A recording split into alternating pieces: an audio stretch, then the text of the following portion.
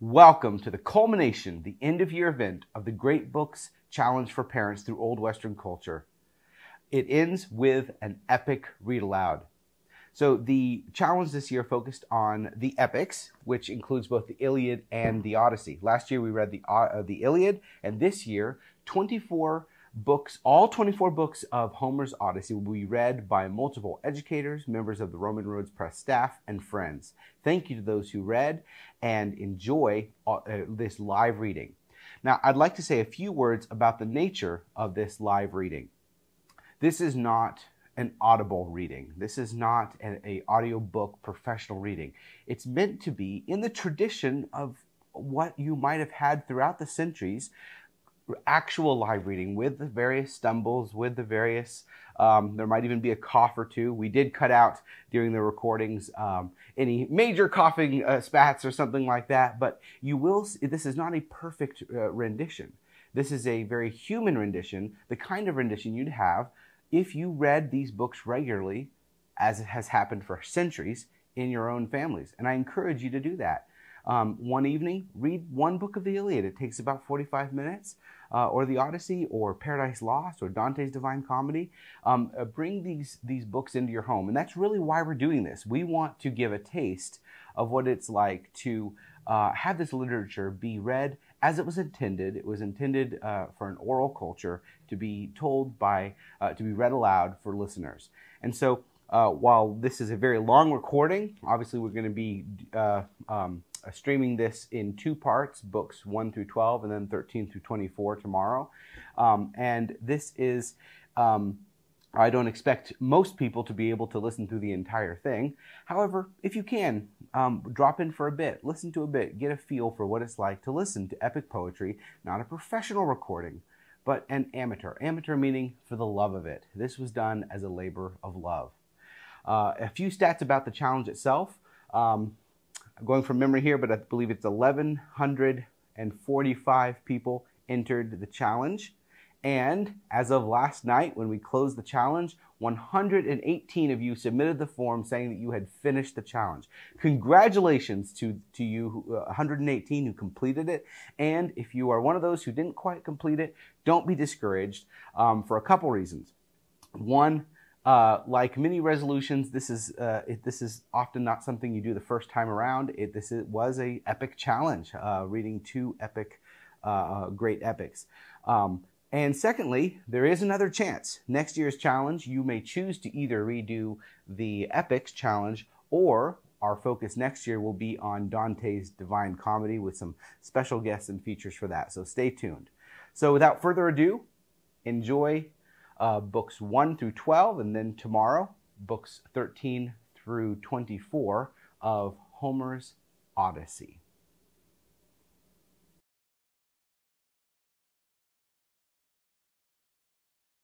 I'm Wes Callihan. I'm the main lecturer on the Old Western Culture video series of the Great Books. I'll be reading Book One of the Odyssey today, this is a new rendering that I've done based on the 1879 Butcher and Lang translation, which was famous in its own day for its accuracy. Uh, but uh, the style was a very sort of King James version, kind of Le Morte D'Arthur, uh, Sir Thomas Malory style. Uh, doesn't work so well for modern audiences. So, of course, uh, many newer translations in the 20th and now the 21st century uh, are more accessible for many people. But I like these old translations.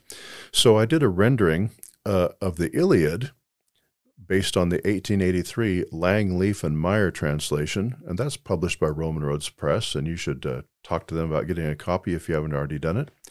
And so now uh, this is uh, my rendering of the Odyssey based on the 1879 Butcher and Lang translation. Uh, Lang is the common element in both those collaborations. Uh, he was quite the stylist and a poet in his own right. And this is one reason I like these old translations. Uh, many of the more, more recent translators uh, uh, in the 20th and 21st century are quite good, but I like these 19th century British translators because they were poets in their own right as well as being scholars. And Andrew Lang, especially, uh, was a, a, a, great poet, and, and many of his, uh, of his books on poetry and on myths and fairy tales uh, are wonderful, delightful, and his ability with style, with English style, as well as his scholarship and his ability to deal with the ancient Greek, shows up in these old translations. And that's why I've been updating these old ones. so uh, now I'll be reading book one of the Odyssey, and this is my new rendering based on the old uh, translation. Tell me, Muse, of the man of many turnings who wandered far and wide after he had sacked the sacred citadel of Troy. Many were the men whose cities he saw and whose minds he learned, and the many the woes he suffered in his heart upon the deep sea, striving for his own life and the return of his companions. Even so, he could not save his companions, though he desired it greatly, for they perished through the blindness of their own hearts, the fools who devoured the oxen of Helios, son of Hyperion, and the god took away from them their day of returning. Of all these things, goddess, daughter of Zeus, from wherever you have heard them, tell them now to us. Now all the rest, as many as had fled from sheer destruction, were at home and had escaped both war and the sea. But Odysseus only, longing for his wife and his homeward way, was held by the lady nymph Calypso, the lovely goddess, in her hollow caves, longing to have him for her lord. But now, when the year had come in the round of the seasons in which the gods had ordained that he should return home to Ithaca, not even then was he free of his troubles or back with his loved ones. But all the gods had pity on him, except Poseidon, who raged continually against godlike Odysseus until he came to his own country. But Poseidon had now departed for the distant Ethiopians, who are divided in two, the remotest of men, some living where Hyperion sinks, and some where he rises. There he waited to receive the great sacrifice of bulls and rams.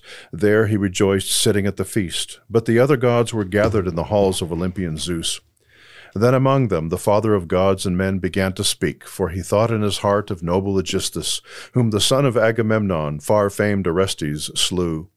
Thinking about him, he spoke out among the immortals. Look now how vainly mortal men blame the gods, for they say evil comes from us, but it is they who bring upon themselves, through the blindness of their own hearts, sorrows beyond what is ordained. Even lately, Aegisthus, beyond what was ordained, took to himself the wife of the son of Atreus, and killed her lord on his return. And he did it with sheer doom before his eyes. For we had warned him by sending Hermes the sharp sighted, the slayer of Argos, that he should neither kill the man nor court his wife. For the son of Atreus would be revenged by the hand of Orestes, as soon as he came of age and longed for his own country. So spoke Hermes, yet he did not persuade the heart of Aegisthus for all his good intention, and now he has paid the price for all. And the goddess, grey eyed Athena, answered him, saying, our father, son of Cronos, throned in the highest, that man certainly suffered a death that he earned. Let all who do such deeds perish the same way. But my heart is torn for wise Odysseus, that unfortunate one, who far from his friends suffers affliction for so long on a wave-washed island, the navel of the sea, a wooded island, and in it a goddess has her dwelling, the daughter of malevolent Atlas, who knows the depths of every sea and upholds the tall pillars which keep earth and sky apart. It is his daughter who holds the unfortunate man in sorrow, and always with soft and soothing tales she charms him to forgetfulness of Ithaca. But Odysseus, longing to see but the smoke rising upward from his own land, has a desire to die. As for you, your heart does not care at all, Olympian. Did not Odysseus, by the ships of the Argives, freely offer sacrifices to you in the wide Trojan land? Why then are you so angry with him, O Zeus? And Zeus, the cloud gatherer, answered her and said, My child, what word has escaped the door of your lips? How could I forget divine Odysseus, who in understanding is beyond mortals, and more than all men has sacrificed to the deathless gods who keep the wide heaven? No, it is Poseidon, the encircler of the earth, who has been angry continually with undying anger because of the Cyclops whose eye he blinded, godlike Polyphemus, whose power is greatest over all the Cyclopes. His mother was the nymph Thoosa, daughter of Phorcys, lord of the barren sea, and in its hollow caves she lay with Poseidon. From that day on, Poseidon, the earth shaker, does not indeed destroy Odysseus, but drives him wandering far from his own country. But now let us all take good counsel here about his return, so that he may be got home. So Poseidon will let go of his anger, for in no way will he be able to strive alone against all the deathless gods. Then the goddess, grey eyed Athena, answered him and said, Our father, son of Cronos, throned in the highest, if indeed this plan is now pleasing to the blessed gods, that wise Odysseus should return to his own home, then let us quickly send Hermes the messenger, the slayer of Argos, to the island of Ogygia. There, with all speed, let him declare to the lady of the braided tresses our sure counsel, the return of patient Odysseus, so that he may come to his home. But as for me, I will go to Ithaca, that I may rouse his son all the more, planting strength in his heart, to call an assembly of the long-haired Achaeans, and speak out to all the suitors who continually slaughter the sheep of his thronging, uh, thronging flocks, and his cattle with trailing feet and shambling gait. And I will guide him to Sparta and to sandy Pylos to seek news of his beloved father's return, if perhaps he may hear of it, and so that he might gain a good reputation among men. She spoke, and bound beneath her feet the lovely immortal golden sandals, and that, carry, and that carried her over both the wet sea and the endless land, swift as the breath of the wind. And she seized her mighty spear, clad with sharp bronze, weighty and huge and strong, with which she subdues the ranks of heroes, those with whom she, the daughter of the mighty father, is angry. Then from the heights of Olympus she came flashing down, and she stood in the land of Ithaca at the entry of the gate of Odysseus, on the threshold of the courtyard, holding in her hand the spear of bronze in the appearance of a stranger, Mentes, the captain of the Taphians. And there she found the lordly suitors. They were taking their pleasure at draughts in front of the doors, sitting on hides of oxen, which they themselves had slaughtered and some of the attendants and the servants were mixing wine and water for them in bowls, and some were washing the tables with porous sponges and setting them, and others were carving meat in great quantities. And godlike Telemachus was far the first to observe her, for he was sitting with a heavy heart among the suitors, imagining his noble father, if perhaps he might come from somewhere and scatter the suitors throughout the palace, and gain honor and establish rule among his own possessions. Thinking about this as he sat among the suitors, he saw Athena, and he went straight to the outer porch, for he thought in his heart that it was shameful that a stranger should stand long at the gates. And stopping near her, he clasped her right hand, and took from her the spear of bronze, and lifted his voice, and spoke winged words to her. Greetings, stranger. You will be kindly treated with us, and afterwards, once you have eaten, eaten, you may tell us what you need. With that he led the way, and Pallas Athena followed. And when they were inside the spacious house, he set her spear which he carried against a tall pillar, in the polished spear stand where many other spears stood also, those of Odysseus of the stout heart. And he led the goddess, and seated her on a beautifully carved chair, and spread a linen cloth under it, and beneath that was a footstool for the feet. For himself, he placed an, placed an inlaid, inlaid seat close by, away from the crowd of the suitors, lest the stranger should be disturbed by the noise and should be put off from the meal, having come among arrogant men, but also so that he might ask him about his father, who was gone from home. Then a handmaid carried water for washing hands in a noble golden pitcher, and poured it out over a silver basin to wash with, and pulled next to them a polished table. And a dignified maid brought wheat bread and set it near by, and laid on the board many delicacies, freely giving whatever she had close at hand. And a carver lifted and placed beside them platters of various kinds of meat, and near them he set golden bowls, and, an attendant walked back and forth pouring wine for them. Then the haughty suitors came in, and they sat down in rows on chairs and on high seats, and attendants poured water on their hands, and maidservants piled wheat bread by them in baskets, and servants filled up the bowls with drink, and they stretched out their hands to the good food spread before them. When the suitors had satisfied the desire for food and drink, they thought of other things, the song and dance, for these are the crown of the feast. And an attendant placed a beautiful lyre in the hands of Phemius, who was bard for the suitors against his will. As he touched the lyre, he lifted up his voice in sweet songs. But Telemachus spoke to grey eyed Athena, holding his head close to her so that those others could not hear. Dear stranger, will you indeed be angry at what I will say? Those men truly care for such things as these, the lyre and song, thoughtlessly, as those who consume the livelihood of another without repayment, of that man whose white bones, it may be, lie rotting in the, in the rain on the mainland, or the waves tumble them in the salt sea. If only these men were to see him returned to Ithaca, they would all pray more for greater speed of foot than for gain of gold and fine clothing. But now he has perished, a terrible fate, and there is no comfort for us. No, not even though any earthly man should say that he will come again. Gone is the day of his returning. But tell me this, and tell me everything clearly. Who are you of the sons of men, and where are you from? Where is your city, and where are those who begot you? On what kind of ship did you come, and how did sailors bring you to Ithaca, and who did they claim to be? For in no way do I think that you came here by land. And tell me this truthfully, that I may know for certain whether you are a newcomer, or whether you are a familiar guest of the house, since many strangers used to come to our house because my father had traveled much among men. Then the goddess, grey eyed Athena, answered him I will plainly tell you everything. I call myself Mentes, son of wise Anchialos, and I rule the Taphians, lovers of the oar. And now I have come to shore, as you see, with ship and crew, sailing over the wine dark sea, to men of strange speech, even to Temesa, in search of copper, and my cargo is shining iron. And my ship is lying there toward the upland, away from the city, in the harbor of Rheithron, beneath wooded Neion and we declare ourselves to be friends of one another, and from friendly houses from a long time past.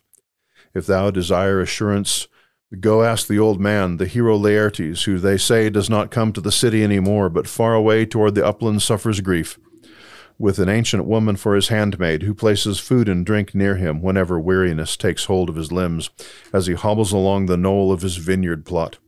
And now I have come, for indeed I was told that he, your father, was among his people but the gods obstruct his journey. For noble Odysseus has not yet perished on the earth, but I think still lives and is kept on the wide deep in a wave washed island, and perhaps rough wild men keep him harshly against his will.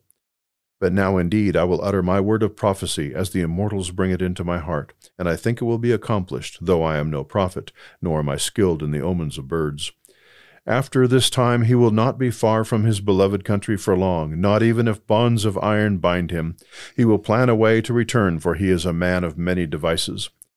But tell me this plainly, whether indeed, as tall as you are, you are sprung from Odysseus. Truly your head and bright eyes are wonderfully like his, for many times we have talked together before he set sail for Troy, where the others too, the bravest of the Argives, went in their hollow ships. From that day onward I have not seen Odysseus, nor has he seen me. Then wise Telemachus answered her and said, I will plainly tell you everything. My mother indeed says that I am his. As for me, I do not know, for no man ever knew his own descent himself. If only I had been the son of some blessed man whom old age overtook among his own possessions. But they say that I am the son of that man who is the most unfortunate of mortals, since you question me about that. Then the goddess, grey eyed Athena, spoke to him and said, Surely the gods have not ordained a nameless lineage for you in days to come, since Penelope bore such a noble man as you. But tell me this plainly what feast, or rather what dissipation is this? What do you have to do with it? Is it a clan drinking or a wedding feast? For this is not a banquet where each man brings his share. In this way, swollen with insolence, they seem to me to revel wantonly throughout the house, and any man might be well be angry to see so many deeds of shame, if any wise man came among them. Then wise Telemachus answered her and said, Sir, since you question me about these things and inquire about them, our house was once rich and honorable, while that man was still among his people. But now the gods have willed it otherwise, with evil intent, for they have made him pass utterly out of sight like no one ever before. Indeed, I would not grieve so much even for his death had he fallen among his companions in the land of the Trojans, or in the arms of his friends when he had wound up the war. Then the whole Achaean host would have built him a barrow, and he would have won great glory even for his son in after days. But now the spirits of the storm have swept him away into obscurity. He is gone, lost to sight, lost to knowledge, but for me he has left grief and lamentation. Nor is it for him alone that I mourn and weep, since the gods have caused other terrible sorrows for me. For all the noblest princes in the isles, in Dulichium and Same and wooded Zacynthus, and all who lord it over rocky Ithaca, all these court my mother and waste my house. But as for her, she neither refuses the hated marriage nor has the heart to end the matter. So they devour and waste my house, and before long they will make havoc of me too. Then in great displeasure Pallas Athena spoke to him. What a shame! Surely you are greatly in need of far off Odysseus to stretch forth his hands upon the shameless suitors. If only he could come now and stand at the entrance of the gate with helmet and shield and two spears, as mighty a man as when I first saw him in our house drinking and rejoicing, at that time when he came up out of Ephyra from Ilus, son of Mermerus. For Odysseus had gone there on his swift, swift ship to seek a deadly drug, that he might have it to smear on his bronze shod arrows. But Ilus would in no way give it to him, for he was in awe of the gods who live forever. But my father gave it to him, for he loved him greatly. If only Odysseus might in that same strength deal with these suitors, they would all have a swift fate and a bitter wedding. However, these things surely lie on the knees of the gods, whether he shall return or not, and take vengeance in his halls. But I urge you to consider how you might drive out the suitors from the hall. Come now, listen and heed my words. Tomorrow call the Achaean lords to the assembly, and announce your words to all, and take the gods as witness. Bid the suitors to disperse, each one to his own place. And as for your mother, if her heart is inclined to marriage, let her go back to the hall of that mighty man her father, and her people will furnish a wedding feast, and arrange for the many courtship gifts that should go with the dearly beloved daughter. And to you I will give a word of wise counsel, if you will listen. Outfit a ship, the best you have, with twenty oarsmen, and travel to inquire about your father who is so far off, if perhaps anyone will tell you anything, or may, you may hear the voice of Zeus, which above all brings news to men. Go first to Pylos, and inquire of noble Nestor, and from there to Sparta, to Menelaus of the fair hair, for he came home last of all the well armored Achaeans. If you hear news of the life and the return of your father, then indeed you can endure the troubles for another year. But if you hear that he is dead and gone, then return to your own dear country and pile his burial mound, and over it serve the burial rites, as many as is fitting, and give your mother to a husband.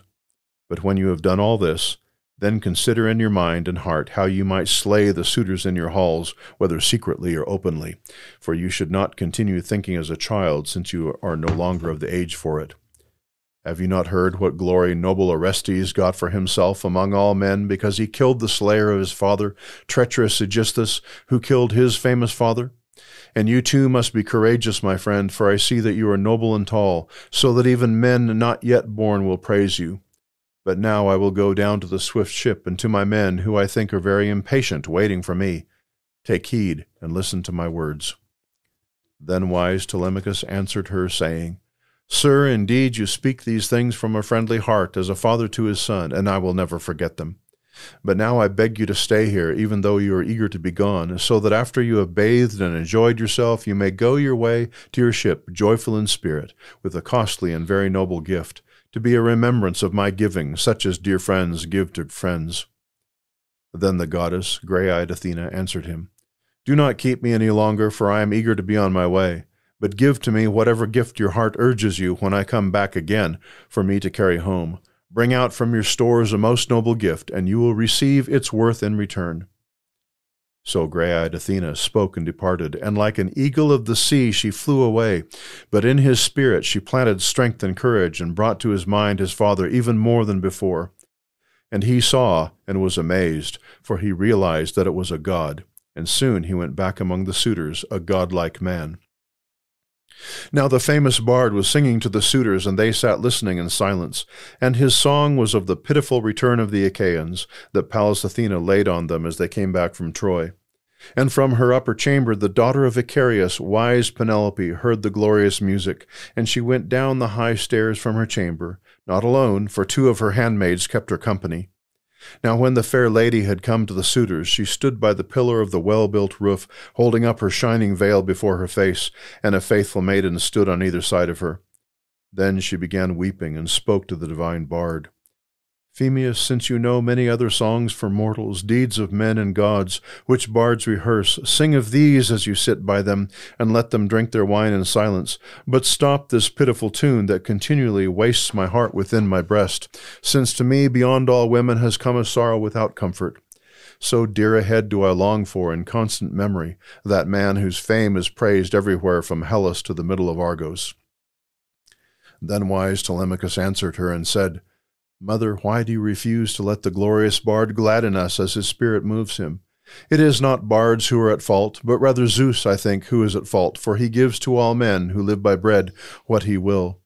As for the bard, do not blame him if he sings about the unfortunate travels of the Danaans, for men always prize that song the most which rings newest in their ears.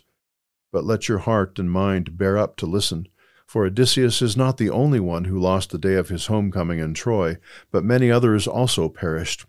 Nevertheless, go to your chamber and attend to your tasks, the loom and spindle, and urge your handmaids to work at their tasks. Speech will be for men, for all, but for me most of all, for I am the Lord of the house. Then in amazement she went back to her chamber, and she laid up the wise saying of her son in her heart. She ascended to her upper chamber with the women who were her handmaids, and then wailed for Odysseus, her dear lord, till grey eyed Athena cast sweet sleep upon her eyelids. Now the suitors clamored throughout the shadowy halls, and each one uttered a prayer to be her bedfellow. But wise Telemachus spoke out, uh, spoke out among them. Suitors of my mother, men outrageous beyond measure, let us feast now and make merry, and let there be no brawling. It is a good thing to listen to a bard such as this one, like the gods in his voice. But in the morning let us all go to the assembly and sit down, so that I may announce my words clearly. That you leave these halls and busy yourselves with other feasts, consuming your own wealth, going in turn from house to house. But if you think this a likelier and a better thing, that one man's goods should perish without repayment, then waste it as you please, and I will call upon the everlasting gods, if perhaps Zeus may grant that revenge be made. Then you would perish within these halls without making atonement. So he spoke, and all who heard him bit their lips and marveled at Telemachus because he spoke boldly. Then Antinous, son of Eupeithes, answered him, Telemachus, indeed the gods themselves had taught you to be so proud and bold in your speech. May the son of Cronos never make you king in sea-encircled Ithaca, though it is your inheritance by right. Then wise Telemachus answered him and said, Antinous, will you indeed be angry at the word that I will speak? Yes, at the hand of Zeus I would be eager to take this thing upon me. Do you say that this is the worst thing that can happen to a man? No, it is not a bad thing to be a king. The house of such a man quickly grows rich, and he himself is held in greater honor. However, there are many other kings of the Achaeans in sea-circled Ithaca, both young and old. One of them will surely obtain this kingship, since noble Odysseus is dead. But as for me, I will be lord of our own house and servants, which noble Odysseus won from me with his spear. Then Eurymachus, son of Polybus, answered him, saying, Telemachus, surely it lies on the knees of the gods what man is to be king over the Achaeans and sea-circled Ithaca. But may you keep your own possessions and be lord in your own house. May no one ever come to force violently from you your wealth against your will while Ithaca still stands. But I would ask you, friend, about the stranger. Where is he from, and of what land does he claim to be? Where are his people in his native fields? Does he bring some news of your father on his journey, or does he come to conduct some business of his own? So suddenly he started to leave, and then he was gone, and he did not linger so we could know him, and yet he seemed to be no ordinary man to look upon. Then wise Telemachus answered him and said, Eurymachus, surely the day of my father's returning has passed. Therefore I do not put faith in news any more, no matter where they come from, nor do I care for prophecies about which my mother has inquired from the mouth of a soothsayer when she has invited him to the hall. But as for that man, he is a friend of my house from Taphos, and he says he is Mentes, son of wise Anchialos, and he is lord over the Taphians, lovers of the oar. So spoke Telemachus, but in his heart he had recognized the immortal goddess. Now the suitors returned to the dance and the delightful song, and made merry, and waited till evening should come. And as they made merry, evening came upon them. Then each one went to his own house to lie down to rest. But Telemachus, where his chamber was built high up in the noble court, in a place with a high view, went to his own bed, pondering many thoughts in his mind, and with him went trusty Eurycleia, and carried burning torches for him. She was the daughter of Ops, son of Pasinor, and Laertes bought her once upon a time with his wealth, while she was still in her youth, and paid twenty oxen for her. And he honored her as much as he honored his beloved wife in the halls, but he never lay with her, for he avoided the anger of his lady. She went with Telemachus and carried the burning torches for him, and of all the women of the household she loved him most, and she had nursed him when he was little. Then he opened the, the doors of the well-built chamber and sat on the bed and took off his soft, soft jacket and put it in the wise old woman's hands. So she folded the jacket and smoothed it and hung it on a pin by the jointed bedstead and went away from the room and pulled the door closed with the silver handle and pulled the bar shut with the leather strap. There, all night long, wrapped in a wool fleece, he meditated in his heart about the journey that Athena had revealed to him. Hi, I'm Cooper Salmon of, of Roman Roads Press. I do video and marketing. You might remember me from the Digressio podcast and previous read alouds. I'm going to be reading book two, and I'm reading from the Robert Fitzgerald translation. Book two A Hero's Son Awakes. When primal dawn spread on the eastern sky her fingers of pink light, Odysseus' true son stood up drew on his tunic and his mantle, slung on a sword, slung on a sword belt and a new-edged sword, tied his smooth feet into good rawhide sandals, and left his room, a god's brilliance upon him. He found the criers with clarion voices and told them to muster the unshorn Achaeans in full assembly. The call sang out, and the men came streaming in, and when they filled the assembly ground, he entered, spear in hand, with two quick hounds at heel. Athena lavished on him a sunlit grace that held the eye of the multitude. Old men made way for him as he took his father's chair. Now Lord Aegyptios bent down and, sage with years, opened the assembly. This man's son had served under the great Odysseus, gone in the decked ships with him to the wild horse country of Troy, a spearman, Antiphos by name. The ravenous Cyclops in the cave destroyed him, last in his feast of men. Three other sons the old man had, and one, uh, went with the suitors. Two farmed for their father. But even so, the old man behind, remembering the absent one, and a tear welled up as he spoke. Hear me, Ithacans. Hear what I have to say. No meeting has been held here since our king Odysseus left port in the decked ships. Who finds occasion for assembly now? One of the young men? One of the older lot? Had he has he had words with our fight our fighters are returning, news to report if he got wind of it? Or is it something else, touching the realm? The man has vigor, I should say, more power to him. Whatever he desires, may Zeus fulfill it. The old man's words delighted the son of Odysseus, who kept his chair no longer, but stood up, eager to speak, in the midst of all the men. The crier, Peisenor, master of debate, brought him the staff, and placed it in his hand. Then the boy touched the old man's shoulder and said, No need to wonder any more. Sir, who called this session, the distress is mine. As to our troops returning, I have no news, news to report if I got wind of it. Nor have I public business to propose, only my need and the trouble of my house, the troubles. My distinguished father is lost, who ruled among you once, mild as a father, and there is now this greater evil still. My home and all I have are being ruined. Mother wanted no suitors, but like a pack they came, sons of the best men here among them, lads with no stomach for an introduction to Icarios, her father across the sea. He would require a wedding gift, and give her to someone who found favor in her eyes.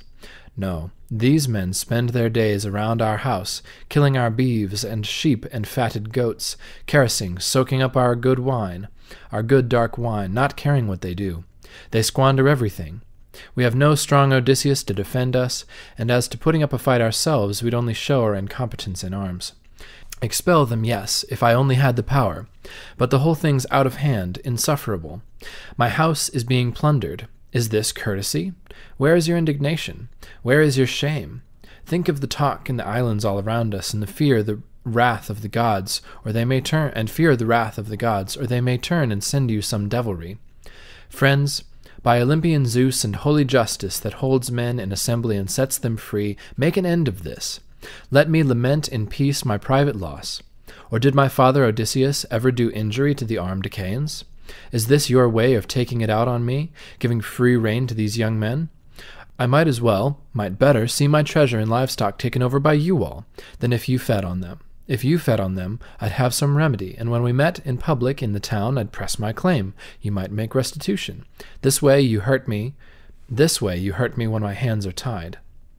And in a hot anger now he threw the staff to the ground, his eyes grown bright with tears. A wave of sympathy ran through the crowd, all hushed, and no one there had the audacity to answer harshly, except Antinous, who said, what high and mighty talk, Telemachus? No holding you. You want to shame us and humiliate us, but you should know the suitors are not to blame. It is your own dear, incomparably cunning mother. For three years now, and it will soon be four, she is breaking the hearts of all the Achaeans, holding out hope to all and sending promises to each man privately, but thinking otherwise. Here is an instance of her trickery. She had her great loom standing in the hall, and the fine warp of some vast fabric on it. We were attending her, and she said to us, Young men, my suitors, now my lord is dead. Let me finish my weaving before I marry, or else my thread will have been spun in vain. It is a shroud I weave for Lord Laertes, when cold death comes to lay him on his bier.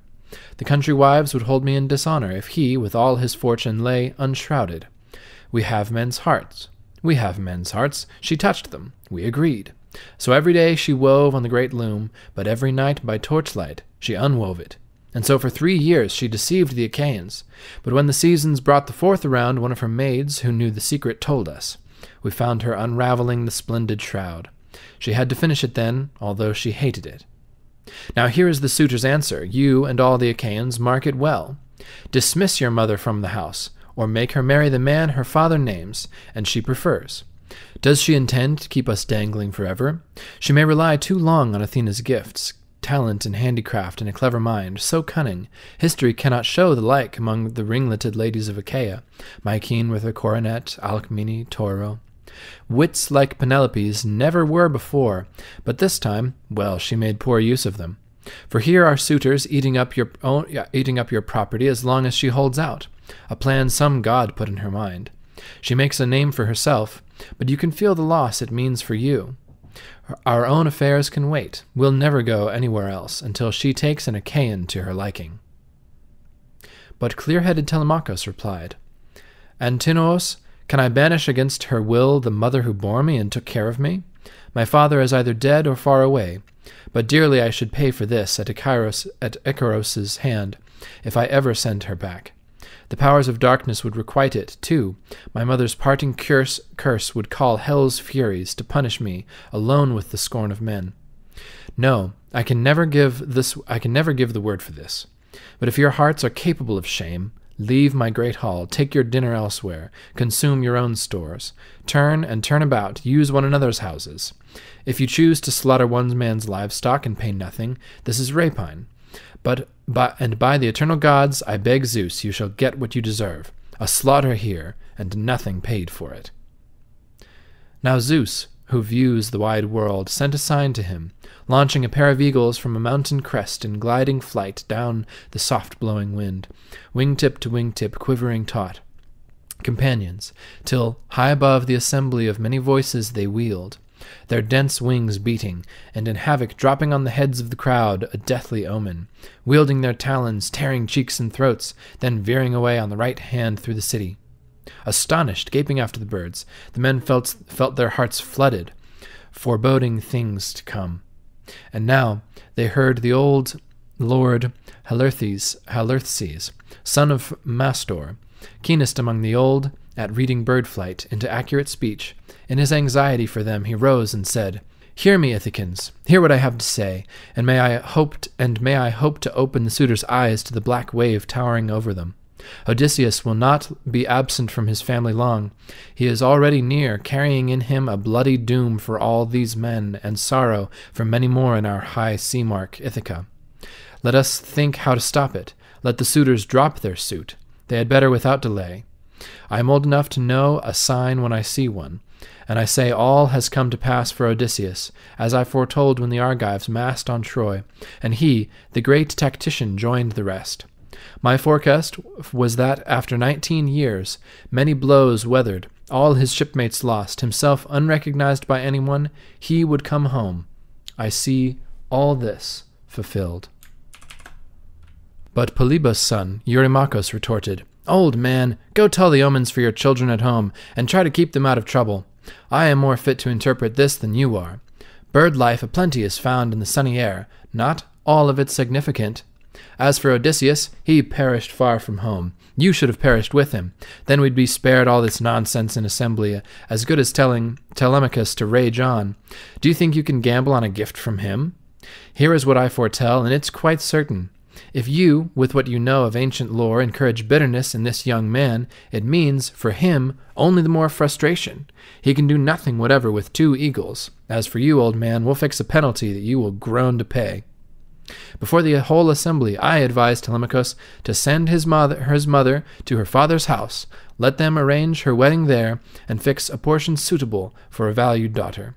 Until he does this, courtship is our business. Vexing though it may be, we fear no one, certainly not Telemachus with his talk, and we care nothing for your divining uncle, useless talk.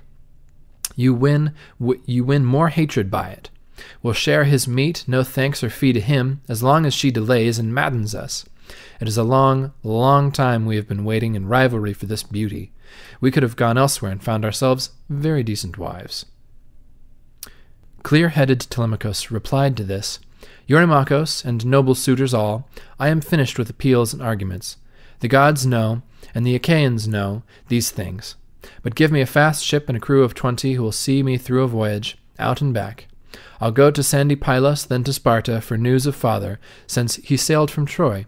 Some traveller's tale, perhaps, or rumored fame issued from Zeus himself into the world. If he's alive and beating his way home, I might hold out for another weary year. But if they tell me he's dead and gone, then I can come back to my own dear country and raise a mound for him, and burn his gear, and with all the funeral honors that befits him, and give my mother to another husband. The boy sat down in silence. Next to stand was Mentor, comrade in arms of the prince Odysseus, an old man now. Odysseus left him authority over his house and slaves to guard them well. In his concern, he spoke to the assembly. Hear me, Ithacans. Hear what I have to say. Let no man holding a scepter as king be thoughtful, mild, kindly, or virtuous. Let him be cruel, and practice evil ways. It is so clear that no one here remembers how, how like a gentle father Odysseus ruled you. I find it less revolting that the suitors carry their malice into violent acts. At least they stake their lives when they go pillaging the house of Odysseus. Their lives upon it, he will not come again. What sickens me is to see the whole community sitting still, and never a voice or hand raised against them. A mere handful, com- compared with you.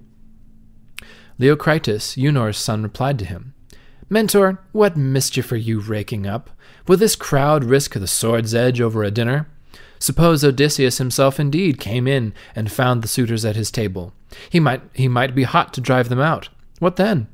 Never would he enjoy his wife again, the wife who loves him well. He'd only bring down abject death on himself against the, those odds.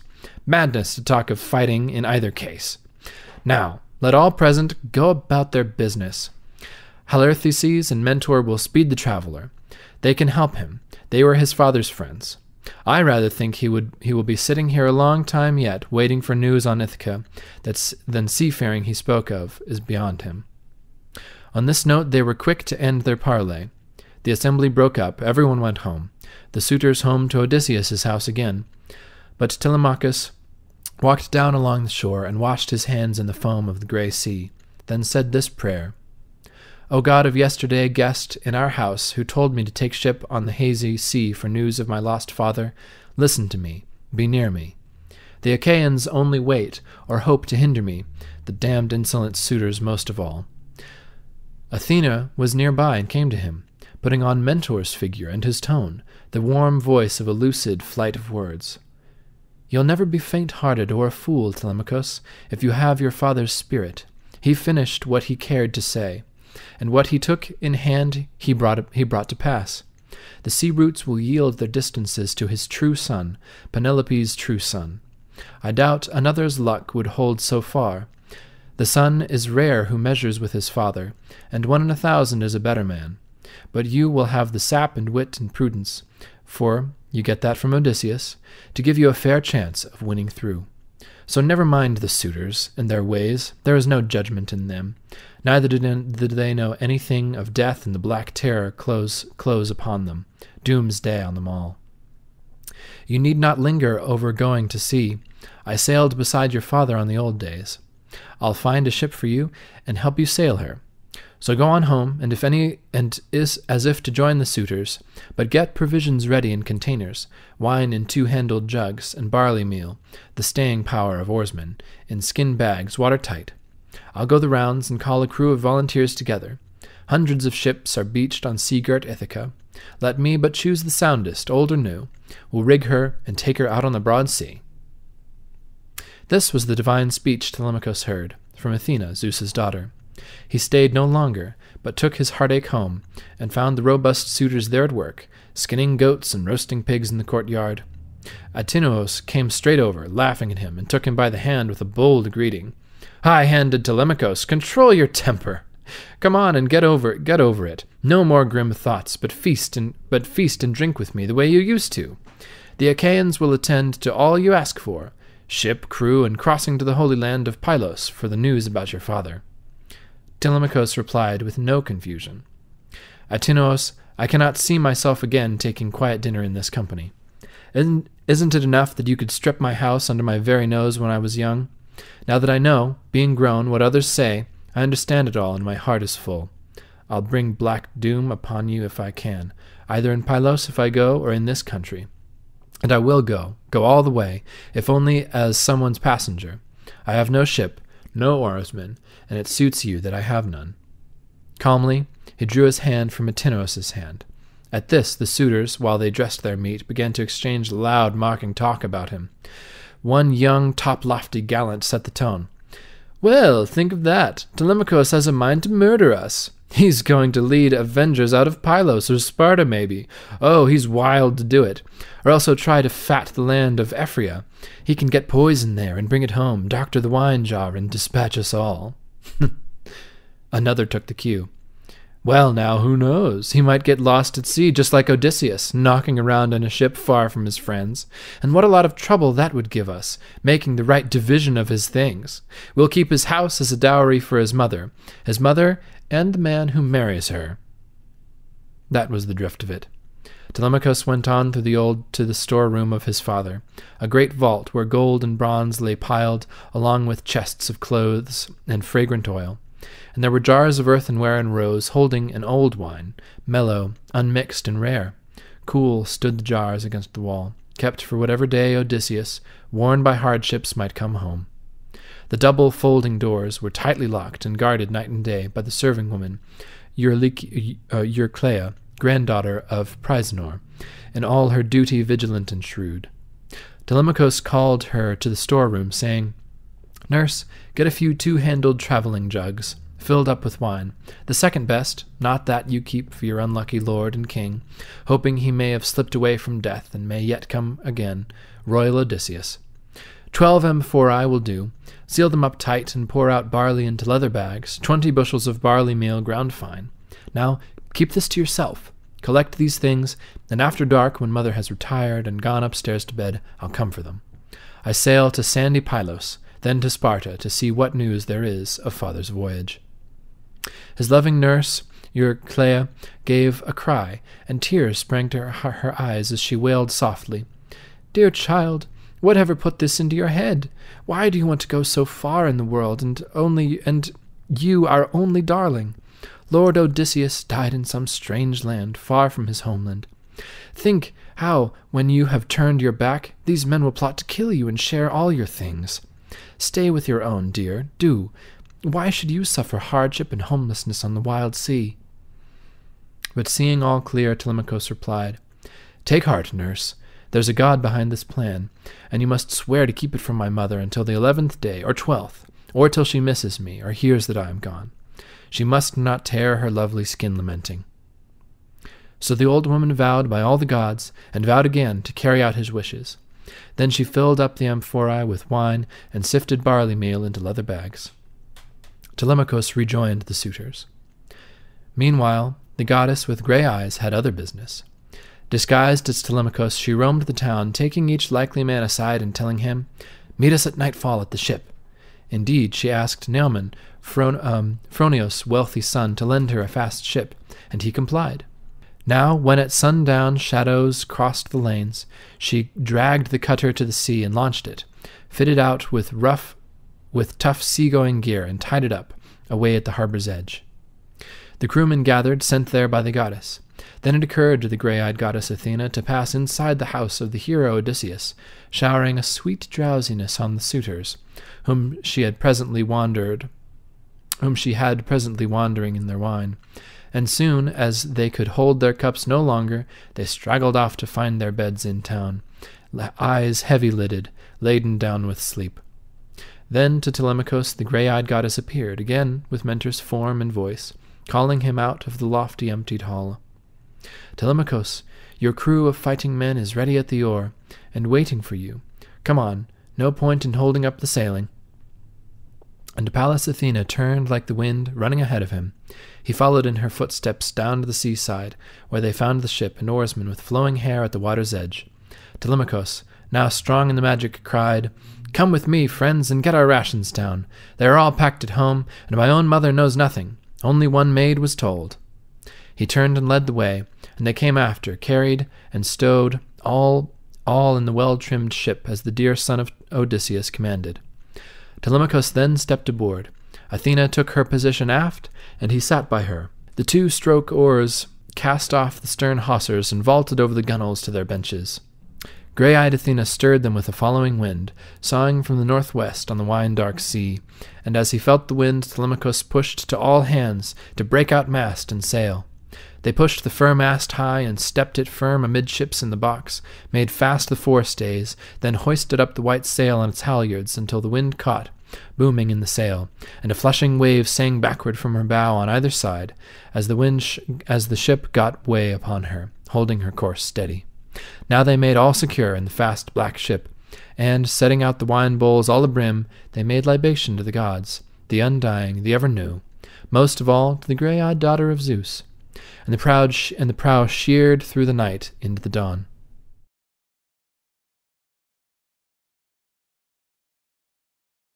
I'm Joffrey Swait. I teach at Kepler Education, and this is Book Three An Old King Remembers. I've chosen the translation done by Murray and Dimock because I think pseudo literal translations are fun. Book 3 And now the sun, leaving the beauteous mere, sprang up into the brazen heaven to give light to the immortals and to mortal men on the earth, the giver of grain. And they came to Pylos, the well built citadel of Neleus. Here the townsfolk on the shore of the sea were offering sacrifice of black bulls to the dark haired earthshaker. Nine companies there were, and five hundred men sat in each, and in each they held nine bulls ready for sacrifice. Now, when they had tasted the inner parts and were burning the thigh pieces to the god, the others put straight in to the shore and hauled up and furled the sail of the shapely ship and moored her, and themselves stepped forth. Forth, too, from the ship stepped Telemachus, and Athena led the way. And the goddess, flash eyed Athena, spake first to him and said, Telemachus, no longer hast thou need to feel shame, no, not a whit, for to this end hast thou sailed over the sea, that thou mightest seek tidings of thy father, where the earth covered him, and what fate he met. But come now, go straightway to Nestor, tamer of horses. Let us learn what counsel he keepeth hid in his breast, and do thou beseech him thyself that he may tell thee the very truth. A lie he will not utter, for he is wise indeed. Then wise Telemachus answered her, Mentor, how shall I go, and how shall I greet him? I am as yet all unversed in, in subtle speech, and moreover a young man has shame to question an elder. Then the goddess, flashing eyed Athena, answered him, Telemachus, somewhat thou wilt of thyself devise in thy breast, and somewhat heaven too will prompt thee. For methinks not without the favor of the gods hast thou been born and reared. So spake Pallas Athena, and led the way quickly, but he followed in the footsteps of the goddess, and they came to the gathering and the companies of the men of Pylos. There Nestor sat with his sons, and round about his people, making ready the feast, were roasting some of the meat and putting other pieces on spits. But when they saw the strangers, they all came thronging about them, and clasped their hands in welcome, and bade them sit down. First Nestor's son Pisistratus came near and took both by the hand, and made them to sit down at the feast on soft fleeces upon the sand of the sea, beside his brother Thrasymedes and his father. Thereupon he gave them portions of the inner meat, and poured wine in a golden cup, and pledging her, he spoke to Pallas Athena, daughter of Zeus, who bears the aegis. Pray now, daughter to the Lord Poseidon, for his is the feast whereon you chanced in coming hither. And when thou hast poured libations and hast prayed as is fitting, then give thy friend also the cup of honey sweet wine that he may pour, since he too, I ween, prays to the immortals. For all men have need of the gods. Howbeit he is the younger of like age with my with myself. Howbeit he is the younger of like age with myself, wherefore to thee first will I give the golden cup. So he spake, and placed in her hand the cup of sweet wine. But Pallas Athena rejoiced at the man's wisdom and judgment, and that to her first he gave the golden cup, and straightway she prayed earnestly to the Lord Poseidon. Hear me, Poseidon, thou earth enfolder, and grudge not an answer to our prayer to bring these deeds to fulfillment. To Nestor first of all, and to his sons vouchsafe renown, and then do thou grant to the rest gracious requital for this glorious hecatomb, even to all the men of Pylos. And grant furthermore that Telemachus and I may return when we have accomplished all that for which we came hither with our swift black ship. Thus she prayed, and was herself fulfilling all. Then she gave Telemachus the fair two-handled cup, and in like manner the dear son of Odysseus prayed. Then when they had roasted the outer flesh and drawn it off the spits, they divided the portions and feasted a glorious feast. But when they had put from them the desire of food and drink, the horseman, Nestor of Gerenia, spoke first among them. Now verily it is seemlier to ask and inquire of the strangers who they are, since now they have had their joy of food. Strangers, who are ye? Whence do ye sail over the watery ways? Is it on some business, or do ye wander at random over the sea, even as pirates, who wander hazarding their lives and bringing evil to men of other lands?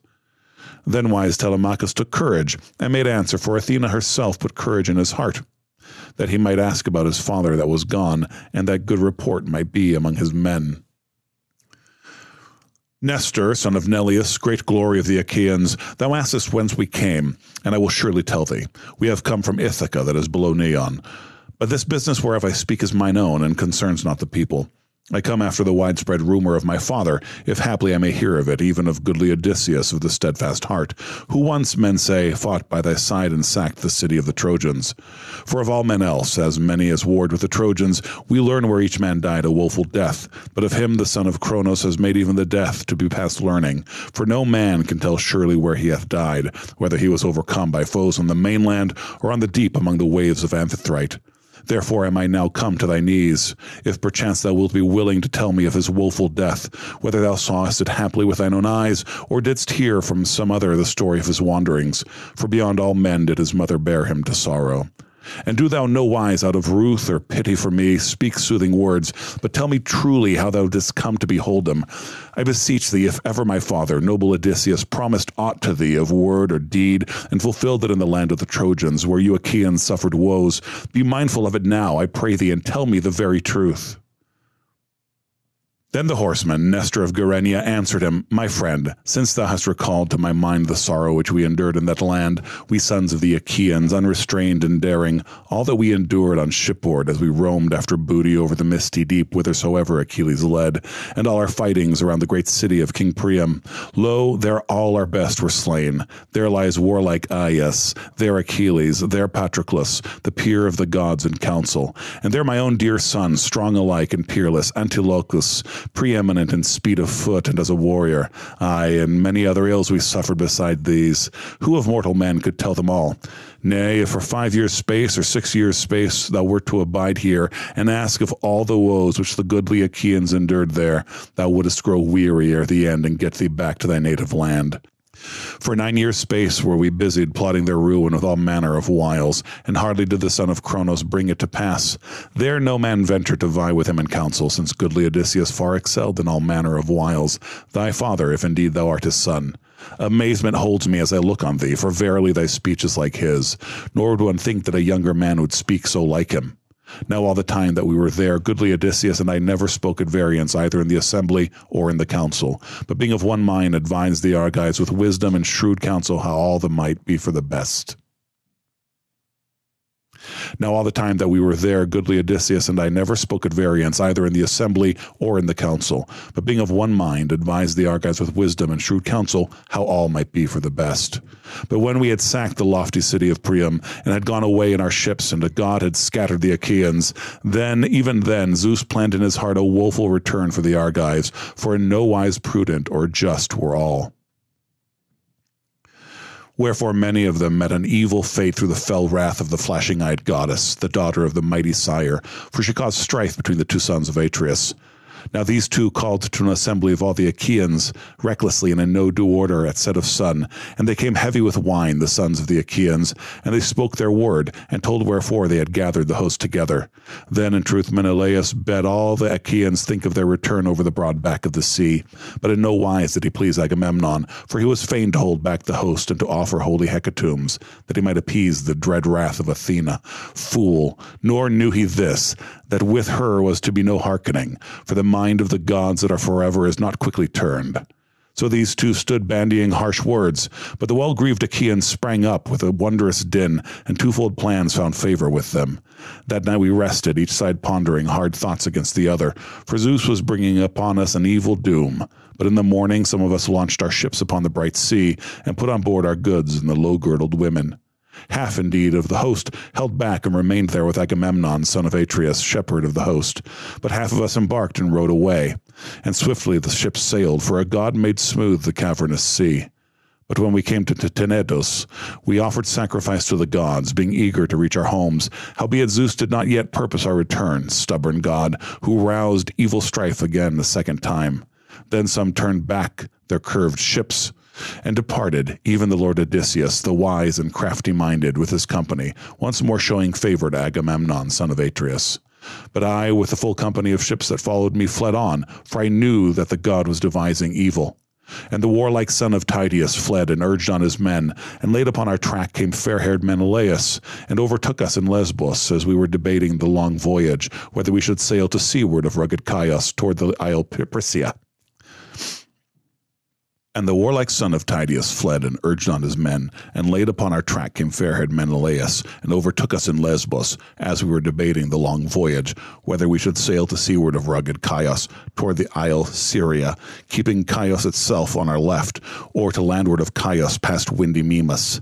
So we asked the god to show us a sign, and he showed it us, and bade us cleave through the midst of the sea to Euboea, that we might meet the soonest escape from misery. And a shrill wind sprang up to blow, and the ship ran swiftly over the teeming waves, and at night put into Geraestus. There on the altar of Poseidon we laid many thighs of bulls, thankful to have traversed the great sea. It was the fourth day when in Argos the company of Diomedes, son of Tydeus, tamer of horses, stayed their shapely ships. But I held on toward Pylus, and the wind was not once quenched from the time when the god first sent it forth to blow. Thus I came, dear child, without tidings, nor know I aught of these others, who of the Achaeans were saved and who were lost. But what tidings I have heard as I abide in our halls thou shalt hear, as is right, nor will I hide it from thee. Safely, they say, came the Myrmidons that rage with the spear, whom the famous son of great-hearted Achilles led, and safely Philoctetes, the glorious son of Poeas, all his company too, did Idomeneus bring to Crete, all who escaped the war, and the sea robbed him of none. But of the son of Atreus you have yourselves heard, far off though you are, how he came and how Aegisthus devised for him a woeful doom. Yet verily he paid the reckoning therefore in terrible wise. So good a thing is it that a son be left behind a man in his death, since that son took vengeance on his father's slayer, the guileful Aegisthus, for that he slew his glorious father. Thou too, friend, for I see thou art a comely man and tall, be thou valiant, that many a one among men yet to be born may praise thee.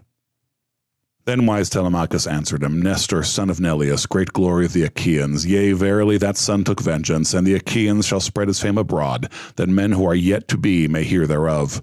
Oh, that the gods would clothe me with such strength that I might take vengeance on the wooers for their grievous sin, who in wantonness devised mischief against me. But lo, the gods have spun for me no such happiness, for me or for my father, and now I must in any case endure. Then the horseman Nestor of Gerenia answered him, Friend, since thou callest this to my mind and didst speak of it, they say that many wooers for the hand of thy mother devise evils in thy halls, in thy despot. Tell me, art thou willingly thus oppressed, or do the people throughout the land hate thee, following the voice of a god? Who knows but Odysseus may some day come and take vengeance on them for their violent deeds? He alone it may be, or even all the host of the Achaeans. Ah, with that flashing-eyed Athena might choose to love thee, even as she cared then exceedingly for glorious Odysseus in the land of the Trojans, where we Achaeans suffered woes.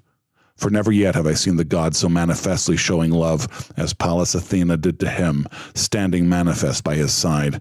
If she would be pleased to love thee in such wise and would care for thee at heart, then would many a one of them utterly forget marriage. Then wise Telemachus answered him, Old man, in no wise do I deem that this word will be brought to pass. Too great is what thou sayest. Amazement holds me. No hope have I that this will come to pass. No, not that the gods should so will it. Then the goddess, flashing eyed Athena, spoke to him and said, Telemachus, what a word has escaped the barrier of thy teeth. Easily might a god who willed it bring a man safe home, even from afar. But for myself I had rather endure many grievous toils ere I reached home and saw the day of my returning, than after my return be slain at my hearth, as Agamemnon was slain by the guile of Aegisthus and of his own wife. But of a truth, death that is common to all. The gods themselves cannot ward from a man they love when the fell fate of grievous death shall strike him down. Then wise Telemachus answered her, Mentor, no longer let us tell of these things despite our grief. For him no return can ever more be brought to pass. Nay, ere this the immortals have devised for him death and black fate. But now I would make enquiry and ask Nestor regarding another matter, since beyond all others he knows judgments and wisdom. For thrice, men say, has he been king for a generation of men, and like unto an immortal he seems to me to look upon. Nestor, son of Neleus, do thou tell me truly, how was the son of Atreus, wide-ruling Agamemnon, slain? Where was Menelaus? What death did guileful Aegisthus plan for the king, since he slew a man mightier far than himself? Was Menelaus not in Achaean Argos, but wandering elsewhere among men, so that Aegisthus took heart and did the murderous deed? Then the horseman Nestor of Gerenia answered him, Then verily, my child, will I tell thee all the truth. Lo, of thine own self thou dost guess how this matter would have fallen out if the son of Atreus, fair-haired Menelaus, on his return from Troy had found Aegisthus in his halls alive. Then for him not even in death would they have piled the uppiled earth, but the dogs and birds would have torn him as he lay on the plain far from the city, nor would any of the Achaean women have bewailed him, for monstrous was the deed he devised.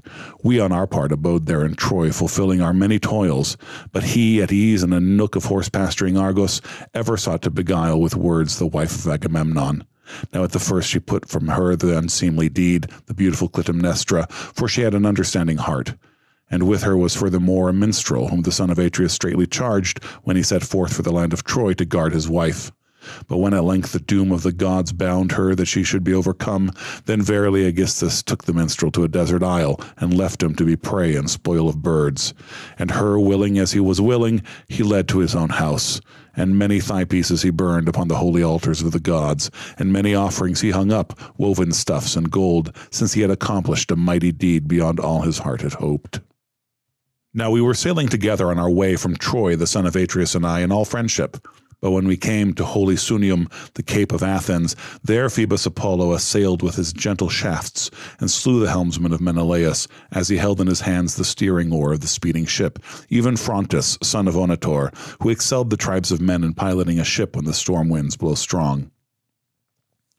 So Menelaus tarried there, though eager for his journey, that he might bury his comrade and over him pay funeral rites.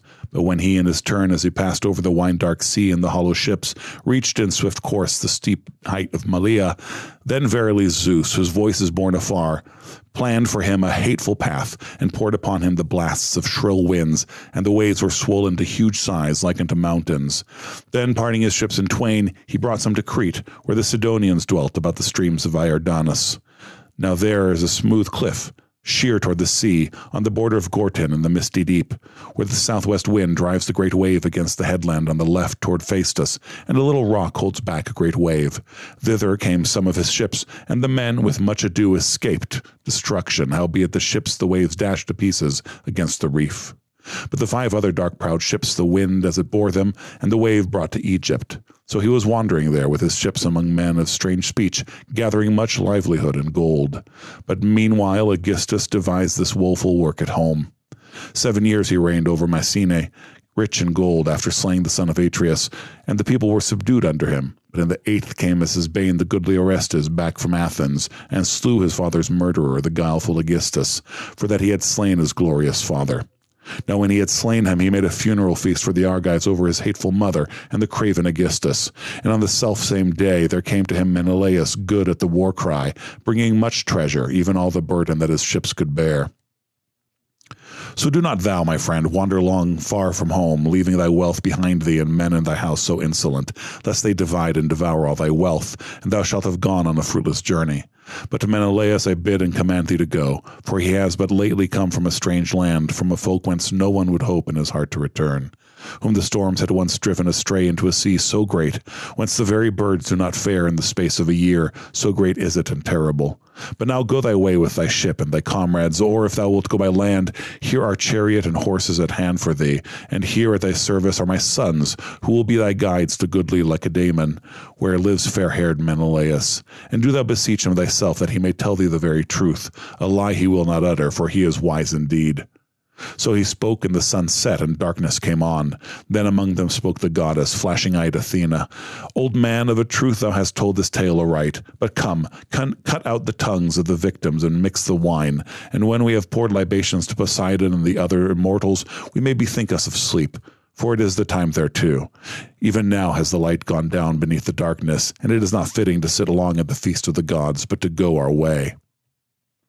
So spoke the daughter of Zeus, and they hearkened to her voice. Heralds poured water over their hands, and youths filled the bowls brimful of drink, and served out to all, pouring first drops for libation into the cups. Then they cast the tongues upon the fire, and rising up, cast libations upon them. But when they had poured libations and had drunk to their heart's content, then verily Athena and godlike Telemachus were both fain to return to the hollow ship. But Nestor on his part sought to stay them, and he spake to them, saying, this may Zeus forbid, and the other immortal gods, that ye should go from my house to your swift ship, as from one utterly without raiment and poor, who has not cloaks and blankets and plenty in his house, whereon both he and his guests may sleep softly. Nay, in my house there are cloaks and fair blankets. Never surely shall the son, dear son, Never surely shall the dear son of this man Odysseus lie down upon the deck of a ship while I yet live, and children after me are left in my halls to entertain strangers, even whosoever shall come to my house. Then the goddess, flashing eyed Athena, answered him, Well indeed hast thou spoken in this, old friend, and it were fitting for Telemachus to hearken to thee, since it is far better thus.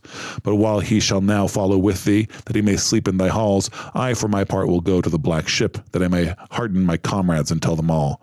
For alone among them I declare that I am an older man, the others are younger who follow in friendship, all of them of like age with great hearted Telemachus. There will I lay me down by the hollow black ship this night, but in the morning I will go to the great hearted Cauconians, where a debt is owing to me, in no wise new or small. But do thou send this man on his way with a chariot and with thy son, since he has come to thy house, and give him horses, the fleetest thou hast in running, and the best in strength. So spoke the goddess, flashing eyed Athena, and she departed in the likeness of a sea eagle, and amazement fell upon all at the sight, and the old man marveled when his eyes beheld it. And he grasped the hand of Telemachus, and spoke, and addressed him. Friend, in no wise do I think that thou wilt prove a base man or a craven, if verily when thou art so young the gods follow thee to be thy guides. For truly this is none other of those that have their dwellings on Olympus, but the daughter of Zeus, Tritogeneia, the maid most glorious, she that honored also thy noble father among the Argives. Nay, O queen, be gracious and grant to me fair renown, to me and to my sons and to my revered wife, and to thee in return will I sacrifice a sleek heifer, broad of brow, unbroken, which no man hath yet led beneath the yoke. Her will I sacrifice, and I will overlay her horns with gold. So he spoke in prayer, and Pallas Athena heard him. Then the horseman, Nestor of Gerenia, led them, his sons and the husbands of his daughters, to his beautiful palace. And when they reached the glorious palace of the king, they sat down in rows on the chairs and high seats. And on their coming, the old man mixed for them a bowl of sweet wine, which now in the eleventh year the housewife opened, when she had loosed the string that held the lid. Thereof the old man bade mix a bowl, and earnestly he prayed as he poured libations to Athena, the daughter of Zeus, who bears the Aegis. But when they had poured libations and had drunk to their heart's content, they went, each to his home, to take their rest.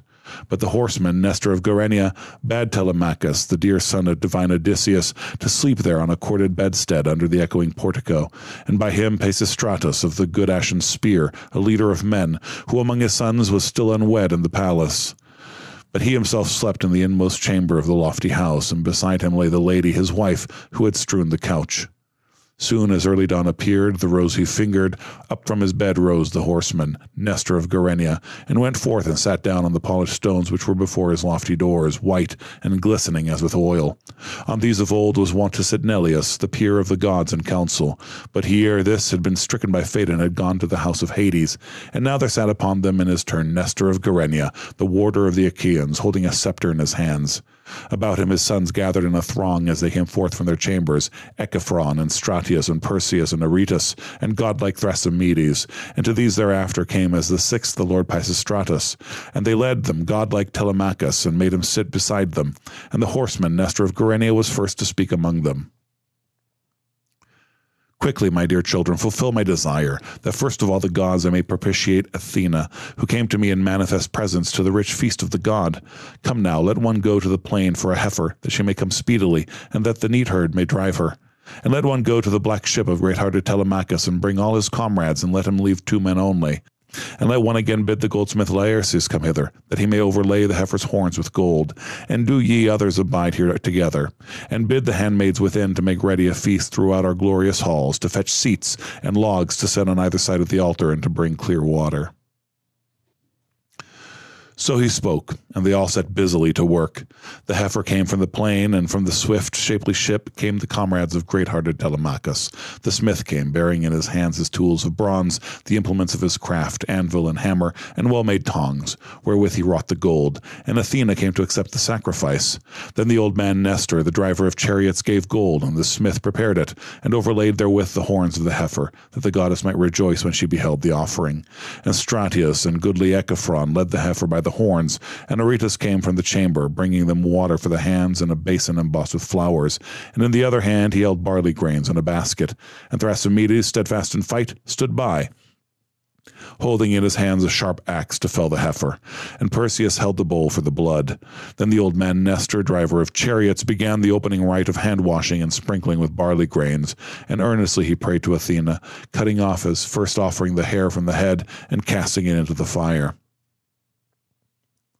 Now, when they had prayed and had strewn the barley grain, straightway the son of Nestor, Thrasymedes, high of heart, came near and dealt the blow, and the axe cut through the sinews of the neck and loosened the strength of the heifer. Then the women raised the sacred cry, the daughters and sons' wives, and the revered wife of Nestor, Eurydice, the eldest of the daughters of Clymenus.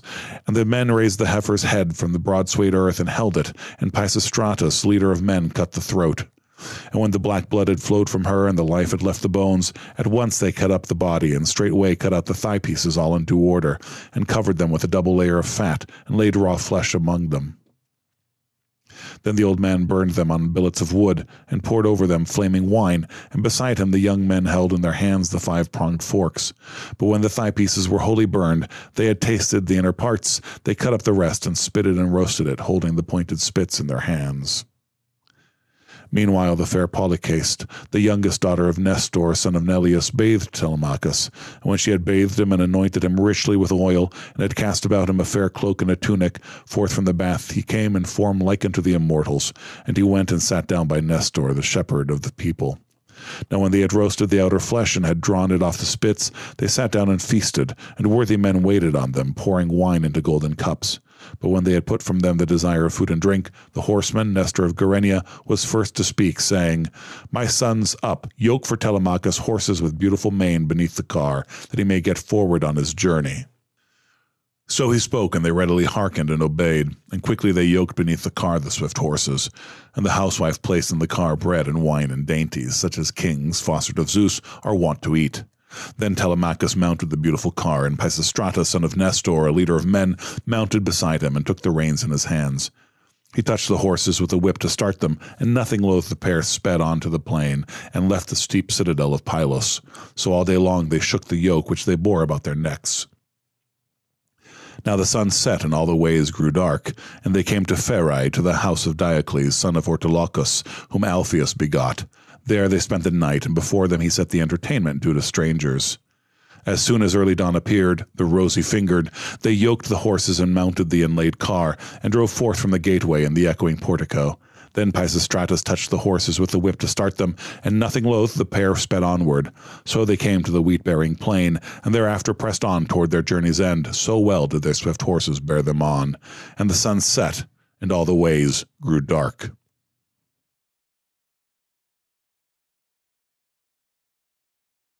Hello, this is Cooper Salmon of Roman Roads Press. I do marketing and video and have been part of several other of the uh, Great Books Reading Challenges and the Read Alouds. And uh, I'm excited to share with y'all uh, book four of the Odyssey.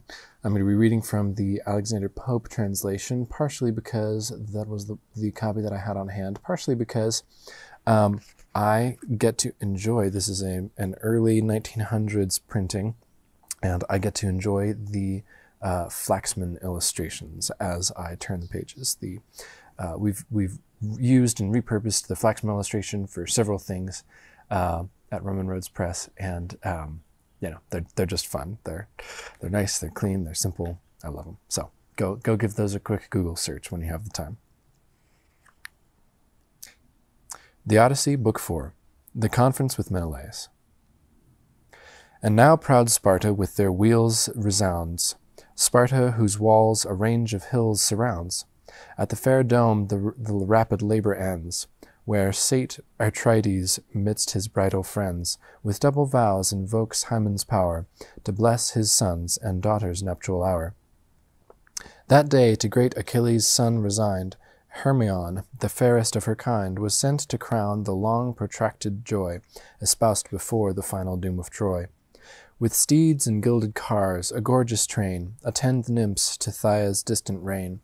Meanwhile at home to Megapenthes' bed, a virgin choir Alector's daughter led. Brave Megapenthes, from a stolen armor, to great Atrides' age his handmaid bore.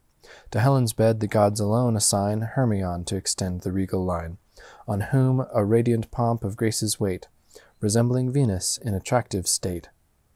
While this gay, friendly troop the king surround, with festal, with festival and mirth the roofs resound. A bard amid the joyous circle sings, high airs attempered to the vocal strings. Whilst warbling to the varied strain advance two sprightly youths to form the bounding dance. 'Twas then that, issuing through the palace gate, the splendid car rolled down and rolled slow in regal state. On the bright eminence young Nestor shone, and fast beside him great Ulysses' son. Grave Antonius saw the pomp appear, and speeding thus addressed the royal ear. Two youths approach, whose semblant features prove their blood devolved from the source of Jove. Is due reception dined, or must they bend their doubtful course to seek a distant friend?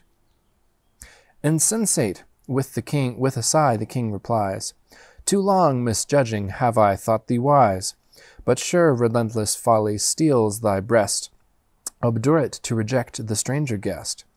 To those dear hospitable rites a foe, which in my wanderings oft, oft relieved my woe, fed by the bounty of another's board, till pitying Jove my native realm restored. Straight be the coursers from the car released, conduct the youths to great the genial feast. The seneschal, rebuked, in haste withdrew, with equal haste a menial train pursue. Part led the coursers from the car enlarged, each to a crib with choicest grain surcharged. Part in a portico profusely graced, with mag- rich magnificence, the chariot placed, the chariot placed. Then to the dome the friendly pair invite, who eye the dazzling roofs with vast delight, resplendent as the blaze of summer noon, or the pale radiance of a midnight moon.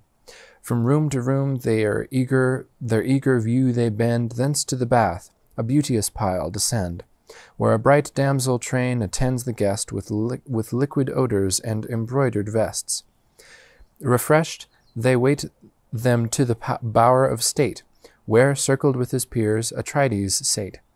Throned next the king, a fair attendant brings the purest produce of the crystal springs. High on a massy vase of silver mould, the burnished laver flames with solid gold. In solid gold the purple vintage flows, and on the board a second banquet rose. When thus the king with hospitable port, Accept this welcome to the Spartan court. The waste of nature let the fair let the feast repair, then your high lineage and your names declare. Say from what sceptred ancestry ye claim, recorded eminent in deathless fame. For vulgar parents cannot stamp their race with signatures of such majestic grace. Ceasing, benevolent, he straight assigns the royal portion to the choicest chines. To each accepting friend, with grateful haste, they share the honors of the rich repast. Sufficed, soft whispering thus to Nestor's son, his head reclined, young Ithacus began. Ithacus began. Viewest thou unmoved, O ever honored most, these prodigies of art and wondrous cost? Above, beneath, around the palace shines the sunless treasure of exhausted minds. The spoils of elephants the roofs inlay, and studded amber darts a golden ray. Such, and not nobler in the realms above, my wonder dictates is the dome of Jove. The monarch took the word, and grave replied, Presumptuous are the vaunts, and vain the pride of man who dares in pomp with, with Jove contest, unchanged, immoral, and supremely uh, unchanged, immortal, and supremely blessed. With all my affluence, when my woes are weighed, envy will own the purchase dearly paid. For eight slow circling years by tempests tossed, from Cyprus to the far Phoenician coast, Sidon the capital, I stretched my toil, through regions fattened with the flows of Nile. Next, Ethiopia's utmost bound explore, and the parched border of the Arabian shore. Then warp my voyage on the southern gales, over the warm Libyan wave to spread my sails. That happy clime where each revolving year the teeming ewes a triple offspring bear, and two fair crescents of translucent horn the brows of all their young increase adorn. The shepherd swains with surest abundance blessed on the fat flock, and rural dainties feast, nor want of herbage makes the dairy fail, but every season fills the foaming pail. Whilst the heaping unwashed wealth I distant roam, the best of brothers at his natal home by the dire fury of a traitorous wife, ends the sad evening of a stormy life. Whence with incessant grief my soul annoyed, these riches are possessed, but not enjoyed. My wars, the copious theme of every tongue, to you, your father, have recorded long, how a favoring heaven repaid my glorious toils with a sacked, with a sacked palace and barbaric spoils. Oh, had the gods so large a boon denied, and life, the just equivalent supplied, to those brave warriors who, with glory fired, far from their country, to my cause expired. Still, in short intervals of pleasing woe, regardful of the friendly dues I owe, I to the glorious dead forever dear, indulge the tribu- tribute of a grateful tear. But oh, Ulysses, deeper than the rest, that sad idea wounds my anxious breast. My heart bleeds fresh with agonizing pain, the bowl and tasteful viands tempt in vain. Nor sleep's soft power can close my streaming eyes, when, a when imaged to my soul his sorrows rise. No peril in my cause he ceased to prove, his labors equaled only by my love and both alike to bitter fortune born, for him to suffer, and for me to mourn. Whether he wanders on some friendly coast, or glides in Stygian gloom, a pensive ghost, no fame reveals, but, doubtful of his doom, his good old sire, with sorrow to the tomb, declines his trembling steps. Untimely care withers the blooming vigor of his heir, and the chaste partner of his bed and throne wastes all her widowed, widow, widowed hours in tender moan. While thus pathetic to the prince he spoke, from the brave youth the streaming passion broke. Studious, studious to veil the grief in vain repressed, his face he shrouded with his purple vest. The conscious monarch pierced the coy disguise, and filled and viewed his filial love with vast surprise, dubious to press the tender theme, or wait to hear the youth inquire his father's fate. In this suspense bright Helen graced the room. Before her breathed a gale of rich perfume. So moves, adorned with attractive grace, the silver shafted goddess of the chase. The seat of majesty Adraste bears, with art illustrious for the pomp of kings, to, sp- to spread the pall beneath the regal chair. Of softest wool is bright Alcippus' care, a silver canister divinely wrought, in her soft hands the beauteous Philo brought. To Sparta's queen of old the radiant vase Alcandra gave, a pledge of royal grace. For Polybus her lord, whose sovereign sway the wealthy tribes of Pharian Thebes obey, when to that court Atrides came, caressed with vast munificence the imperial guest, two lavers from the richest ore refined, with silver tripods, the kind host assigned, and bounteous from the royal treasure told ten equal talents of refulgent gold. Alcandra, consort of his high command, a gold distaff gave to Helen's hand and that rich vase with living sculpture wrought, which heaped with wool the beauteous Philo brought. The silken fleece, empurpled for the, for the loom, rivaled the hyacinth in vernal bloom. The sovereign seat then Jove born Helen pressed, and pleasing thus her sceptred lord addressed. Who grace our palace now, that friendly pair? Speak they their lineage or their names declare? Uncertain of the truth, yet uncontrolled, hear me, hear me the bodings of my breast unfold. With wonder rapt, on yonder cheek I trace the feature of the Ulyssian race. Diffused o'er each resembling line appear, in just similitude, the grace and air of young Telemachus, the lovely boy, who blessed Ulysses with a father's joy. What time the Greeks combined their social arms to avenge the stain of my ill-fated charms. Just as thy thought, the king assenting cries, Methinks Ulysses strikes my wondering eyes. Full shines the father in the filial frame, his port, his features, and his shape the same. Such quick regards his sparkling eyes bestow, such wavy ringlets over his shoulders flow. And when he heard the long disastrous store of cares which in my cause Ulysses bore, dismayed, heart wounded with paternal woes, above restraint the tide of sorrow rose. Cautious to let the gushing grief appear, his purple varments, his purple garment veiled the falling tear. See there confessed, Pisistratus replies, the genuine worth of Ithacus the wise. Of that heroic sire thy youth is sprung, but modest awe hath chained his timorous tongue. Thy voice, O king, with pleased attention heard, is like the dictates of a god revered. With him, at Nestor's high command, I came, whose age I honor with a parent's name. By adverse destiny constrained to sue for counsel and redress, he sues to you.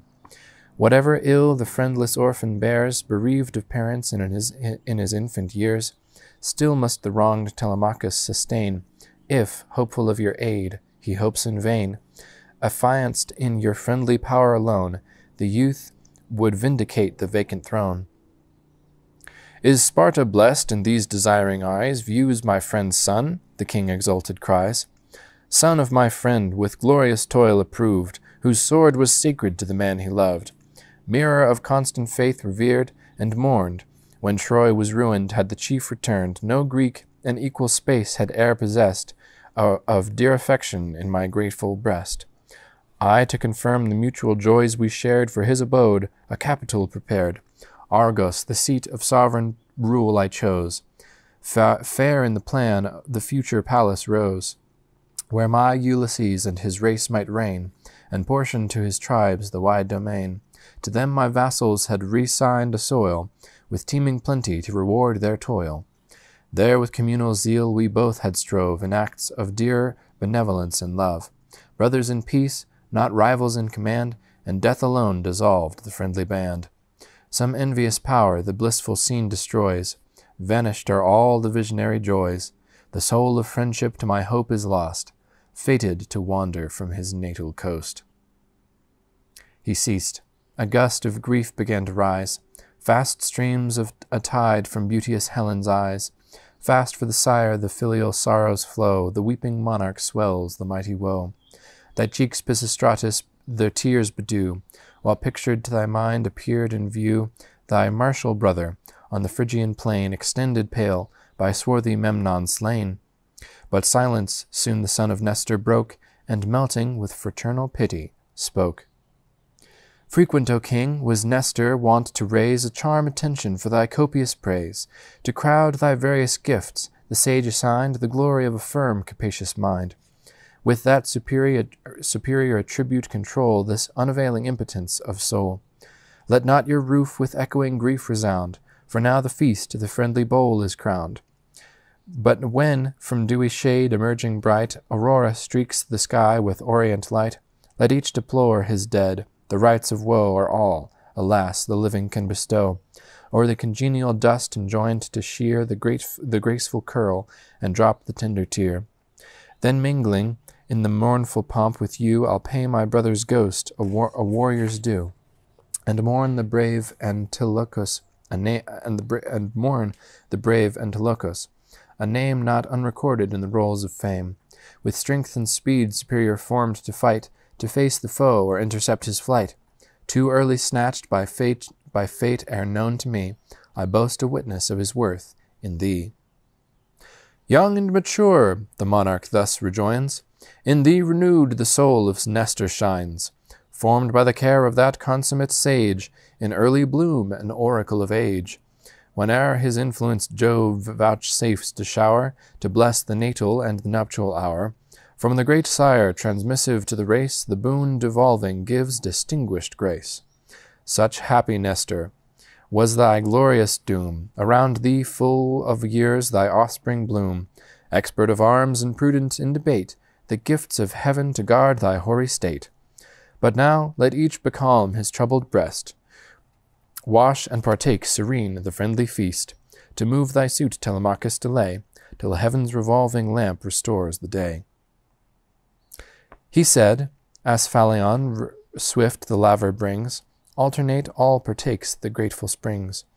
Then from the rites of purity repair, and with keen gust the, sav- the savory viands share. Meantime, with genial joy to warm the soul, bright Helen mixed a mirth-inspiring bowl, tempered with drugs of sovereign use to assuage the boiling bosom of tumultuous rage, to clear the crowdy front of wrinkled care, and dry the too tearful sluices of despair. Charmed with that virtuous draught, the, the exalted mind all sense of woe delivers to the wind. Through all the blazing pile his parents lay, though on the blazing pile his parents lay, or a loved brother's groaned, or a loved brother groaned his life away, or darling son, oppressed by ruffian force, fell breathless at his feet, a mangled corse. From morn to eve, impassive and serene, a man, the man entranced, would view the dreadful scene.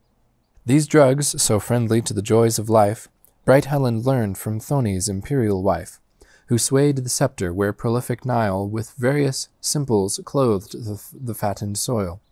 With wholesome herbage mixed, the dear, direful bane of vegetable venom taints the plain. From Paeons sprung, their patron god imparts to all the Pharian race his healing arts. The beverage now prepared to inspire the feast, the circle thus the beauteous queen addressed. Throned in, imp- in omnipotence, supremest Jove tempers the fates of human race above. By the firm sanction of his sovereign will, alternate are decreed our good and ill.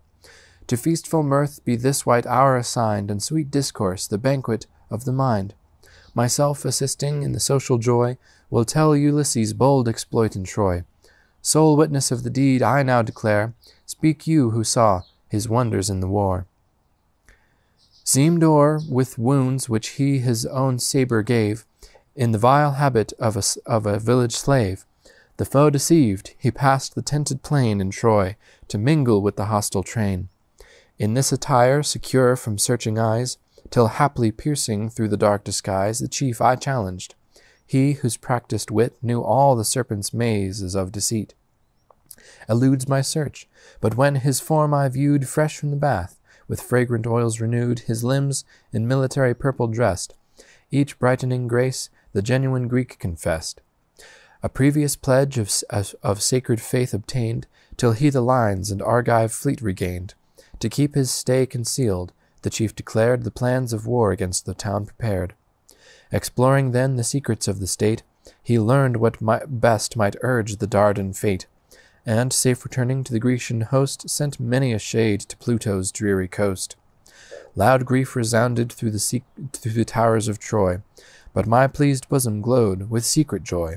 For then, with dire remorse and conscious shame, I viewed the effects of that disastrous flame which kindled by the imperious queen of love constrained me from my native realm to rove, and oft in bitterness of soul deplored my absent daughter and my dearer lord, admired among the first of human race for every gift of mind and manly grace.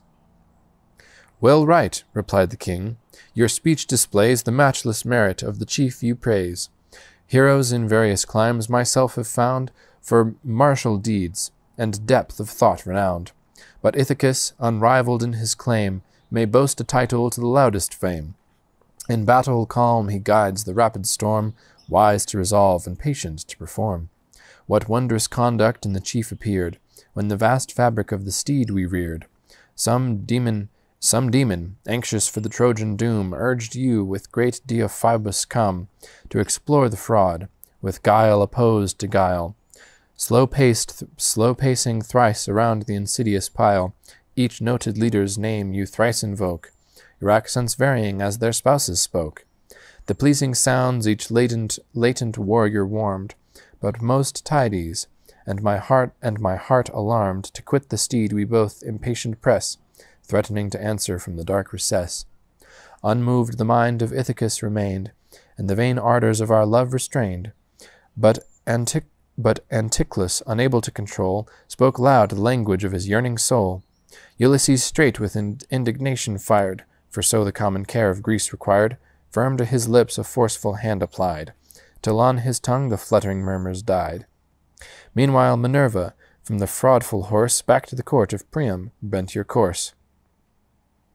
Inclement fate, Telemachus replies, frail is the boasting, boasted attribute of wise. The leader mingled with the vulgar host is, is in the common mass of, mot, of matter lost. But now let sleep the painful waste repair of sad reflection and corroding care. He ceased, the menial fare that round her wait at, at Helen's beck prepare the room of state. Beneath an ample portico they spread the downy fleece to form the slumberous bed, and o'er soft palls of purple grain unfold rich tapestry stiff with interwoven gold. Then through the illumined dome to balmy rest the obsequious herald guides each princely guest, while to his regal bower the king ascends, and beauteous Helen on her lord attends. Soon as the morn, in orient purple dressed, unbarred the portal of the roseate, roseate east, the monarch rose, magnificent to view. The imperial mantle o'er his vest he threw. The glittering zone athwart his shoulder cast a starry falcon, low depending grace. Clasped on his feet the embroidered sandals shine, and forth he moves, majestic and divine. Instant to young Telemachus he pressed, and thus benevolent his speech addressed. Say, royal youth, sincere of soul, report what cause hath led you to the Spartan court. Do public or domestic cares constrain this toilsome voyage o'er the surgy main? O highly favored delicate of Jove, replies the prince, inflamed with filial love and anxious hope to hear my parents' doom, a suppliant to your royal court I come. Our sovereign seat elude usurping race, a lawless riot and misruled disgrace. To pampered insolence devoted fall, prime of the flock and choicest of the stall. For wild ambition wings their bold desire, and all to mount the imperial bed aspire. But prostrate I implore, O king, relate the mournful series of my father's fate, each known disaster of the man disclose, born by his mother to a world of woes. Recite them, nor in erring pity fear to wound with storied grief the filial ear. If e'er Ulysses to reclaim your right avowed his zeal in council or in fight, if Phrygian camps the friendly toils attest to the sire's merit, give the son's request. Deep from his inmost soul Atrides sighed, and thus, indignant, to the prince replied, Heavens! What a soft and glorious dastard train, An absent hero's nuptial joys profane! So with her young, amid the woodland shades, A timorous hind the lion's court invades, Leaves in the fatal lair the, the tender fawns, Climb the green cliff, or feed the flowery lawns. Meantime returned with dire remorseless sway, the, the monarch savage rends the trembling prey. With equal fury, and with equal fame, Ulysses soon shall reassert his claim. O Jove supreme, whom gods and men revere, and thou, to whom 'tis given to gild the sphere, with power congenial joined, propitious aid the chief adopted by the martial aid, by, by the martial maid. Such to our wish the warrior soon restore, as when contending on the Lesbian shore his prowess Philo, Philomelides confessed, and loud acclaiming Greeks the victor blessed. And soon, the, and soon the invaders of his bed enthroned their love presumptuous shall with life atone. With patient ear, O royal youth, attend the storied labors of thy father's friend. Fruitful of deeds, the copious tale is long, but truth severe shall dictate to my tongue. Learn what I heard the sea-born seer relate, whose eye can pierce the dark recess of fate. Long on the Egyptian coast by calms confined, heaven to my fleet refused a prosperous wind. No vows had we preferred, nor victims slain. For this the gods each favouring gale restrain, jealous to see their high behests obeyed, severe, if men the eternal rights evade. High o'er a gulfy sea the Pharian isle fronts the deep roar of the disemboweling isle, Nile. Her distance from the shore, the course begun at dawn and ending with the setting sun, a galley measures, when the stiffer gales rise on the poop and fully, fully stretch the sails. There anchored vessels safe in harbour lie, whilst limpid springs the failing cask supply. And now the twentieth sun, descending, laves his glowing axle on the western waves. Still with expanded sta- sails we court in vain propitious winds to waft us o'er the main. And the pale mariner at once deplores his drooping vigour and exhausted stores. When lo, a bright cerulean form appears, the fair Eidothea to dispel my fears, Proteus her sire divine. With pity pressed, me sole the daughter of the deep addressed.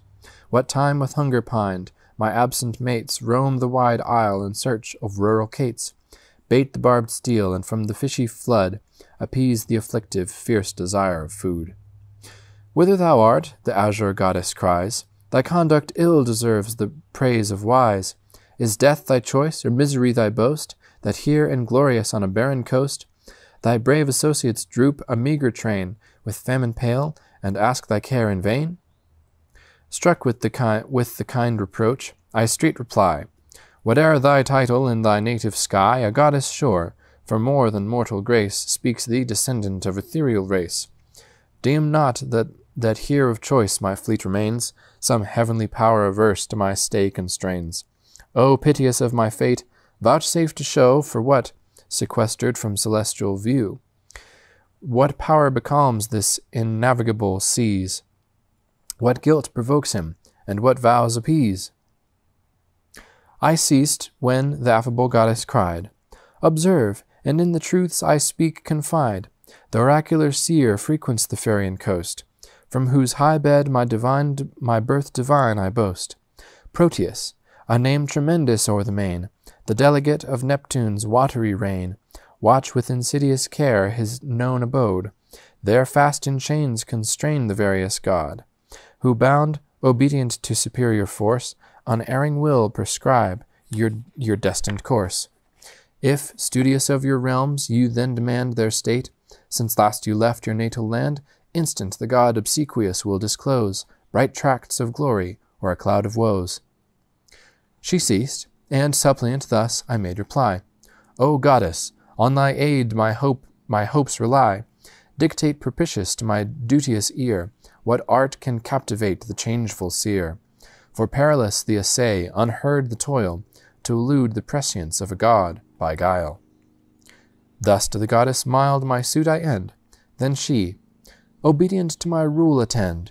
When through the zone of heaven the mounted sun hath journeyed half, and half remains to run, the seer, while zephyrs curl, the while zephyrs curl the, sw- the swelling deep, basks on the breezy shore in grateful sleep his oozy limbs.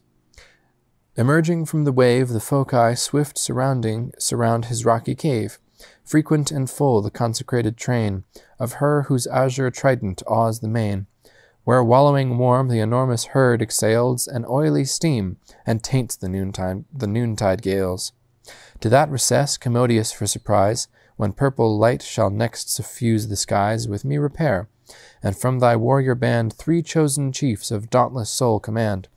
Let their auxiliar force befriend the toil, for strong the god and perfected in guile. Stretched on the shelly shore, he first surveys the flouncing herd ascending from the seas. Their number summed, reposed in sleep profound, the scaly charge their guardian god surround. So with his battening flocks the careful swain abides, pavilioned on the grassy plain, with powers united, obstinately bold, invade him, couched amid the scaly fold. Instant he wears, elusive of the rape, the mimic force of every savage shape, or glides with liquid laps a murmuring stream, or, wrapped in flame, he glows at every limb, yet still retentive, with redoubled might, though each vain passive form constrain his flight. But when his native shape resumed, he stands, patient of conquest, and your cause demands, the cause that urged the bold attempt declare, and soothe the vanquished with a victor's prayer. The, the bands relaxed, implore the seer to say what Godhead interdicts the watery way, who, straight propitious in prophetic strain, will teach you to repass the unmeasured main. She ceased, and bounding from the shelfy shore, round the descending nymph the waves resounding roar. High wrapped in wonder at the future deed, with joy impetu- impetuous to the port I speed. The wants of nature with repast, repast suffice, till night with grateful shade involved the skies, and shed ambrosial dews. Fast by the deep, along the tented shore, in balmy sleep our cares were lost. When o'er the eastern lawn, in saffron robes, the daughter of the dawn advanced her rosy steps. Before the bay, due ritual honors to the gods I pay. Then seek the place where sea-born nymph assigned, with three associates of undaunted mind. Arrived, to form along the appointed strand for each a bed, she scoops the hilly sand. Then from her azure cave the finny spoils of our four vast phocae takes to veil her wiles. Beneath the finny spoils, extended prone, hard toil, the prophet's piercing eyes to shun. New from the course the scaly frauds diffuse unsavory stench of oil and brackish ooze. But the bright sea maid's gentle power implored, with nectared drops, the sickened senses restored. Thus till the sun with travelled, thus till the sun had travelled half the skies, ambushed we lie and wait the bold emprise.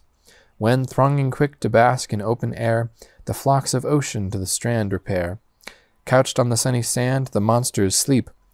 Then Proteus, mounting from the hoary deep, surveys his charge, unknowing of deceit. In order told, we make the sum complete.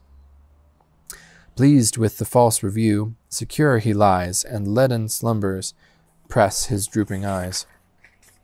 Rushing impetuous forth, we straight prepare a furious onset with the sound of war, and shouting seize the god, our force to evade, his various arts he soon resumes in aid. A lion now, he curls a surgy mane, Suddenly our hands a spotted pard restrain. Then armed with tusks and lightning in his eyes, a boar's obscener shape the god belies. On spiry volumes there a dragon rides. Here from our strict embrace a stream he glides, and last sublime his stately growth he rears, a tree, and well dissembled foliage wears. Vain efforts! With superior power compressed, me with reluctance thus the, the seer addressed. Say, son of Atreus, say what God inspired this daring fraud, and what the boon desired. I thus. O thou, whose certain eye foresees the fixed event of fate's remote degree- decrees, after long woes and various toil endured, still on this desert isle my fleet is moored, unfriended in the gales. All knowing say what Godhead interdicts the watery way. What vows repentant will the power appease to speed a prosperous voyage o'er the seas? To Jove, with stern regard, the god replies, and all the offended synod of the skies, just hecatombs with due devotion slain, thy guilt absolved, a prosperous voyage gain, to the firm sanction of thy fate attend. An exile thou, nor cheering face of friend, nor sight of natal shore, nor regal dome, shalt yet enjoy, but still art doomed to roam. Once more the Nile, who from the secret source of Jove's high seat descend with sweepy force, must view his billows white beneath thy oar, and altars blaze along his sanguine shore. Then will the gods with holy pomp adored, to thy long vows a safe return accord. He ceased, heart wounded with afflictive pain, doomed to repeat the perils of the main, a shelfy track and long. O seer, I cry, to the stern sanction of the offended sky, my prompt obedience bows. But deign to say what fate propitious or what dire dismay sustain those peers, the relics of our host, whom I with Nestor on the Phrygian coast embracing left? Must I the warriors weep, whelmed in the bottom of the monstrous deep? Or did the kind domestic friend deplore the breathless on the, the breathless heroes on their native shore? Press not too far, replied the god, but cease to know what, know, known, will violate thy peace. Too curious of their doom, with friendly woe thy breast will heave, and tears eternal flow. Part live, the rest, a lamentable train, range the dark bounds of Pluto's dreary, dreary reign.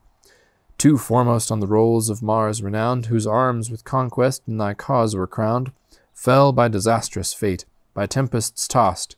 A third lives wretched, on a distant coast. By Neptune rescued from Minerva's hate, on Gyrae safe Oilean Ajax state, his ship overwhelmed. But, frowning on the floods, impious he roared defiance to the gods. To his own prowess all the glory gave, the power defrauding who vouchsafed to save. This heard the raging ruler of the main, his spear indignant for such high disdain, he launched, dividing with his forky mace the aerial summit from the marble base. The rock rushed seaward with impetuous roar, engulfing, and to the abyss the boaster bore. By Juno's guardian aid, the watery vast, secure of storms, your royal brother passed, till, coasting nigh the cape where, Mal- where Malea shrouds her spiry cliffs amid surrounding, the clou- surrounding clouds, a whirling gust, tumultuous from the shore, across the deep his laboring vessel bore. In an ill-fated hour the coast he gained, where late in regal pomp Thyestes reigned. But when his hoary honours bowed to fate, Aegisthus governed in paternal state. The surges now subside, the tempest ends. From his tall ship the king of men descends, where fondly thinks the gods concluded his toil. Far from his own domain salutes the soil. With raptures oft the verge of Greece reviews, and the dear turf with tears of joy bedews. Him thus exulting on the distant strand, a spy distinguished from his airy stand, to bribe whose vigilance Aegisthus told a mighty sum of ill persuading gold. There watched this guardian of his guilty fear. There watched the guard, this guardian of his guilty fear till the twelfth moon had wheeled her pale career, and now admonished by his eye to court, with terror winged conveys the dread report of deathful arts expert. His lord employs the ministers of blood in dark surprise, and twentieth youths in radiant mail encased, close ambushed nigh the spacious hall he placed, then bids prepare the, hospi- the hospitable treat, vain shows of love to, f- to veil his felon hate. To grace the victor's welcome from the wars, a train of coursers and triumphant cars. Magnificent he leads, the royal guest, thoughtless of ill, accepts the fraudulent feast. The troops, forth issuing from the dark recess, with homicidal rage the king oppress. So, whilst he feeds luxurious in the stall, the sovereign of the herd is doomed to fall. The partners of his fame and toils at Troy, around their lord a mighty ruin lie. Mixed with the brave, the base invaders bleed. Aegisthus' soul survivors, soul survives to boast the deed. He said, Chill horrors shook my shivering soul. Racked with convulsive pangs in dust I roll, and hate, in madness of extreme despair, to view the sun or breathe the vital air.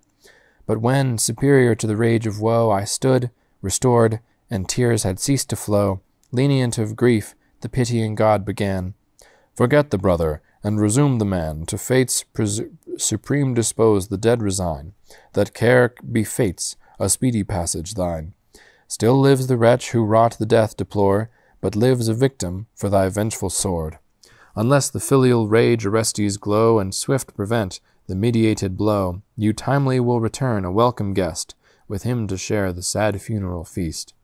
He said, New thoughts my beating heart employ, my gloomy soul receives a gleam of joy. Fair hope revives, and eager I address the prescient Godhead to reveal the rest. The doom decreed of those disastrous two I've heard with pain, but oh, the tale pursue. What third brave son of Mars the fates constrain to roam the howling desert of the main?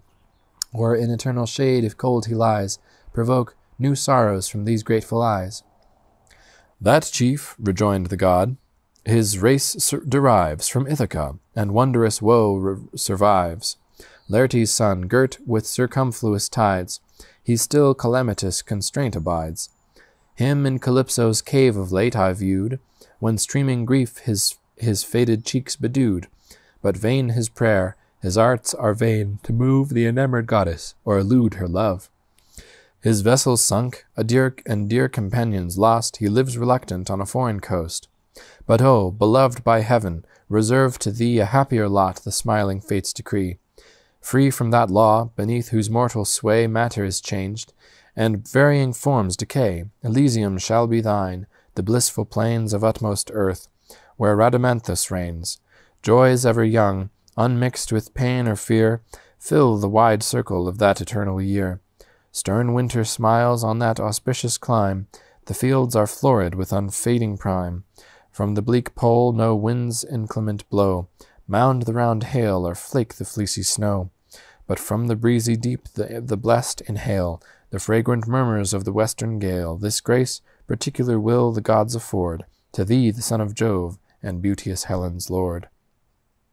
He ceased, and plunging in the vast profound, beneath the god the whirling billows, the, the whirling billows bound. Then speeding back, involved in various thought, my friends attended at the shore I sought. Arriving, arriving, the rage of hunger we control, till night with silent shade invests the pole. Then lose the cares of life in pleasing rest. As soon as the morn reveals the roseate east, with, with sails we meet the masts, our anchors weigh, unmoor the fleet and rush into the sea. Ranging on the banks beneath our equal oars, white curl the waves, and the vexed ocean roars. Then, steering backward from the Phaeacian isle, we gain the stream of Jove descended Nile. There quit the ships, and on the destined shore with ritual hecatombs the gods adore. Their wrath atoned, to Agamemnon's name a cenotaph I raise of deathless fame. These rites to piety and grief discharged, the friendly gods a springing gale enlarged. The fleet swift tilting o'er the surges flew, till Grecian cliffs appeared a blessed view. Thy patient ear hath heard me long relate a story fruitful of disastrous fate. And now, young prince, indulge my fond, fond request. Be Sparta honored with his royal guest, till, from his eastern goal, the joyous sun, his twelfth diurnal race begins to run. Meanwhile, my train the friendly gifts prepare. Th- th- three sprightly coursers and a polished car. With these a goblet of capacious mold, figured with art t- to dignify the gods formed for libation to the gods, shall prove a pledge and monument of sacred love. My quick return, young Ithacus rejoined, damps the warm wishes of my raptured mind. Did not my fate my needful haste constrain, charmed by your speech so grateful, graceful and humane, lost in delight the circling year would roll, while deep attention fixed my listening soul. But now to Pyle permit my destined way, my loved associates chide my long delay. In dear remembrance of your royal grace, I take the present of the promised vase. The coursers for the champaign sports retain. That gift our barren rocks will render vain. Horrid with cliffs our meagre land allows, thin herbage for the mountain goat to browse. But neither mead nor plain supplies to feed the sprightly courser or indulge his speed. The sea surrounded realms the gods assign small tracts of fertile lawn, the least to mine. His hand the king with tender passion pressed, and, smiling thus, the royal youth addressed. O early worth, a soul so wise and young, proclaims you from the sage Ulysses sprung. Selected from my stores of matchless price, an urn shall recompense your prudent choice. Not mean the massy mould of silver graced by Vulcan's art, the verge with gold encased. A pledge the sceptred power of Sidon grave, when to his realm I ploughed the orient wave. Thus they alternate, while with artful care the menial train the regal feast prepare. The firstlings of the flock are doomed to die, rich fragrant wines the cheering bowl supply. A female band the gift of Ceres bring, and, and the gilt roofs with genial triumph ring. Meanwhile, in Ithaca, the suitor powers in active games divide their jovial hours. In areas varied with mosaic art, some whirl the disk, and some the javelin dart. Aside, sequestered from the vast resort, Antinous sate, spec- spectator of the sport, with great Eurymachus of worth confessed, and high descent superior to the rest, and whom young Noemon lowly thus addressed. My ship equipped within the neighboring port the prince, deporting for the, for the Pylian court, requested for his speed. But courteous say, when steers he home, or why this long delay? For Elis I should sail with utmost speed, to import twelve mares, which there luxurious feed, and twelve young mules, a strong laborious race, new to the plough, unpractised in the trace. Unknowing of the course to Pyle designed, a sudden horror seized in either mind. The prince in rural bower they fondly thought, numbering his flocks and herds, not far remote. Relate, Antinous cries, devoid of guile, when spread the prince his sail for distant Pyle? Did chosen chiefs across the gulfy main attend his voyage, or domestic train? Spontaneous did you speed his secret course, or was the vessel seized by fraud or force? With willing duty, not reluctant mind, Noemon cried. The vessel was resigned. The vessel was resigned. Who in the balance, with the great affairs of courts, presumed to weigh their private cares? With him the peerage next in power to you, and mentor, captain of the lordly crew, or some celestial in his reverend, reverend, form, reverend form, safe from the secret rock and adverse storm, pilots, pilots the course. For when the glimmering ray of yesterdawn disclosed the tender day, Mentor himself I saw, and much admired. Then ceased the youth, the youth, and from the court retired. Confounded and appalled, the unfinished game the suitors quit, and all to council came. Antinous first the assembled peers addressed. Rage sparkled in his eyes and burned in his breast. Oh, o shamed manhood! Shall one daring boy the scheme of all our happiness destroy? Fly unperceived, seducing half the flower of nobles, and invite a foreign power? The ponderous engine raised to crush us all, recoiling on his head is sure to fall. Instant prepare me, on the neighboring strand, with twenty chosen mates, a vessel manned, for ambushed close beneath the Samian shore, his ship returning shall my spies explore. He soon his rashness shall with life atone, seek for his father's fate, but find his own. With vast applause the sentence all approve, then rise into the feastful hall remove. Swift to the queen the herald Medon ran, who heard the consult of the dire divan. Before her dome the royal matron stands, and thus the message of his haste demands. What will the suitors? Must my servant train the allotted labors of the day refrain, for, th- for them to form some exquisite repast? Heaven grant this, this festival may prove their last. Or if they still must live, from me remove the double plague of luxury and love. Forbear, ye sons of insolence, forbear, in riot to consume a wretched heir. In the young soul illustrious thought to raise, were ye not tutored with Ulysses' praise? Have not your fathers oft my lord defined, gentle of speech, beneficent of mind? Some kings with arbitrary rage devour, or in their tyrant minions vest the power. Ulysses let no partial favors fall. The, pres- the people's parent, he protected all. But absent now, perfidious and ingrate, his stores he ravage, and usurp his state. He thus, Oh, were the words you speak the worst, they formed a deed more odious and accursed, more dreadful than your boding soul divines, but pitying Jove avert the dire designs. The darling object of your royal care is marked to perish in a deathful snare, before he anchors in his native port, from Pyle resailing in the Spartan court. Horrid to speak, an ambush is decreed, the hope and heir of Ithaca to bleed. Sudden she sank beneath the weighty woes, the vital streams a chilling horror froze. A big round tear stands trembling in her eye, and on her tongue imperfect accents die.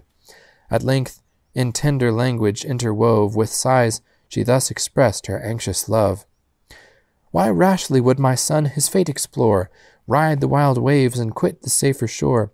Did he, with all the greatly wretched, crave a blank oblivion and untimely grave? "'Tis not," replied the sage, "to Medon given to know if some inhabitant of heaven in his young breast the daring thought inspired, or if, alone with filial duty fired, the winds and waves he tempts in early bloom, studious to learn his absent father's doom." The sage retired.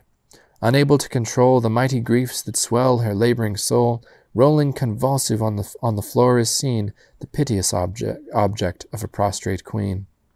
Words to her dumb compliant a pause supplies, and breath to waste in unavailing cries. Around their sovereigns wept the menial fair, to whom she thus addressed her deep despair. Behold, a wretch whom all the gods consign to woe! Did ever sorrows equal mine? Long to my joys my dearest lord is lost, his country's buckler, and the Grecian boast.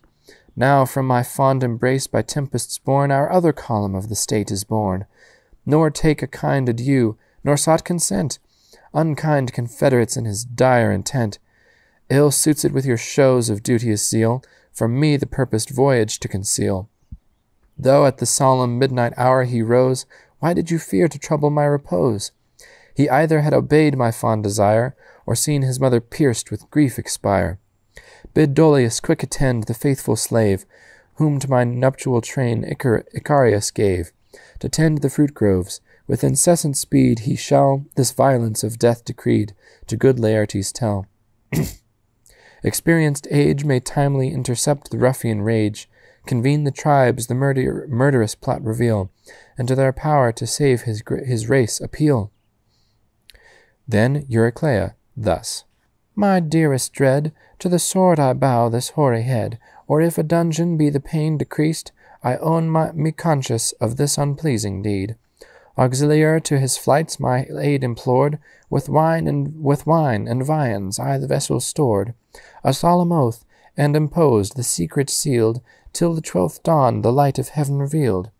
Dreading the effects of a fond mother's fear, he dared not violate your royal ear, but bathe, and in imperial robes arrayed, pay due devotions to the martial maid, and rest affianced in her guardian aid.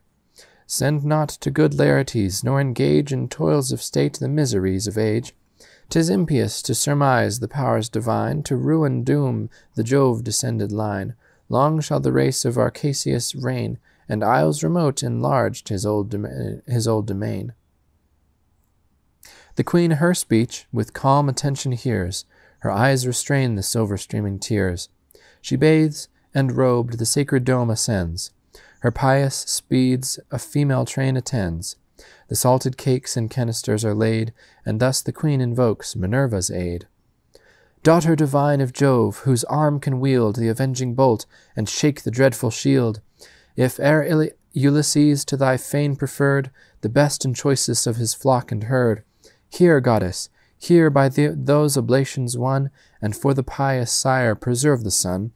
His wished return with happy power befriend, and on the suitors let thy wrath descend.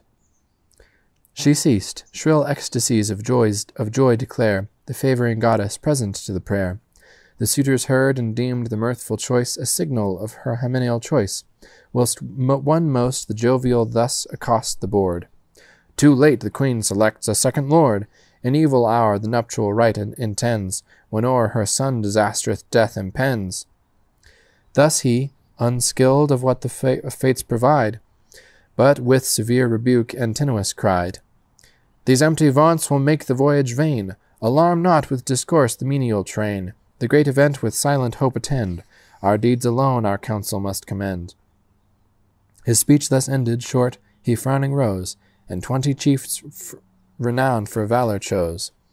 Down to the strand he speeds with haughty strides, where anchored in the bay the vessel rides replete with mail and military store, and all her tackle trim to quit the shore. The desperate crowd crew ascend, unfurls, unfurl the sails. The seaward prow invites the tardy gales. Then take repast, till Hesperus displayed his golden circlet in the western shade. Meantime the queen, without reflection due, heart wounded, to the bed of state withdrew. In her sad breast the prince's fortunes roll, and hope and doubt alternate seize her soul. So when the woodman's toil her cave surrounds, and when the hunter's cry the grove resounds, with grief and rage the mother lion, stung, fearless herself, yet trembles for her young, while pensive in the silent slumberous shade, sleep's gentle powers her drooping eyes invade. Minerva lifelike, on embodied air, impressed the form of Iphthima the fair, Icarius's daughter she, whose blooming charms allured uh, Eumelus to her virgin arms, a sceptred lord, who o'er the fruitful plain of Thessaly wide stretched his ample reign. As Pallas willed, along the sable skies, to calm the queen, the phantom sister flies. Swift on the regal dome, descending right, the bolted valves are per- pervious to her flight.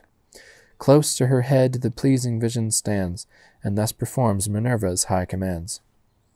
O why, Penelope, this causeless fear to render sleep's soft blessing unsincere. Alike devote to, to sorrow's dire extreme, the day reflection and the midnight dream. Thy son the gods propitious will restore, and bid thee cease his absence to deplore. To whom the queen, whilst yet her pensive mind was in the silent gates of sleep confined, O sister, to my soul for ever dear, why this first visit to reprove my fear? How in a realm so distant should you now, from what deep source my ceaseless sorrows flow? To all my hope, my royal lord is lost, his country's buckler in the Grecian coast. And, with consummate woe to weigh me down, the heir of all his honours and his crown, my darling son is fled, an easy prey to the fierce storms, or men more fierce than they, who in league in a league of blood associates sworn will interswept the unwary youth's return. Courage resume, the shadowy form replied, and the protecting care of heaven confide. On him attend the blue-eyed martial maid. What earthly what earthly can implore a surer aid? Me now the guardian goddess deigns to send, to bid thee patient his return attend. The queen replies, If in the blessed abodes a goddess thou hast commerce with the gods, say, breathes my lord the blissful realm of light, or lies he wrapped in ever-during night? Incure, inquire not of his doom, the phantom cries. I speak not all the counsel of the skies, nor must indulge with, with vain discourse or long the windy satisfactions of the tongue. Swift through the valves the visionary fair repassed, and viewless mixed with common air. The queen awakes, delivered of her woes, with florid joy her heart dilated glows. The vision, manifest of future fate, makes her with hope her son's arrival wait. Meantime the suitors plough the watery plain, Telemachus in thought already slain. When sight of lessening Ithaca was lost, their sail directed for the Samian coast. A small but verdant isle appeared in view, and Asteris the advancing pilot knew, an ample port the rock's projected form, to break the rolling waves and ruffling storm. That safe recess they gain with, with happy speed, and in close ambush wait the murderous deed. Thus concludes Book 4. Thanks for listening. Hi, I'm Carson Spratt, and I'm going to read to you from Book 5 of the Odyssey today. Now Dawn rose from her bed, where she lay by haughty Tithonus, carrying light to the immortal gods and to mortals. And the gods came and took their places in session, and among them Zeus, who thunders on high, and it is his power that is greatest. And Athena spoke to them of the many cares of Odysseus, remembering. Though he was in the nymph's house, she still thought of him. Father Zeus, and all other blessed gods everlasting, no longer now let one who is a sceptred king be eager to be gentle and kind, be one whose thought is schooled in justice, but let him always rather be harsh and act severely, seeing the way no one of the people he was lord over remembers God like Odysseus, and he was kind, like a father. But now he lies away on an island suffering strong pains in the palace of the nymph Calypso, and she detains him by constraint, and he cannot make his way to his country, for he has not any ships by him, nor any companions who can convey him back across the sea's wide ridges. And now there are those who are determined to murder his dear son on his way home. He went in quest of news of his father to Pylos the Sacrosanct and to glorious Lacedaemon. Then in turn Zeus, who gathers the clouds, made answer. My child, what sort of word has escaped your teeth's barrier? For is not this your own intention as you have counselled it? How Odysseus shall make his way back and punish those others? Then bring Telemachus home skillfully, since you can do this, so that all without harm he can come back to his own country, while the suitors in their ship come back with nothing accomplished. He spoke, and then spoke directly to his beloved son Hermes. Hermes, since for other things also you are our messenger, announce to the nymph with the lovely hair our absolute purpose the homecoming of enduring Odysseus, that he shall come back by the convoy neither of the gods nor of mortal people, but he shall sail on a jointed raft, and suffering hardships, on the twentieth day make his landfall on fertile Scheria, at the country of the Phaeacians, who are near the gods in origin.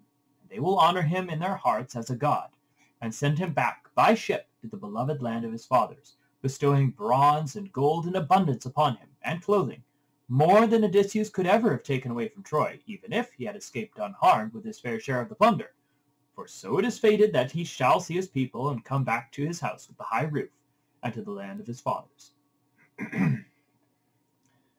he spoke, nor disobeyed him the courier Argeiphontes. Immediately he bound upon his feet the fair sandals, golden and immortal, that carried him over the water as over the dry, boundless earth abreast of the wind's blast. He caught up the staff with which he mazes the eyes of those mortals whose eyes he would maze, or wakes again the sleepers. Holding this in his hand, strong Argeiphontes winged his way onward. He stood on Pieria, and launched himself from the bright air across the sea, and sped the wave tops, like a shearwater who along the deadly deep ways of the barren salt sea goes hunting fish, and sprays quick-beating wings in the salt brine. In such a likeness Hermes rode over much tossing water. But after he had made his way to the far-lying island, he stepped then out of the dark blue sea, and walked on over the dry land till he came to the great cave, where the lovely-haired nymph was at home, and he found that she was inside. There was a great fire blazing on the hearth, and the smell of cedar split in billets, and sweetwood burning spread all over the island. She was singing inside the cave with a sweet voice as she went up and down the loom and wove with a golden shuttle. There was a growth of grove around the cavern, flourishing. Alder was there, and the black poplar, and fragrant cypress, and there were birds with spreading wings who made their nests in it, little owls and hawks, and birds of the sea with long beaks who are like ravens, but all their work is on the sea water. And right about the hollow cavern extended a flourishing growth of vine that ripened with grape clusters. Next to it there were four fountains, and each of them ran shining water, each next to each, but turned to run in sundry directions. And round about there were meadows growing soft with parsley and violets, and even a god who came into that place would have admired what he saw. The heart delighted within him. There the courier Argeiphontes stood and admired it. But after he had admired all in his heart, he went into the wide cave nor did the shining goddess Calypso fail to recognize him when he saw him come into her presence. For the immortal gods are not such as to go unrecognized by one another, not even if one lives in a far home. But Hermes did not find great-hearted Odysseus indoors, but he was sitting out on the beach, crying, as before now he had done, breaking his heart in tears, lamentation, and sorrow, as weeping tears he looked out over the barren water. But Calypso, shining among goddesses, questioned Hermes when she had seated him on a chair that shone and glittered. How is it, Hermes of the golden staff, you have come to me? I honor you and love you, but you have not come much before this. Speak what is in your mind. My heart is urgent to do it if I can, and if it is a thing that can be accomplished. But come in with me, so I can put entertainment before you. So the goddess spoke, and she set before him a table which she had filled with ambrosia, and mixed red nectar for him.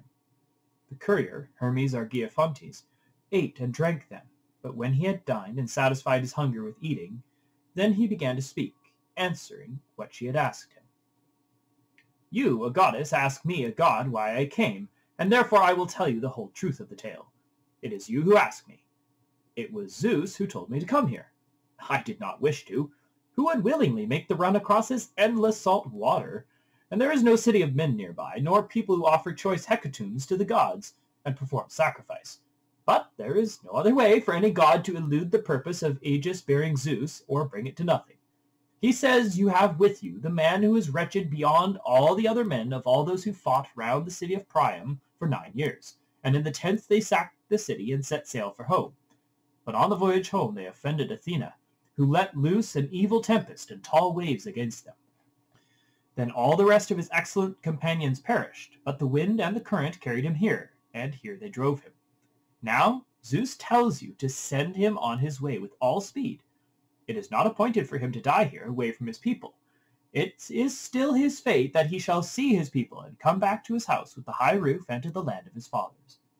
So he spoke, and Calypso, shining among divinities, shuddered and answered him in winged words, and addressed him. You are hard-hearted, you gods, and jealous beyond all creatures beside, when you are resentful toward the goddesses for sleeping openly with such men as each has made her true husband. So when Dawn of the Rosy Fingers chose out Orion, all you gods who live at your ease were full of resentment, until chaste Artemis of the golden throne in Ortygia came with a visitation of painless arrows and killed him. And so it was when Demeter of the lovely hair yielding to her desire, lay down with Iasion, and loved him in a thrice-turned field, it was not long before this was made known to Zeus, who struck him down with a cast of the shining thunderbolt. So now, you gods, you resent it in me that I keep beside me a man the one I saved when he clung astride of the keel board all alone, since Zeus, with a cast of the shining thunderbolt, had shattered his ship, fast ship midway on the wine-blue water. Then all the rest of his excellent companions perished. But the wind and the current carried him here, and here they drove him, and I gave him my love and cherished him. And I had hopes also that I could make him immortal and all his days to be endless. But since there is no way for another god to elude the purpose of aegis-bearing Zeus, or bring it to nothing, let him go. Let him go, if he himself is asking for this and desires it, out on the barren sea. But I will not give him conveyance, for I have not any ships by me, nor any companions who can convey him back across the sea's wide ridges. But I will freely give him my counsel, and hold back nothing, so that all without harm he can come back to his own country. Then in turn the courier Argeiphontes answered her. Then send him accordingly on his way, and beware of the anger of Zeus, lest he hold a grudge hereafter and rage against you. So spoke powerful Argeiphontes, and there he left her, while she, the queenly nymph, when she had been given the message from Zeus, set out searching after great-hearted Odysseus, and found him sitting on the seashore. And his eyes were never wiped dry of tears, and the sweet lifetime was draining out of him, as he wept for a way home, since the nymph was no longer pleasing to him. By nights he would lie beside her of necessity in the hollow caverns against his will, by one who was willing. But all the days he would sit upon the rocks at the seaside, breaking his heart in tears and lamentation and sorrow, as, weeping tears, he looked out over the barren water. She, bright among divinities, stood near and spoke to him. Poor man, no longer mourn here beside me, nor let your lifetime fade away, since now I will send you on with a good will. So come, cut long timbers with a bronze axe, and join them to make a wide raft, and fashion decks that will be on the upper side to carry you over the misty face of the water. Then I will stow aboard her bread and water and ruddy wine, strength-giving goods that will keep the hunger from you, and put clothing on you, and send a following stern wind after, so that all without harm you can come back to your own country, if only the gods consent. It is they who hold wide heaven, they are more powerful than I to devise and accomplish. So she spoke to him, but long-suffering great Odysseus shuddered to hear, and spoke again in turn, and addressed her, Here is some other thing you devise, O goddess. It is not conveyance when you tell me to cross the sea's great open space on a raft. That is dangerous and hard. Not even balanced ships rejoicing in a wind from Zeus cross over. I will not go aboard any raft without your good will, not unless, goddess, you can bring yourself to swear me a great oath that this is not some painful trial you are planning against me. So he spoke, and Calypso, shining among divinities, smiled and stroked him with her hand and spoke to him and named him. You are so naughty, and you will have your own way in all things. See how you have spoken to me and reason with me. Earth be my witness in this, and the wide heaven above us, and the dripping water of the Styx, which oath is the biggest and most formidable oath among the blessed immortals, that this is no other painful trial I am planning against you, but I am thinking and planning for you just as I would do it for my own self, if such needs as yours were to come upon me for the mind in me is reasonable, and I have no spirit of iron inside my heart. Rather, it is compassionate. So she spoke, a shining goddess, and led the way swiftly, and the man followed behind her, walking in the god's footsteps. They made their way, the man and the god, to the hollow cavern, and he seated himself upon the chair from which Hermes lately had risen, while the nymph set all manner of food before him to eat and drink, such things as mortal people feed upon. She herself sat across the table from godlike Odysseus, and her serving maids set nectar and ambrosia before her. They put their hands to the good things that lay ready before them.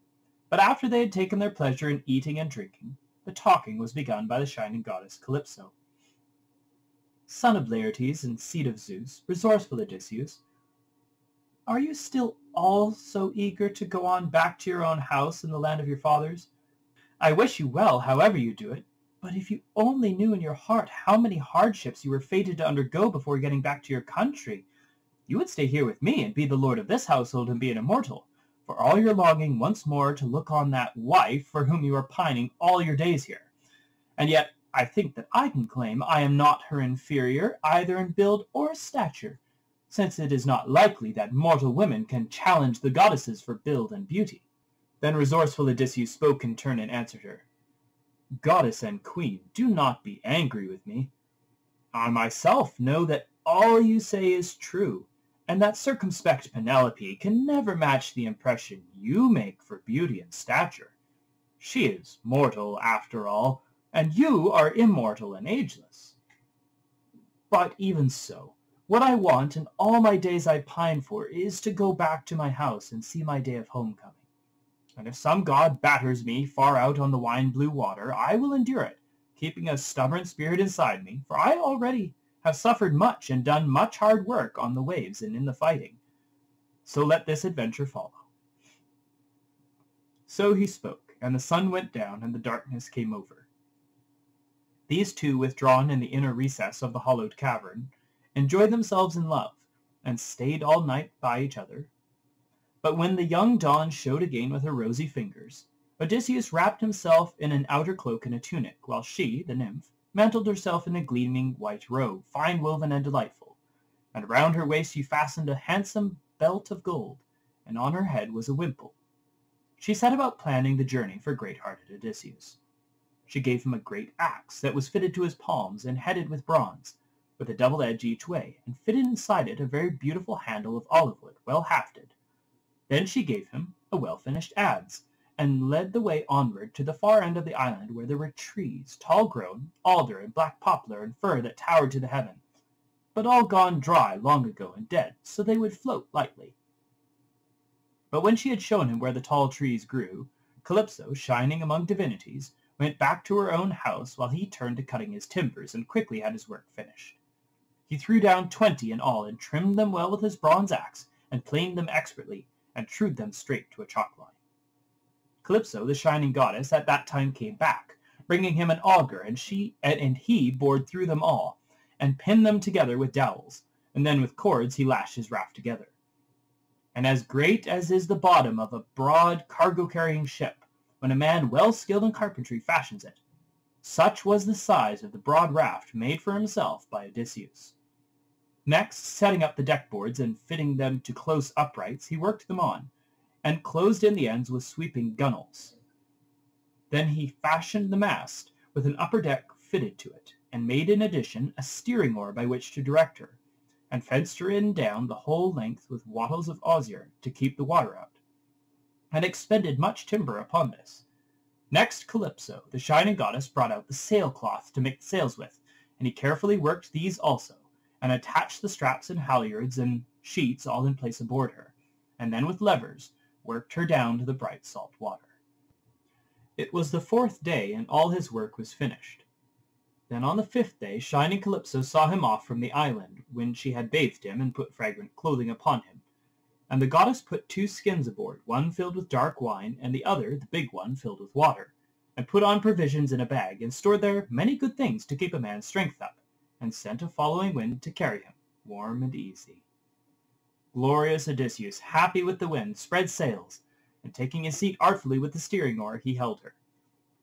Uh, he held her on her course, nor did ever, nor did sleep ever descend on his eyelids, as he kept his eye on the Pleiades and late-setting Bootes and the Bear, to whom men give also the name of the Wagon, who turns about in a fixed place and looks on Orion, and she alone is never plunged in the wash of the ocean.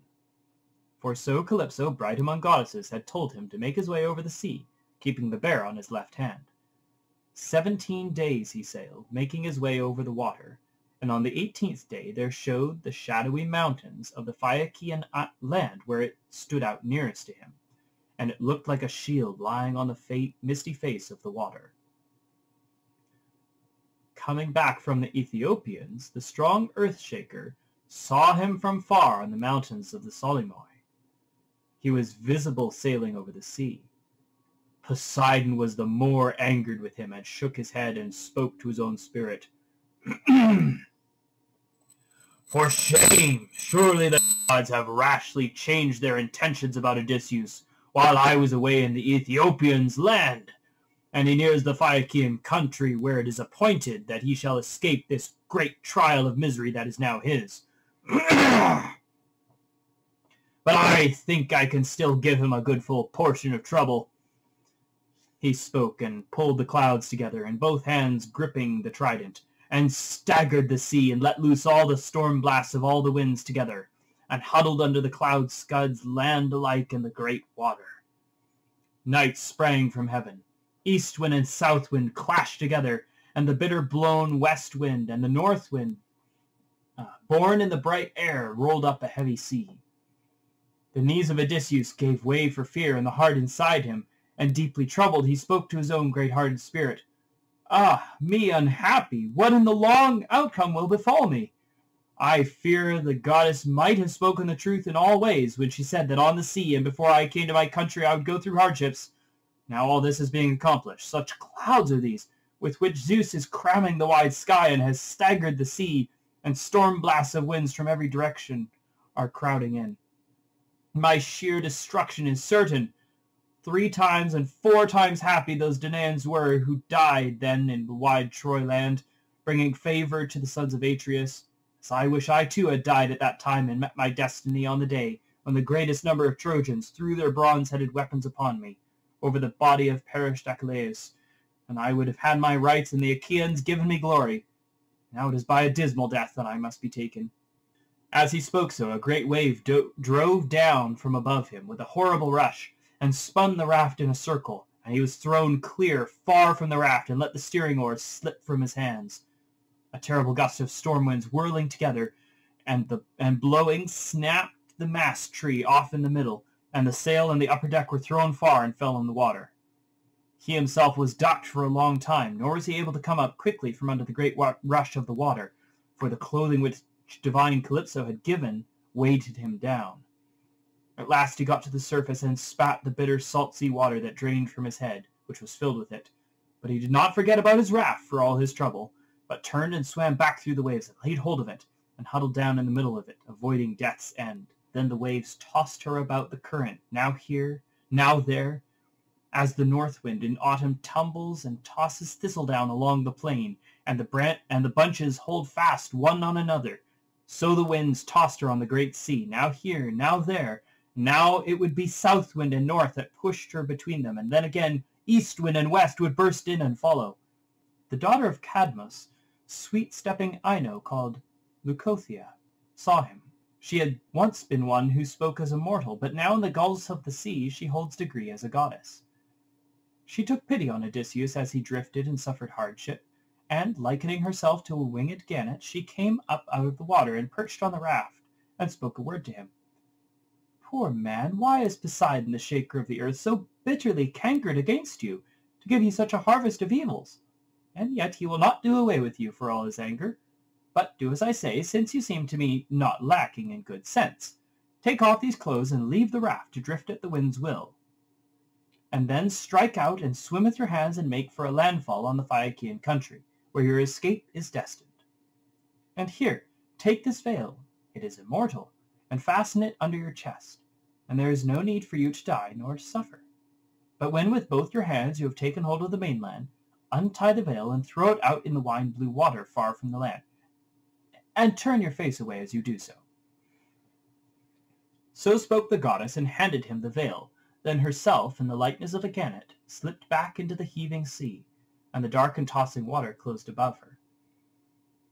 Now long-suffering great Odysseus pondered two courses, and troubled, he spoke then to his own great-hearted spirit. Ah me! Which of the immortals is weaving deception against me and tells me to put off from the raft? But no, I will not do it yet, since I have seen with my own eyes that the shore, where she said I could escape, is still far from me. But here is what I will do, and this seems to me the best way. As long as the timbers hold together and the construction remains, I will stay with it and endure through suffering hardships. But once the heaving sea has shaken my raft to pieces, then I will swim. There is nothing better that I can think of. Now as he was pondering these ways in his heart and spirit, Poseidon, shaker of the earth, drove on a great wave that was terrible and rough on him. And as when the wind blows hard on a dry pile of chaff and scatters it abroad in every direction, so the raft's long timbers were scattered. But now Odysseus sat astride one beam, like a man riding on horseback, and stripped off the clothing which the divine Calypso had given him and rapidly tied the veil of Ino around his chest, then threw himself headfirst in the water with his, and with his arms spread stroked as hard as he could. The strong earth shaker saw him swimming, and shook his head and spoke to his own spirit. There now!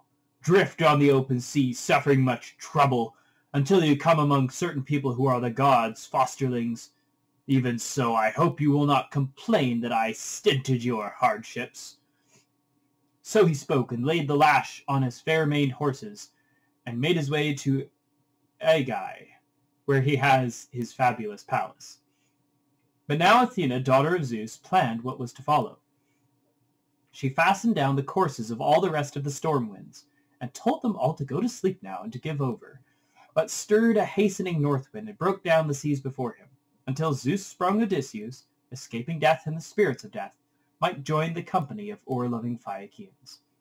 Then he was driven two nights and two days on the heavy seas, and many times his heart foresaw destruction. But when dawn with the lovely hair had brought the third morning, then at last the gale went down and windless weather came on. And now he saw the land lying very close to him as he took a sharp look, lifted high on the top of a great wave. And as welcome as the show of life again in a father is to his children, when he is lain sick, suffering strong pains, and wasting long away, and the hateful death spirit has brushed him. But then, and it is welcome, the gods set him free of his sickness. So welcome appeared land and forest now to Odysseus, and he swam, pressing on, so as to set foot on the mainland. But when he was as far away as a voice can carry, he heard the thumping of the sea on the, the jagged rock teeth. For a big surf, terribly sucked up from the main, was crashing on the dry land. All was mantled in salt spray, and there were no harbors to hold ships, no roadsteads for them to ride in, but promontories outthrust in ragged rock teeth and boulders. The knees of Odysseus gave way for fear, and the heart inside him and deeply troubled, he spoke again. He spoke to his own great-hearted spirit. Ah me! Now that Zeus has granted a sight of unhoped-for land, and now I have made the crossing of this great distance, I see no way for me to get out of the grey sea water, for on the outer side are sharp rocks, and the surf about them breaks and roars, and the sheer of the cliff runs up above them, and the sea is deep close inshore, so that there is no place to stand bracing on both my feet and so avoid trouble. I fear that as I climb out, a great wave will catch me and throw me against the stony cliff. That will be a pitiful landing. Yet if I try to swim on along in hope of finding beaches that slant against the waves or harbors for shelter from the sea, I fear that once again the whirlwind will snatch me and carry me out on the sea where the fish swarm, groaning heavily, or else the divinity from the deep will let loose against me a sea monster, of whom Amphitrite keeps so many for I know how bitterly the renowned Earthshaker hates me. Now as he was pondering this in his heart and spirit, meanwhile, a great wave carried him against the rough rock face, and there his skin would have been taken off, taken off, his bones crushed together, had not the grey-eyed goddess Athena sent him an inkling, and he frantically caught hold with both hands on the rock face and clung to it, groaning until the great wave went over. This one he so escaped, but the backwash of the same wave caught him where he clung and threw him far out in the open water.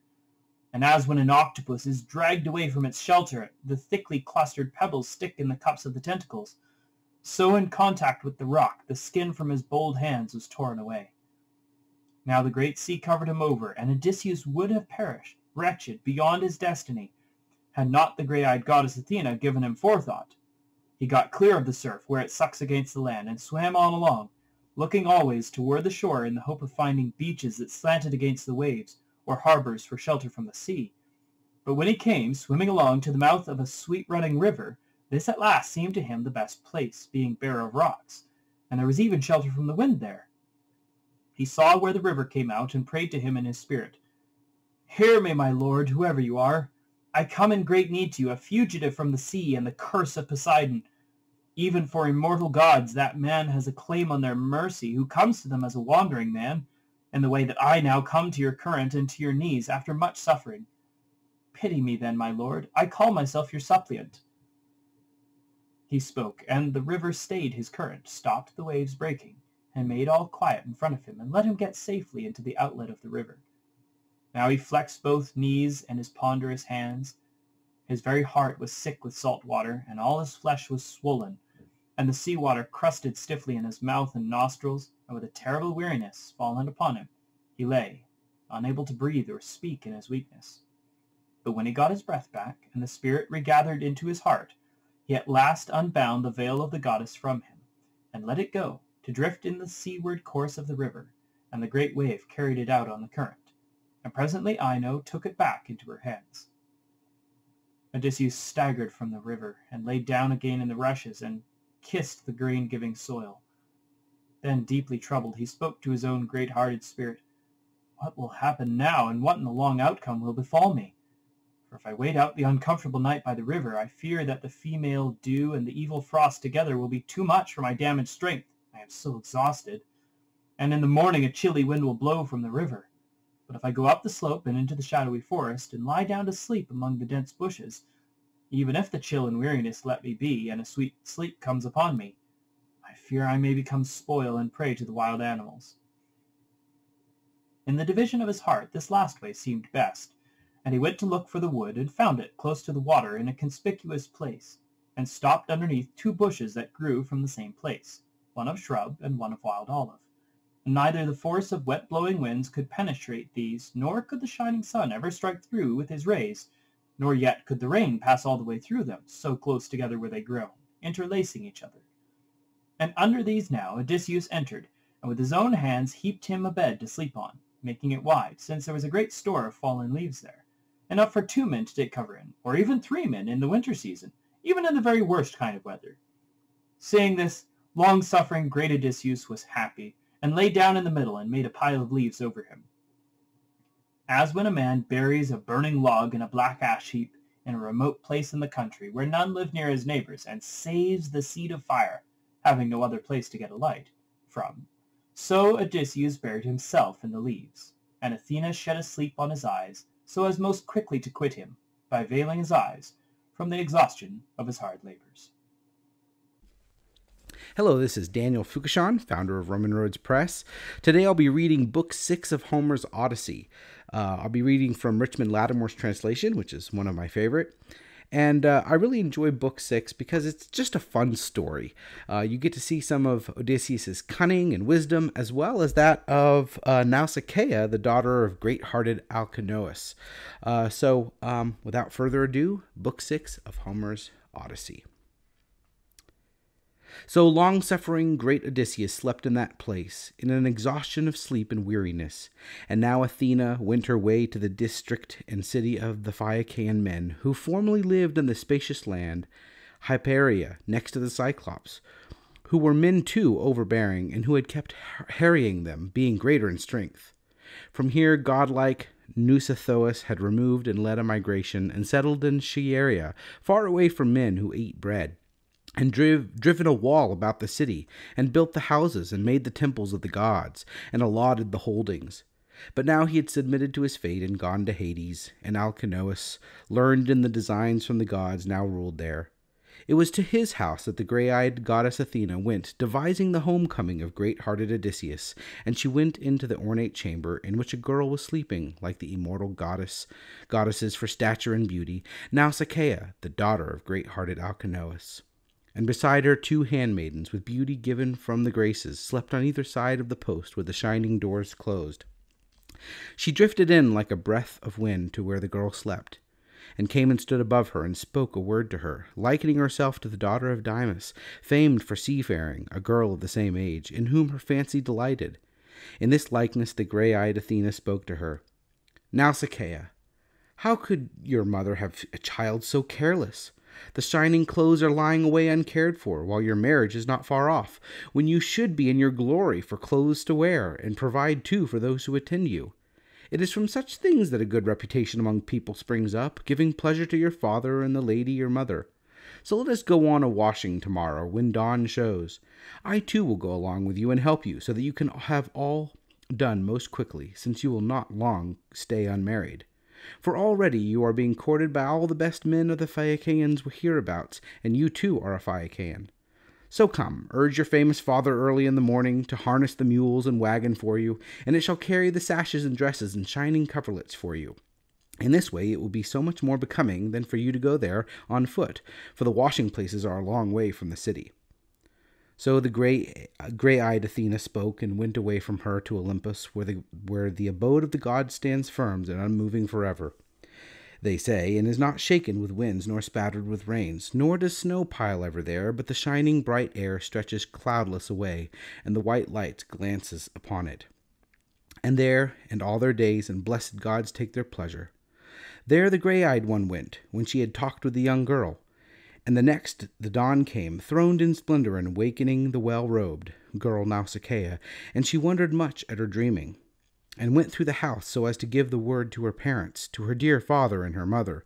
She found them within there. The queen was sitting by the fireside with her attendant women, turning sea-purple yarn on a distaff. Her father she met as he was coming going out the door to the council of famed barons, where the proud Phaeacians used to summon him. She stood very close up to her dear father, and spoke to him. Daddy, dear, will you not have them harness me the wagon, the one with the good wheels, so that I can take the clothing to the river and wash it? Now it is lying about all dirty, and you yourself, where you sit among the first men in council and share their counsels, ought to have clean clothes about you. And also you have five dear sons who are grown in the palace. Two of them are married, and the other three are sp- uh, sprightly, sprightly bachelors, and they are forever wanting clean, fresh clothes to wear it when they go to dance, and it is my duty to think about all this. So she spoke, but she was ashamed to speak of her joyful marriage to her dear father, but he understood all and answered, I do not begrudge you the mules, child, nor anything else. So go, and the serving men will harness the wagon, the one, the high one with the good wheels that has the carrying basket. He spoke and gave the order to the serving men. The, these obeyed and brought the muled wagon with good wheels outside and put it together, and led the mules under the yoke and harnessed them. And the girl brought the bright clothing out from the inner chamber and laid it in the well polished wagon.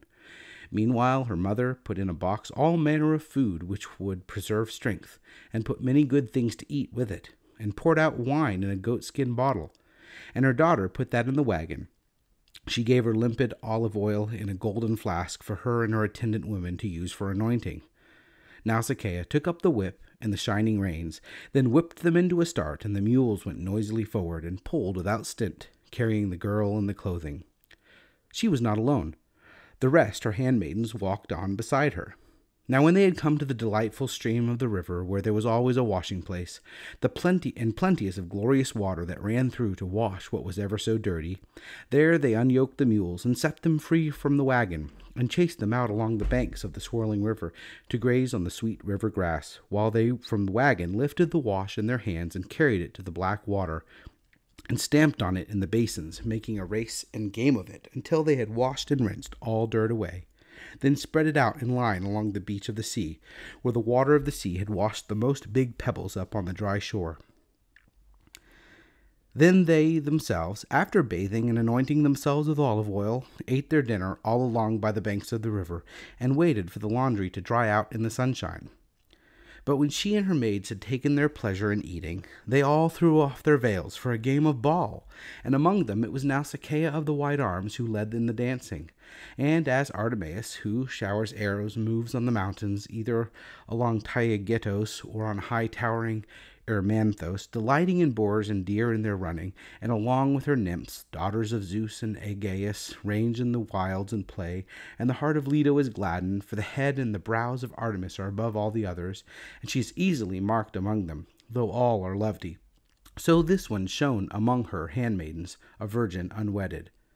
But now, when she was about ready once more to harness the mules and fold the splendid clothing and start on her way home, then the gray eyed goddess Athena thought what to do next, how Odysseus should awake and see the well favored young girl, and she should be his guide to the city of the Phaeacians.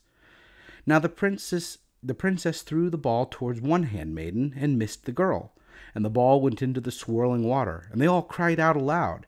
And noble Odysseus wakened and sat up and began pondering in his heart and his spirit, Ah me, what are the people whose land I have come to this time? And are they violent and savage and without justice, or hospitable to strangers with a godly mind? See now how an outcry of young women echoed about me, of nymphs who keep the sudden and sheer high mountain places, and the springs of the rivers and grasses of the meadows. Or am I truly in the neighborhood of a human people I can converse with? But come now, I myself shall see what I can discover. So speaking, great Odysseus came from under his thicket, and from the dense foliage with his heavy hand he broke off a leafy branch to cover his body, and hid the male parts, and went in confidence of his strength, like some hill kept lion who advances though he is rained on and blown by the wind, and both eyes kindle. He goes out after cattle or sheep, or it may be deer in the wilderness, and his belly is urgent upon him to get inside of a close steading and go for the sheep folks. So Odysseus was ready to face young girls with well ordered hair, naked though he was, for the need was on him, and yet he appeared terrifying to them, all crusted with dry spray, and they scattered one way and another down the jutting beaches. Only the daughter of Alcinous stood fast, for Athena put courage into her heart, and took the fear from her body. And she stood her ground and faced him, and now Odysseus debated whether to supplicate the well favored girl by clasping her knees, or stand off where he was, and in words of blandishment ask if he would show if she would show him the city, and lend him clothes. Now in the diversion of his heart this way seemed best to him, to stand well off and supplicate in words of blandishment, for fear that if he clasped her knees the girls might be the girl might be angry. So blandishingly and full of craft he began to address her. I am at your knees, O queen, but are you mortal or goddess?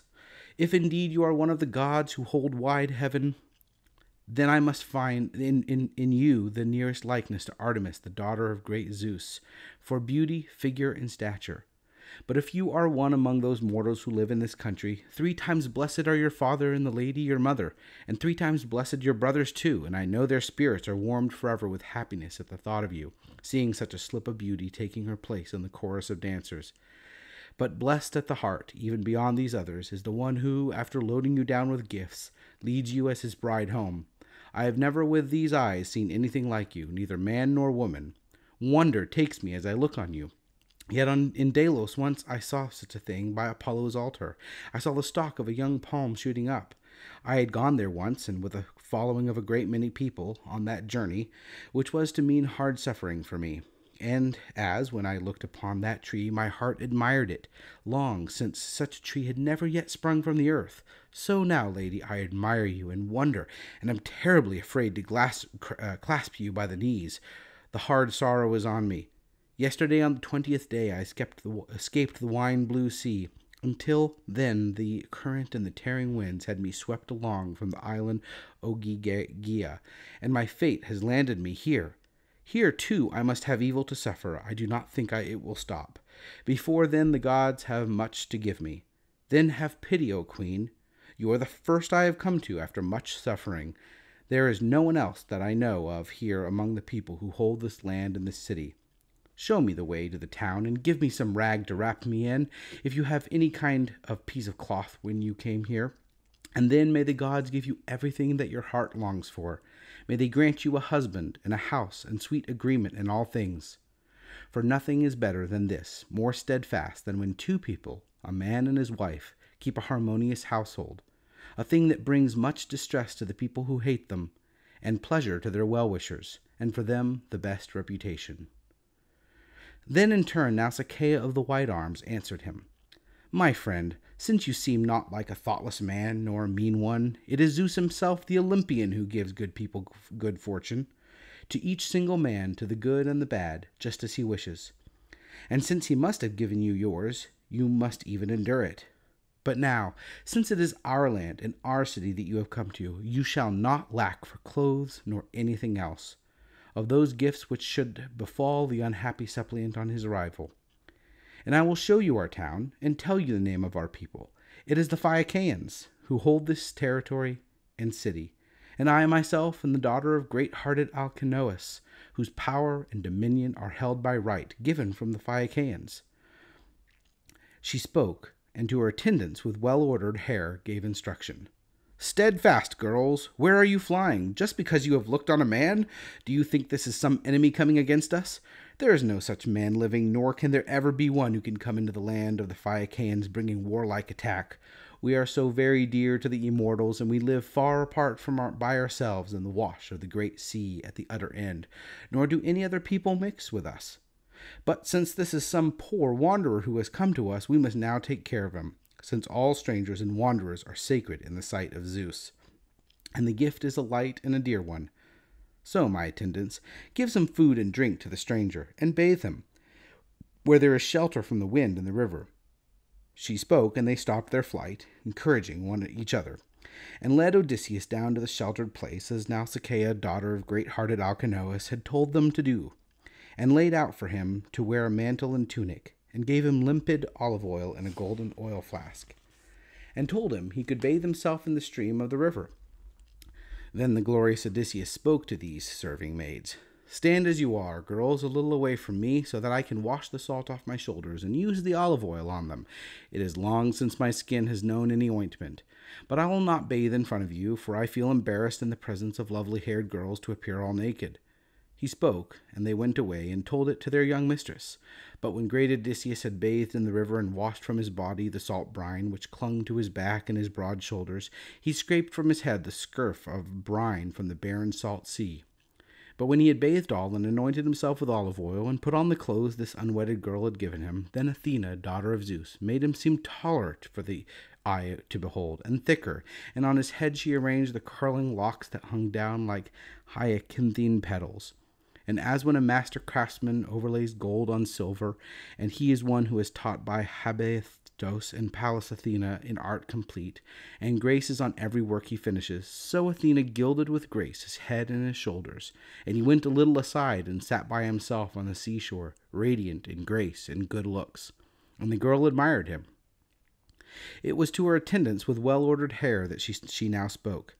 Hear me, my white armed serving women. Let me say something. It is not against the will of all the gods on Olympus that this man is here to be made known to the godlike Phaeacians. A while ago he seemed an unpromising man to me. Now he even resembles one of the gods, who hold high heaven. If only the man to be called my husband could be like this one, a man living here, if only this one were pleased to stay here. But come, my attendants, give some food and drink to the stranger. So she spoke, and they listened well to her and obeyed her, and they set food and drink down beside Odysseus. He, then noble and long suffering Odysseus, eagerly ate and drank, since he had not tasted food for a long time. Then Nausicaa of the white arms, though what to do, thought what to do next. She folded the laundry and put it away in the fine mule wagon, and yoked the mules with powerful hoofs, and herself mounted, and urged Odysseus, and spoke a word, and named him by title. Rise up now, stranger, to go to the city, so I can see you to the house of my own prudent father, where I am confident you will be made known to all the highest Phaeacians. Or rather, do it this way. You seem to me not to be thoughtless. While we are still among the fields and the lands that the people work, for that time follow the mules and the wagon, walking lightly along with the maids, and I will point the way to you. But when we come to the city, and around this is a towering wall and a handsome harbor uh, either side of the city, and a narrow causeway, and along the road there is an oar-swept ships drawn up, for they all have slips, one for each vessel. And there is the place of assembly, put together with quarried stone and built around a fine precinct of Poseidon, and there they tend all that gear that goes with the black ships, and hawsers and sails, and there they find down their oar blades. For the Phaeacians have no concern with the bow or the quiver, but it is all masts and oars of ships and balanced vessels themselves, in which they delight in crossing over the grey sea. And it is their graceless speech I shrink from, for fear one may mock us hereafter, since there are insolent men in our community. And see how one of the worst sort might say when they meet us, who is this large and handsome stranger with whom Nausicaa has, has with her, and where did she find him? Surely he is to be her husband, but is he astray from some ship of alien men whom she found for herself, since there are no such where hereabouts? Or did some god, after much entreaty, come down in answer to her prayers out of the sky, and all his days will have he will he have her? Better so, if she goes out herself and finds her a husband from elsewhere, since she pays no heed to her own Phaeacian neighbors, although many of these and the best ones court her.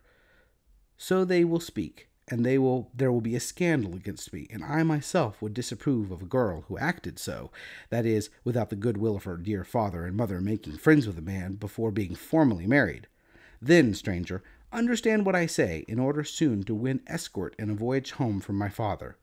You will find a glorious grove of poplars sacred to Athena near the road, and a spring runs there, and there is a meadow about it. And there is my father's estate and his flowering orchard, as far from the city as the shout of a man will carry. Sit that down there and wait for some time enough for the rest of us to reach the town and make our way to my father's palace. When you estimate that we shall have reached the palace, then go to the city of the Phaeacians and inquire for the palace of my father, great-hearted Alcinous. This is easily distinguished, so an innocent child could guide you there, for there are no other houses built for other Phaeacians anything like the house of the hero Alcinous. But when you have disappeared inside the house in the courtyard, then go on quickly across the hall until you come to my mother, and she will be sitting beside the hearth in the firelight, turning sea purple yarn on a distaff, a wonder to look at, and leaning against the pillar, and her maids are sitting be- behind her.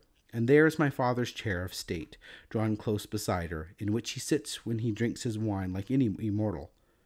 Go on past him, and then with your arms embrace our mother's knees. Do this so as to behold your day of homecoming with happiness and speed, even if you live very far off. For if she thought if she has thoughts in her mind that, that are friendly to you, then there is hope that you can see your own people and come back to your strong founded house and to the land of your fathers. So now Nausicaa spoke, and with a shining lash whipped up her mules, and swiftly they left the running river behind them. And the mules, neatly twinkling their feet, ran very strongly, but she drove them with care, so that those on foot, Odysseus and the serving maids, could keep up, and used the whip with discretion.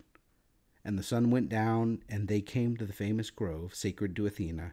And there the great Odysseus sat down, and immediately thereafter prayed to the daughter of great Zeus, Hear me, Atrytone, child of Zeus and of the Aegis, listen to me now, since before you did not listen to my stricken voice as the famous shaker of the earth battered me. Grant that I come, as one loved and pitied, among the Phaeacians. So he spoke in prayer, and Pallas Athena heard him. But she did not yet show herself before him, for she respected her father's brother, Poseidon, who still nursed a sore anger at godlike Odysseus until his arrival in his own country. My name is Ian Anderson. I'm a student at New St. Andrews College, and I'm studying music. Today, I will be reading Book 7 of Homer's The Odyssey. Now, as Odysseus, long in exile, prayed in Athena's grove, the hardy mule team drew the princess toward the city. Reaching her father's splendid halls, she reined in, just as the gates, her brothers clustering around her, men like gods, released the mules from the yoke, and brought the clothes indoors, as Nausicaa made her way towards her bedroom. There, her chambermaid lit a fire for her. Eurymedusa, the old woman who'd come from Apeira years ago, when the rolling ships had sailed her in, and the country picked her out as King Alcinous's prize. For he ruled all the Phaeacians. They obeyed him like a god. Once she had nursed the white armed princess in the palace. Now she lit a fire and made her supper in the room. At the same time, Odysseus set off toward the city. Pallas Athena, harboring kindness for the hero, drifted a heavy mist around him, shielding him from any swaggering islander who'd cross his path provoke him with taunts, and search out who he was. Instead, as he was about to enter the welcome city, the bright eyed goddess herself came up to greet him there, for all the world like a young girl holding a pitcher, standing face to face with the visitor, who asked, Little girl, now wouldn't you be my guide to the palace of the one they call Alcinous? The king who rules the people of these parts I am a stranger, you see, weighed down with troubles, come this way from a distance, far offshore. So I know no one here, no one at all, in your city and the farmlands round about. Oh, yes, sir, good old stranger, the bright eyed goddess said. I'll show you the very palace that you're after. The king lives right beside my noble father. Come, quietly, too and I will lead the way. Now, not a glance at anyone, not a question. The men here never suffer strangers gladly, have no love for hosting a man from foreign lands. All they really trust are their fast flying ships that cross the mighty ocean. Gifts of Poseidon. Ah, what ships they are! quick as a bird, quick as a darting thought. And Pallas Athena sped away in the lead as he followed in her footsteps, man and goddess. But the famed Phaeacian sailors never saw him, right in their midst, striding down the streets. Athena, the one with lovely braids, would not permit it.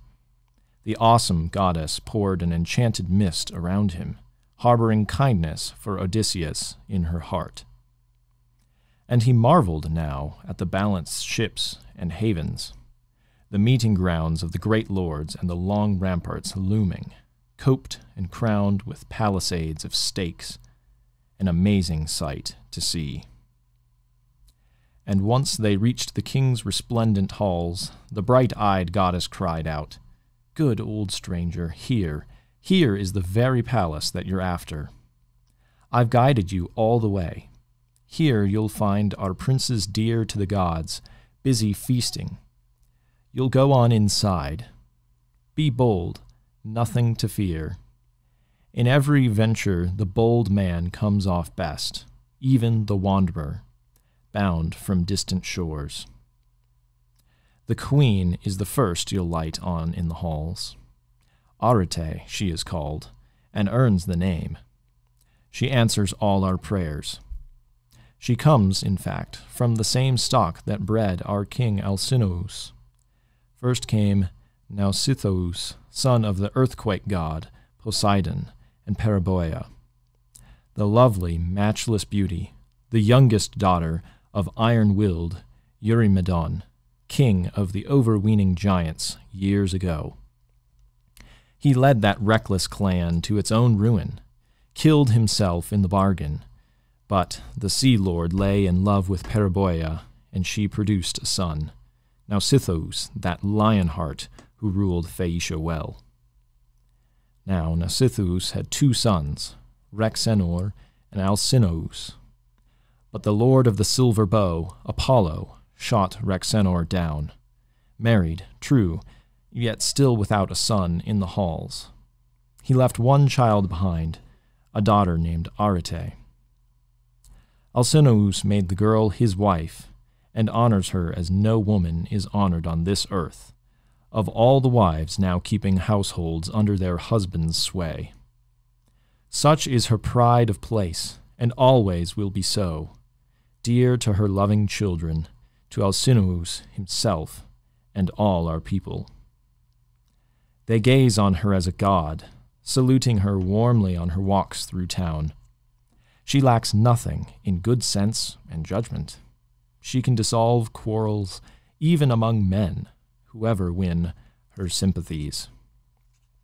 If only our queen will take you to her heart, then there's hope that you will see your loved ones reach your high roofed house, your native land, at last.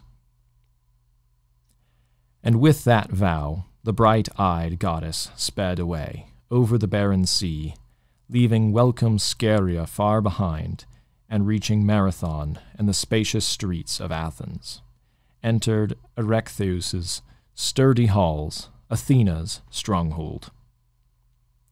Now, as Odysseus approached Alcinous' famous house, a rush of feeling stirred within his heart, bringing him to a standstill.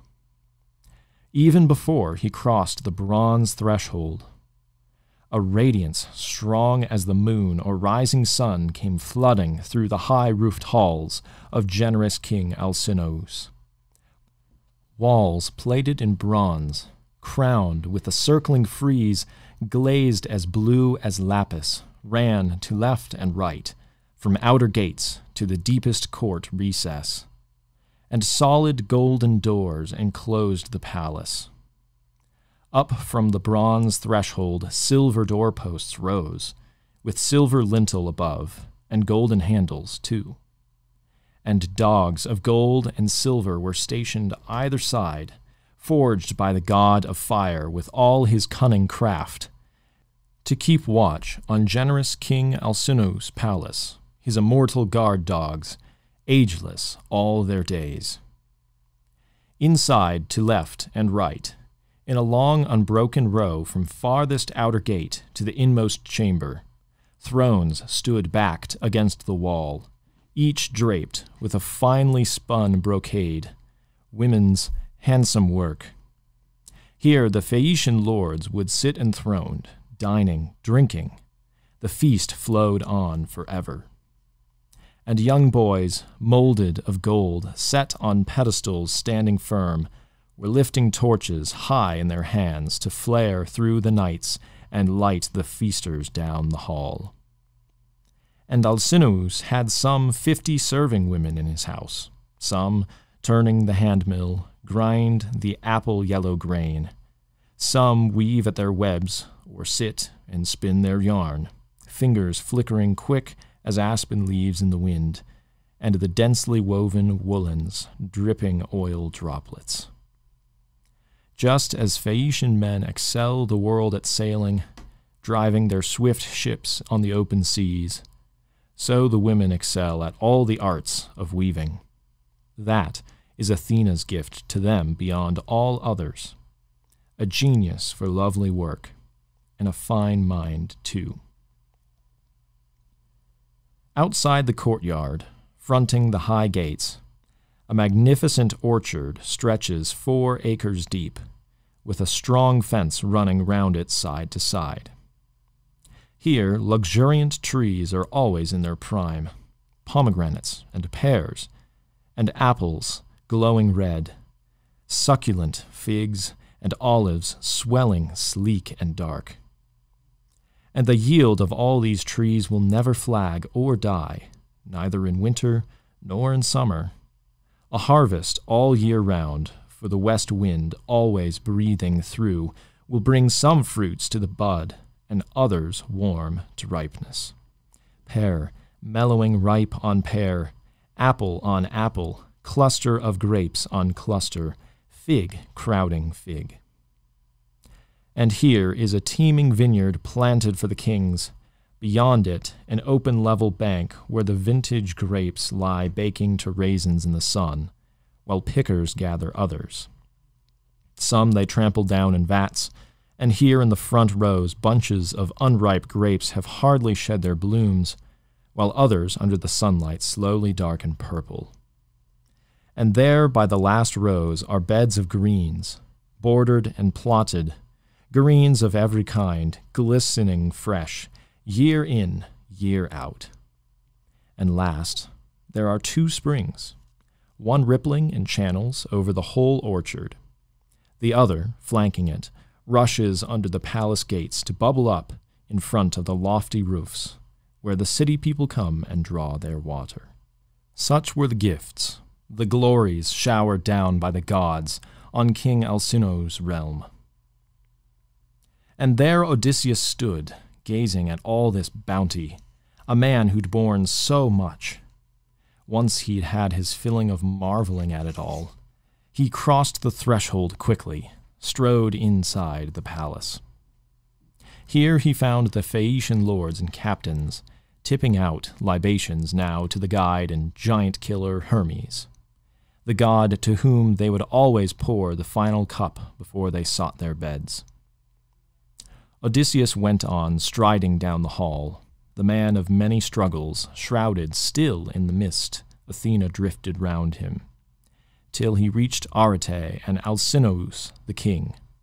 And then, the moment he flung his arms around Arete's knees, the god sent mist rolled back to reveal the great man and silence seized the feasters all along the hall. Seeing him right before their eyes, they marveled, gazing on him now as Odysseus pleaded, Queen, Arete, daughter of godlike King Rhexenor. Here, after many trials, I come to beg for mercy, your husband's, yours, and all these feasters here. May the gods endow them with fortune all their lives. May each hand down to his sons the riches of his house and the pride of place the realm has granted him. But as for myself, grant me a rapid convoy home to my own native land. How far away I've been from all my loved ones. How long I have suffered. Pleading so, the man sank down in the ashes, just at the hearth beside the blazing fire, while all the rest stayed hushed, stock still. At last, the old revered Echeneus broke the spell, the eldest lord in Phaeacia, finest speaker, too, a past master at all the island's ancient ways. Impelled by kindness now, he rose and said, This is no way, Alcinous. How indecent! Look, our guest on the ground, in the ashes by the fire. Your people are holding back, waiting for your signal. Come, raise him up and seat the stranger now in a silver studded chair. And tell the heralds to mix more wine for all, so we can pour out our cups to Zeus, who loves the lightning, champion of suppliants. Suppliants' rights are sacred. And let the housekeeper give our guest his supper, unstinting with her stores. Hearing that, Alcinous, poised in all his majesty, took the hand of the seasoned, worldly wise Odysseus, raised him up from the hearth, and sat him down in a burnished chair, displacing his own son, the courtly lord Laodamas, who had sat beside him, the son he loved the most. A maid brought water soon in a graceful golden pitcher, and over a silver basin tipped it out, so the guest might rinse his hands. Then, pulling a gleaming table to his side, a staid housekeeper brought on bread to serve him, appetizers aplenty, too, lavish with her bounty. As long suffering great Odysseus ate and drank, the Hallowed king Alcinous called his herald. Come, Pontonous, mix the wine in the bowl, pour rounds to all our banqueters in the house, so we can pour out cups to Zeus, who loves the lightning, champion of suppliants. Suppliants' rights are sacred. At that, Pontonous mixed the heavy, honeyed wine and tipped first drops for the god in every cup, then poured full rounds for all. And once they'd poured libations out and drunk to their heart's content, Alcinous rose and addressed his island people. Hear me, lords and captains of Phaeacia. Hear what the heart inside me has to say. Now, our feast finished, home you go to sleep. But at dawn, we call the elders in to full assembly, host our guest in the palace, sacrifice to the gods, and then we turn our minds to his passage home. So, under our convoy, our new friend can travel back to his own land. No toil, no troubles. Soon, rejoicing, even if his home's a world away. And on the way, no pain or hardship suffered, not till he sets foot on native ground again. There, in the future, he must suffer all that fate and the overbearing spinners spun out on his lifeline the very day his mother gave him birth. But if he's one of the deathless powers, out of the blue, the gods are working now in strange, new ways. Always, up to now, they came to us face to face whenever we'd give them grand, glorious sacrifices. They always sat beside us here and shared our feasts. Even when some lonely traveler meets them on the roads, they never disguise themselves. We're too close kin for that, close as the wild giants are, the Cyclops too. Alcinous, wary Odysseus countered, cross that thought from your mind. I'm nothing like the immortal gods who rule the skies, either in build or breeding. I'm just a mortal man. Whom do you know most saddled down with sorrow? They are the ones I'd equal, grief for grief. And I could tell a tale of still more hardship, all I've suffered thanks to the gods' will. But despite my misery, let me finish dinner. The belly's a shameless dog. There's nothing worse. Always insisting, pressing, it never lets us forget. Destroyed as I am, my heart racked with sadness, sick with anguish, still it keeps demanding, Eat, drink. It blots out all the memory of my pain, commanding, Fill me up. But you, at the first light of day, hurry, please, to set your unlucky guest on his own home soil. How much I have suffered. Oh, just let me see my lands, my serving men, and the grand high roofed house. Then I can die in peace. All burst into applause, urging passage home for their new found friend, his pleading rang so true. And once they'd poured libations out and drunk to their heart's content, each one made his way to rest in his own house. But King Odysseus still remained at hall, seated beside the royal Alcinous and Arete, as servants cleared the cups and plates away. The white armed Queen Arete took the lead. She'd spotted the cape and shirt Odysseus wore, fine clothes she'd made herself with all her women.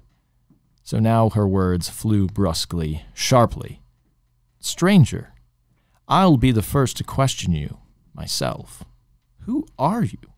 Where are you from? Who gave you the clothes you're wearing now? Didn't you say you reached us roving on the sea? What hard labor, Queen, the man of craft replied, to tell you the story of my troubles, start to finish. The gods on high have given me my share. Still, this much I will tell you. Seeing you probe and press me so intently, there is an island, Ogygia, lying far at sea, where the daughter of Atlas, Calypso, has her home. The seductive nymph with lovely braids, a danger, too, and no one, god or mortal, dares approach her there. But I, cursed as I am, some power brought me to her hearth, alone, when Zeus with a white hot bolt had crushed my racing warship down the wine dark sea. There all the rest of my loyal shipmates died, but I, locking my arms around my good ship's keel, drifted along nine days. On the tenth, at dead of night, the gods cast me upon Ogygia, Calypso's island, home of the dangerous nymph with glossy braids.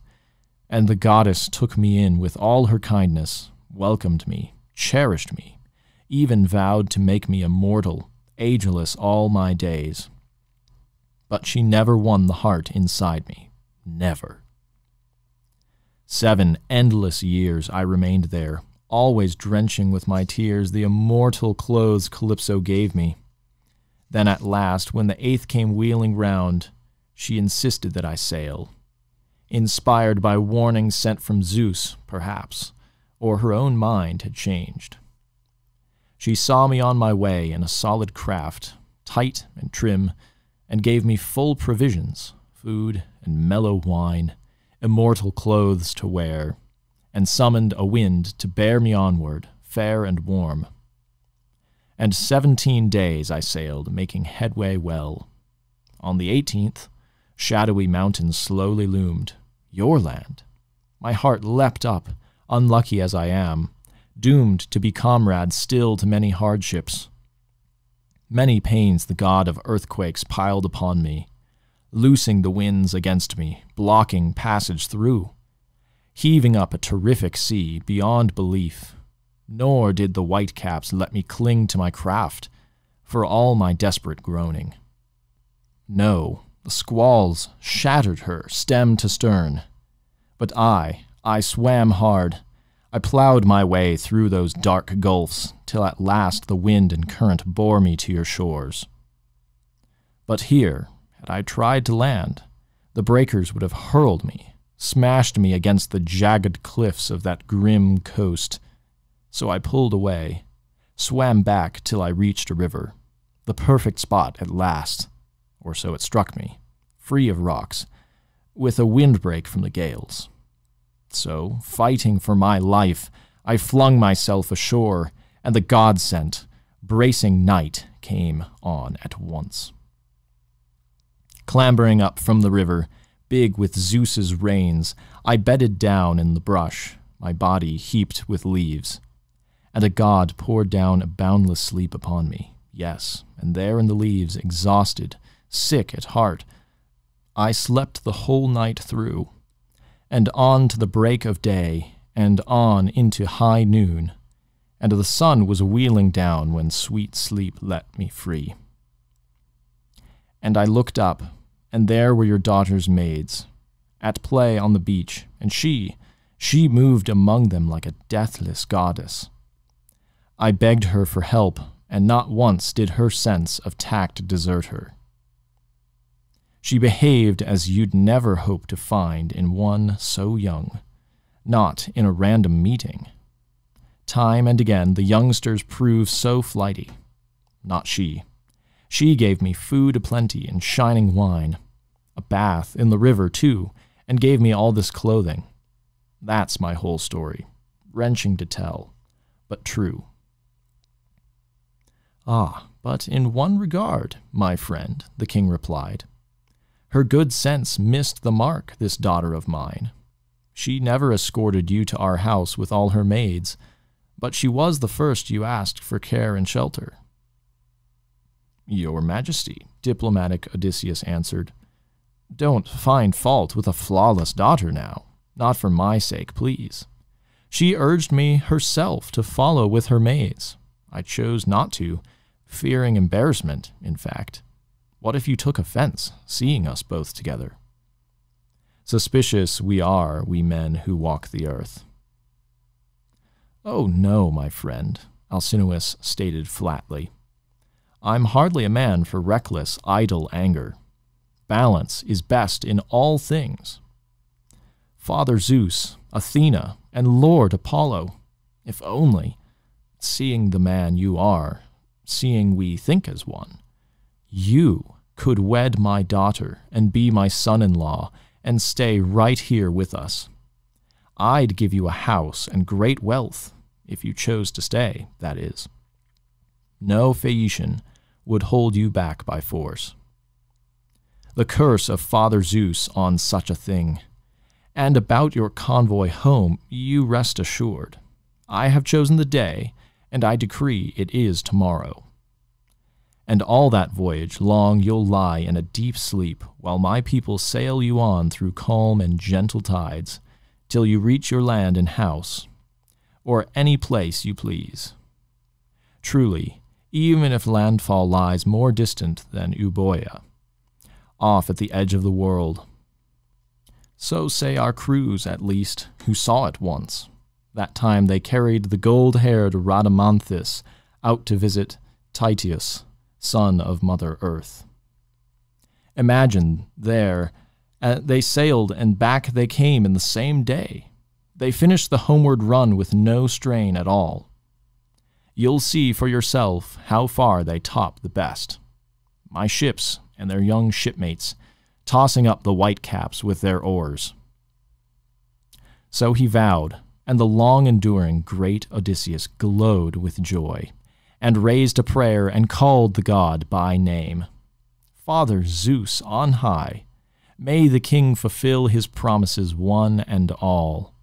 Then his fame would ring through the fertile earth and never die, and I should reach my native land at last. And now, as the two men exchanged their hopes, the white armed queen instructed her palace maids to make a bed in the porch's shelter lay down some heavy purple throws for the bed itself, and over it spread some blankets, thick, woolly robes, a warm covering laid on top. Torches in hand, they left the hall and fell to work at once, briskly preparing a good, snug resting place, and then returned to Odysseus, urged the guest, Up, friend, time for sleep. Your bed is made. How welcome the thought of sleep to that man now. So there, after many trials, Odysseus lay at rest on a corded bed inside the echoing colonnade. Alcinous slept in chambers deep in his lofty house, where the queen his wife arranged and shared their bed. Hi there. I am Carissa Hale, and I work for Roman Roads as a book formatter and designer, copy editor, um, project manager. So today I will be reading books 8 and 14 of the Odyssey. So this is book 8. When young Dawn with her rose red fingers shone once more, royal Alcinous, hallowed island king, rose from bed, and great Odysseus, raider of cities, rose too. Poised in his majesty, Alcinous led the way to Phaeacia's meeting grounds, built for all beside the harbored ships.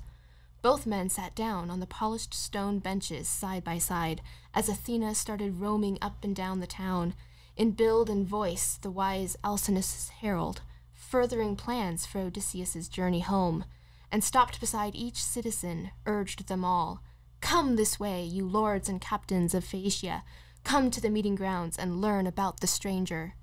A new arrival here at our wise king's palace now. He's here from roving the ocean, driven far off course. He looks like a deathless god. Rousing their zeal, their curiosity, each and every man, and soon enough the assembly seats were filled with people thronging, gazing in wonder at the seasoned man of war.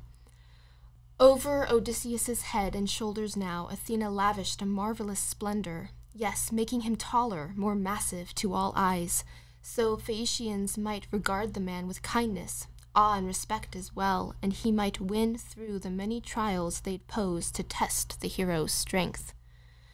Once they'd grouped, crowding the meeting grounds, Alcinous rose and addressed his island people. Hear me, lords and captains of Phaeacia, Hear what the heart inside me has to say. This stranger here, our guest, I don't know who he is or whether he comes from sunrise lands or the western lands of evening, but he has come in his wanderings to my palace. He pleads for passage, he begs we guarantee it. So now, as in years gone by, let us press on and grant him escort. No one, I tell you, no one who comes to my house will languish long here, heartsick for convoy home.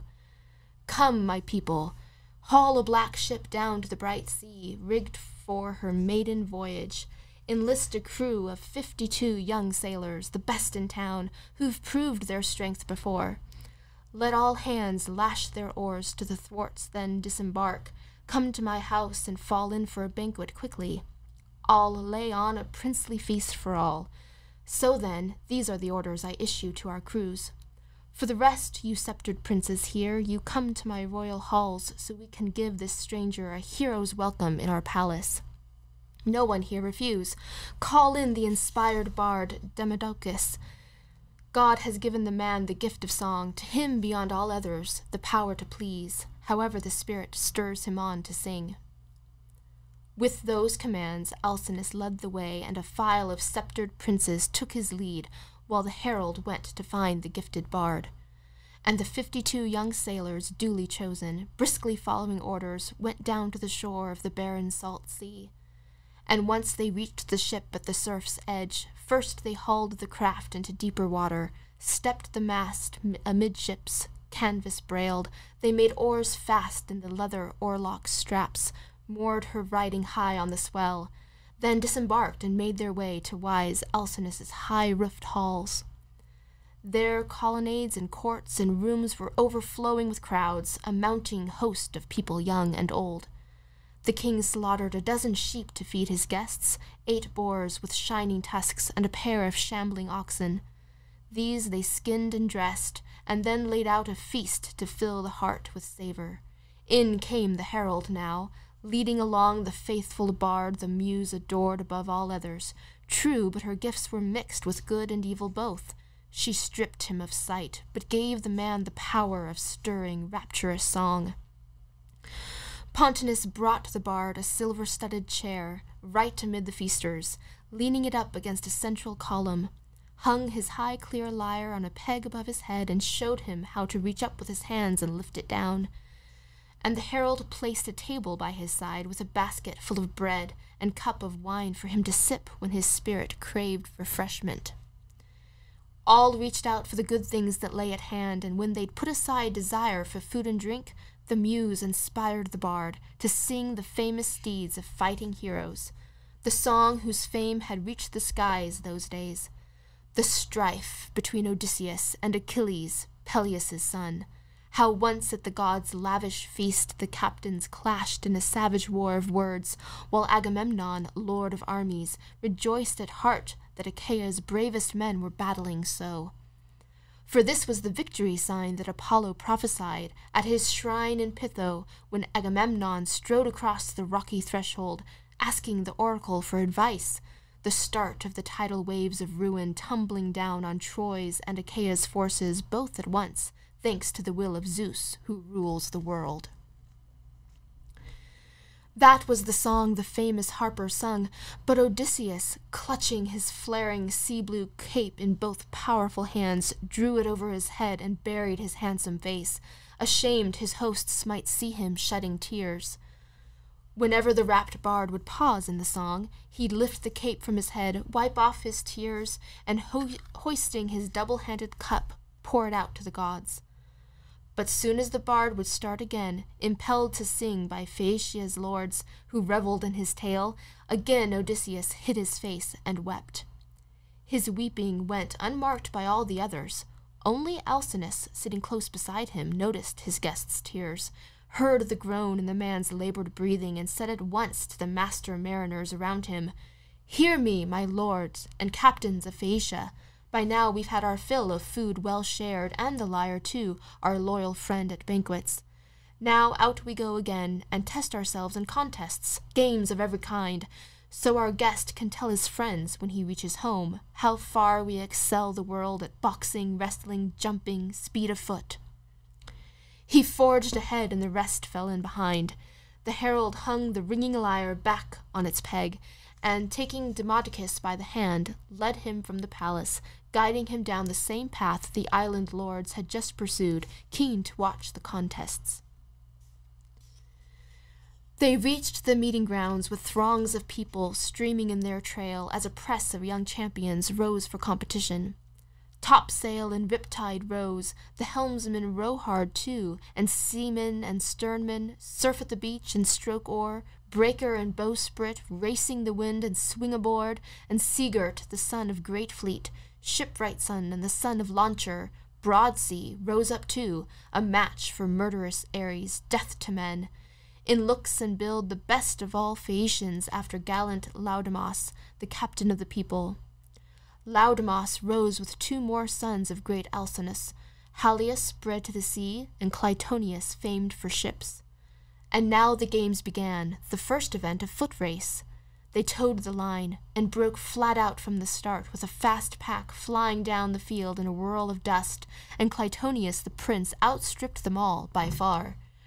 Flashing ahead for length, two mules will plow a furrow before he turned for home, leaving the pack behind and raced to reach the crowds. Next, the wrestling, grueling sport. They grappled, locked, and Broadsea, pinning the strongest champions, won the bouts. Next, in the jumping, Seagirt leapt and beat the field. In the discus, Rowhard up and out hurled them all by far, and the king's good son, Laodamas, boxed them to their knees. When all had enjoyed the games to their heart's content, Alcinous's son, Laodamas, spurred them. Come, my friends, let's ask our guest if he knows the ropes of any sport. He's no mean man, not with a build like that. Look at his thighs, his legs, and what a pair of arms, his massive neck, his big, rippling strength. Nor is he past his prime, just beaten down by one too many blows.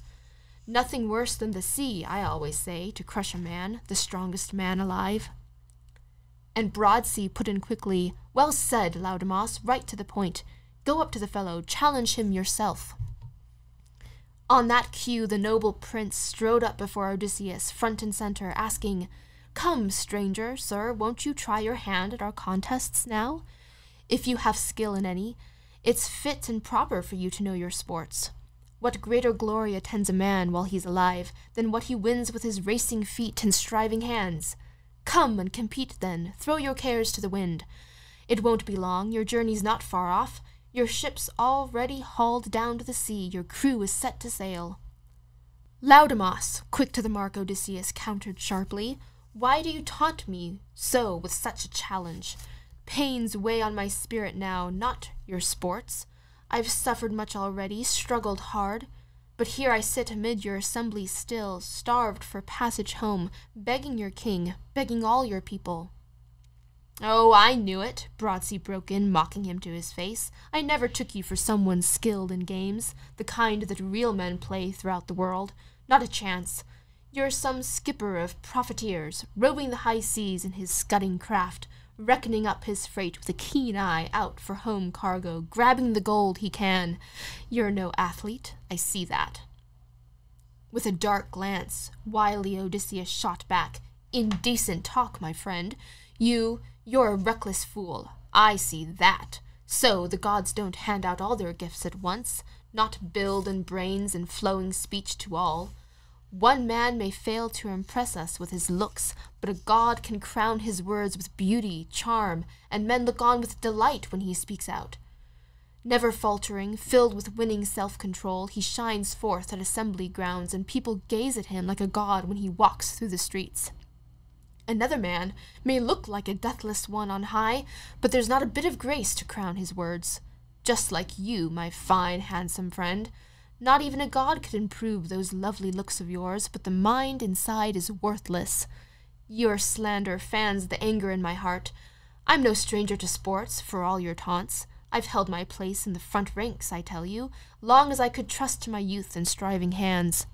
But now I'm wrestled down by pain and hardship. Look, I've borne my share of struggles, cleaving my way through wars of men and pounding waves at sea. Nevertheless, despite so many blows, I'll compete in your games. Just watch. Your insults cut to the quick. You rouse my fighting blood. Up he sprang, cloak and all, and seized a discus, huge and heavy, more weighty by far than those the Phaeacians used to hurl and test each other. Wheeling round, he let loose with his great hand, and the stone whirred on, and down to ground they went, those lords of the long oars and master mariners, cringing under the rocks' onrush, soaring lightly out of his grip, flying away past all the other marks, and Queen Athena, built like a man, staked out the spot and cried with a voice of triumph, Even a blind man, friend, could find your mark by groping round. It's not mixed up in the crowd, it's far in front. There's nothing to fear in this event. No one can touch you, much less beat your distance. At that, the heart of the long suffering hero laughed, so glad to find a ready friend in the crowd that, lighter in mood, he challenged all Phaeacia's best. Now go match that, you young pups, and straightway I'll hurl you another just as far, I swear, or even farther. All the rest of you, anyone with the spine and spirit, step right up and try me. You've incensed me so. At boxing, wrestling, racing, nothing daunts me. Any Phaeacian here except Laodamas himself. The man's my host. Who would fight his friend? He'd have to be good for nothing, senseless, yes, to challenge his host and come to grips and games, in a far off land at that.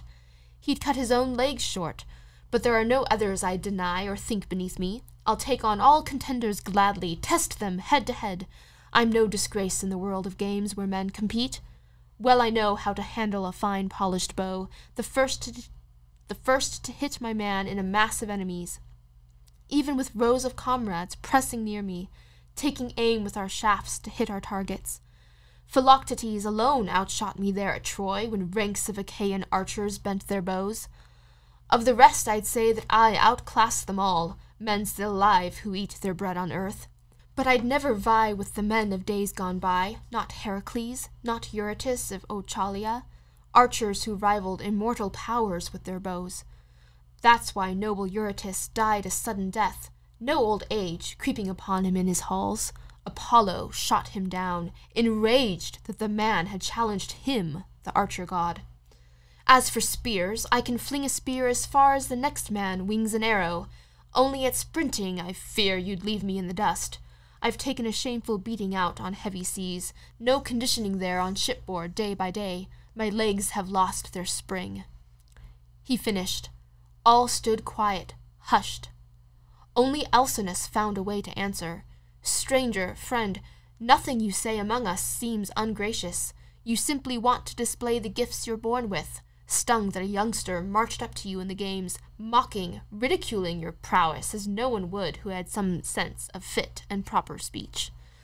But come now, hear me out, so you can tell our story to other lords as you sit and feast in your own halls some day, your own wife and your children by your side, remembering there our island prowess here.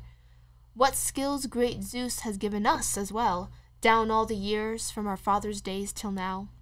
We are hardly world class boxers or wrestlers, I admit, but we can race like the wind. We're champion sailors, too, and always dear to our hearts the feast, the lyre and dance, and changes of fresh clothes, our warm baths and beds. So come, all you Phaeacian masters of the dance, now dance away, so our guest can tell his friends when he reaches home how far we excel the world in sailing, nimble footwork, dance, and song. Go, someone, quickly fetch Demodocus now his ringing lyre. It must be hanging somewhere in the palace. At the king's word, the herald sprang to his feet and ran to fetch the vibrant lyre from the house. And stewards rose, nine in all, picked from the realm to set the stage for contests, masters at arms who levelled the dancing floor to make a fine broad ring. The herald returned and placed the ringing lyre now in Demodocus's hands, and the bard moved toward the center, flanked by boys in the flush of youth, skilled dancers who stamped the ground with marvelous pulsing steps as Odysseus gazed at their flying, flashing feet, his heart aglow with wonder. A rippling prelude, now the bard struck up an irresistible song, the love of Ares and Aphrodite crowned with flowers. How the two had first made love in Hephaestus's mansion, all in secret. Ares had showered her with gifts, and showered Hephaestus's marriage bed with shame, but a messenger ran to tell the god of fire. Helios, lord of the sun, who'd spied the couple lost in each other's arms and making love. Hephaestus, hearing the heart wounding story, bustled toward his forge, brooding on his revenge, planted the huge anvil on its block and beat out chains, not to be slipped or broken, all to pin the lovers on the spot. This snare the fire god forged, ablaze with his rage at war, then limped to the room where the bed of love stood firm, and round the posts he poured the chains in a sweeping net, with streams of others flowing down from the roof beam, gossamer fine as spider webs no man could see, not even a blissful god. The smith had forged a masterwork of guile. Once he'd spun that cunning trap around his bed, he feigned a trip to the well built town of Lemnos, dearest to him by far of all the towns on earth. But the god of battle kept no blind man's watch. As soon as he saw the master craftsman leave, he plied his golden reins and arrived at once and entered the famous god of fire's mansion, chafing with lust for Aphrodite crowned with flowers. She'd just returned from her father's palace, mighty Zeus, and now she sat in her rooms as Ares strode right in and grasped her hand with a warm, seductive urging. Quick, my darling, come, let's go to bed and lose ourselves in love. Your husband's away. By now he must be off in the wilds of Lemnos, consorting with his ruckus Sintian friends. So he pressed, and her heart raced with joy to sleep with war, and off they went to bed, and down they lay. And down around them came those cunning chains of the crafty god of fire, showering down now till the couple could not move a limb or lift a finger. Then they knew at last there was no way out, not now. But now the glorious crippled smith was drawing near. He'd turned around miles short of the Lemnos coast, for the sun god kept his watch and told Hephaestus all. So back he rushed to his house, his heart consumed with anguish. Halting there at the gates, seized with savage rage, he howled a terrible cry, imploring all the gods. Father Zeus, look here! The rest of you happy gods who live forever, here is a sight to make you laugh, revolt you too. Just because I am crippled, Zeus's daughter Aphrodite will always spurn me and love that devastating Ares, just because of his striking looks and racer's legs, while I am a weakling, lame from birth. And who's to blame? Both my parents. Who else? If only they'd never bred me. Just look at the two lovers, crawled inside my bed, locked in, in each other's arms. The sight makes me burn. But I doubt they'll want to lie that way much longer, not a moment more, mad as they are for each other.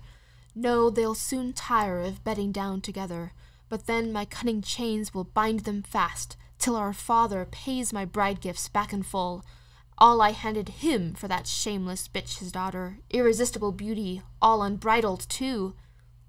So Hephaestus wailed as the gods came crowding up to his bronze floored house. Poseidon, god of the earthquake, came, and Hermes came, the running god of luck, and the archer, Lord Apollo, while modesty kept each goddess to her mansion. The immortals, givers of all good things, stood at the gates, and uncontrollable laughter burst from the happy gods when they saw the god of fire's subtle, cunning work. One would glance at his neighbor, laughing out, A bad day for adultery, slow outstrips the swift. Look how limping Hephaestus conquers war, the quis- quickest of all the gods who rule Olympus. The cripple wins by craft. The adulterer, he will pay the price. So the gods would banter among themselves, but Lord Apollo goaded Hermes on.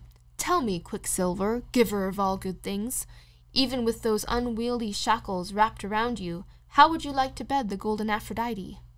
Oh, Apollo, if only, the giant killer cried. Archer, bind me down with triple those endless chains. Let all you gods look on, and all you goddesses too, how I'd love to bed that golden Aphrodite. A peal of laughter broke from the deathless ones, but not Poseidon, not a smile from him. He kept on begging the famous smith to loose the god of war, pleading, his words flying, Let him go! I guarantee you Ares will pay the price, whatever you ask, Hephaestus, whatever's right in the eyes of all the gods.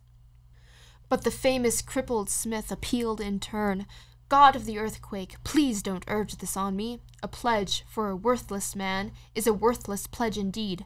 What if he slips out of his chains? His debts as well? How could I shackle you while all the gods look on? But the god of the earthquakes reassured the smith. Look, Hephaestus, if Ares scuttles off and away, squirming out of his debt, I'll pay the fine myself. And the famous crippled smith complied at last. Now there's an offer I really can't refuse.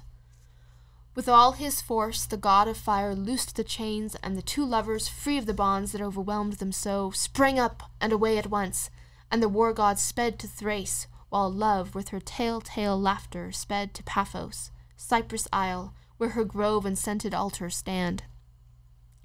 There the Graces bathed and anointed her with oil, ambrosial oil, the bloom that clings to the gods who never die, and swathed her round in gowns to stop the heart, an ecstasy, a vision. That was the song the famous harper sang, and Odysseus relished every note as the islanders, the lords of the long oars and master mariners rejoiced. Next the king asked Halius and Laodamas to dance, the two alone, since none could match that pair. So taking in hand a gleaming sea blue ball made by the craftsman Polybus, arching back, one prince would hurl it toward the shadowy clouds, as the other, leaping high into the air, would catch it quickly, nimbly, before his feet hit ground again. Once they'd vied at throwing the ball straight up, they tossed it back and forth in a blur of hands as they danced across the earth that feeds us all, while boys around the ring stamped out the beat, and a splendid rhythmic drumming sound arose, and good Odysseus looked at his host, exclaiming, King Alcinous, shining among your island people, you boasted Phaeacia's dancers are the best. They prove your point. I watch, and I am amazed. His praises cheered the hallowed island king, who spoke at once to the master mariners around him. Hear me, my lords and captains of Phaeacia. Our guest is a man of real taste, I'd say. Come, let's give him the parting gifts a guest deserves. There are twelve peers of the realm who rule our land, thirteen counting myself. Let each of us contribute a fresh cloak and shirt and a bar of precious gold. Gather the gifts together, hurry, so our guest can have them all in hand when he goes to dine, his spirit filled with joy. As for Broadsea, let him make amends, man to man, with his words as well as gifts. His first remarks were hardly fit to hear. All assented and gave their own commands. Each noble sent a page to fetch his gifts. And Broadsea volunteered in turn, obliging. Great Alcinous, shining among our island people, of course I'll make amends to our newfound friend as you request. I'll give the man this sword. It's solid bronze, and the hilt has silver studs. The sheath around it, ivory, freshly carved. Here's a gift our guest will value highly. He placed the silver studded sword in Odysseus's hands with a burst of warm words. Farewell, stranger, sir. If any remark of mine gave you offense, may storm winds snatch it up and sweep it off. May the gods grant you safe passage home to see your wife. You've been so far from loved ones, suffered so. Tactful Odysseus answered him in kind, and a warm farewell to you too, my friend. May the gods grant you good fortune. May you never miss this sword, this gift you give with such salutes. You've made amends in full. With that he slung the silver studded sword across his shoulder. As the sun sank, his glittering gifts arrived, and proud heralds bore them into the hall, where sons of King Alcinous took them over, spread them out before their noble mother's feet, a grand array of gifts. The king in all his majesty led the rest of his peers inside, following in a file, and down they sat on rows of high backed chairs. The king turned to the queen and urged her, Come, my dear, bring in an elegant chest, the best you have, and lay inside it a fresh cloak and shirt, your own gifts. Then heat a bronze cauldron over the fire, boil water, so once our guest has bathed and reviewed his gifts, all neatly stacked for sailing, gifts our Phaeacian lords have brought him now, he'll feast in peace and hear the harpers' songs. And I will give him this gorgeous golden cup of mine, so he'll remember Alcinous all his days to come, when he pours libations out in his own house to Father Zeus and the other gods on high. And at that Arete told her serving women, Set a great three legged cauldron over the fire, do it right away. And hoisting over the blaze a cauldron, filling it brimful with bathing water, they piled fresh logs beneath and lit them quickly. The fire lapped at the vessel's belly, the water warmed. Meanwhile, the queen had a polished chest brought forth from an inner room and laid the priceless gifts inside, the clothes and gold the Phaeacian lords had brought, and added her own gifts, a cloak and a fine shirt, and gave her guest instructions quick and clear.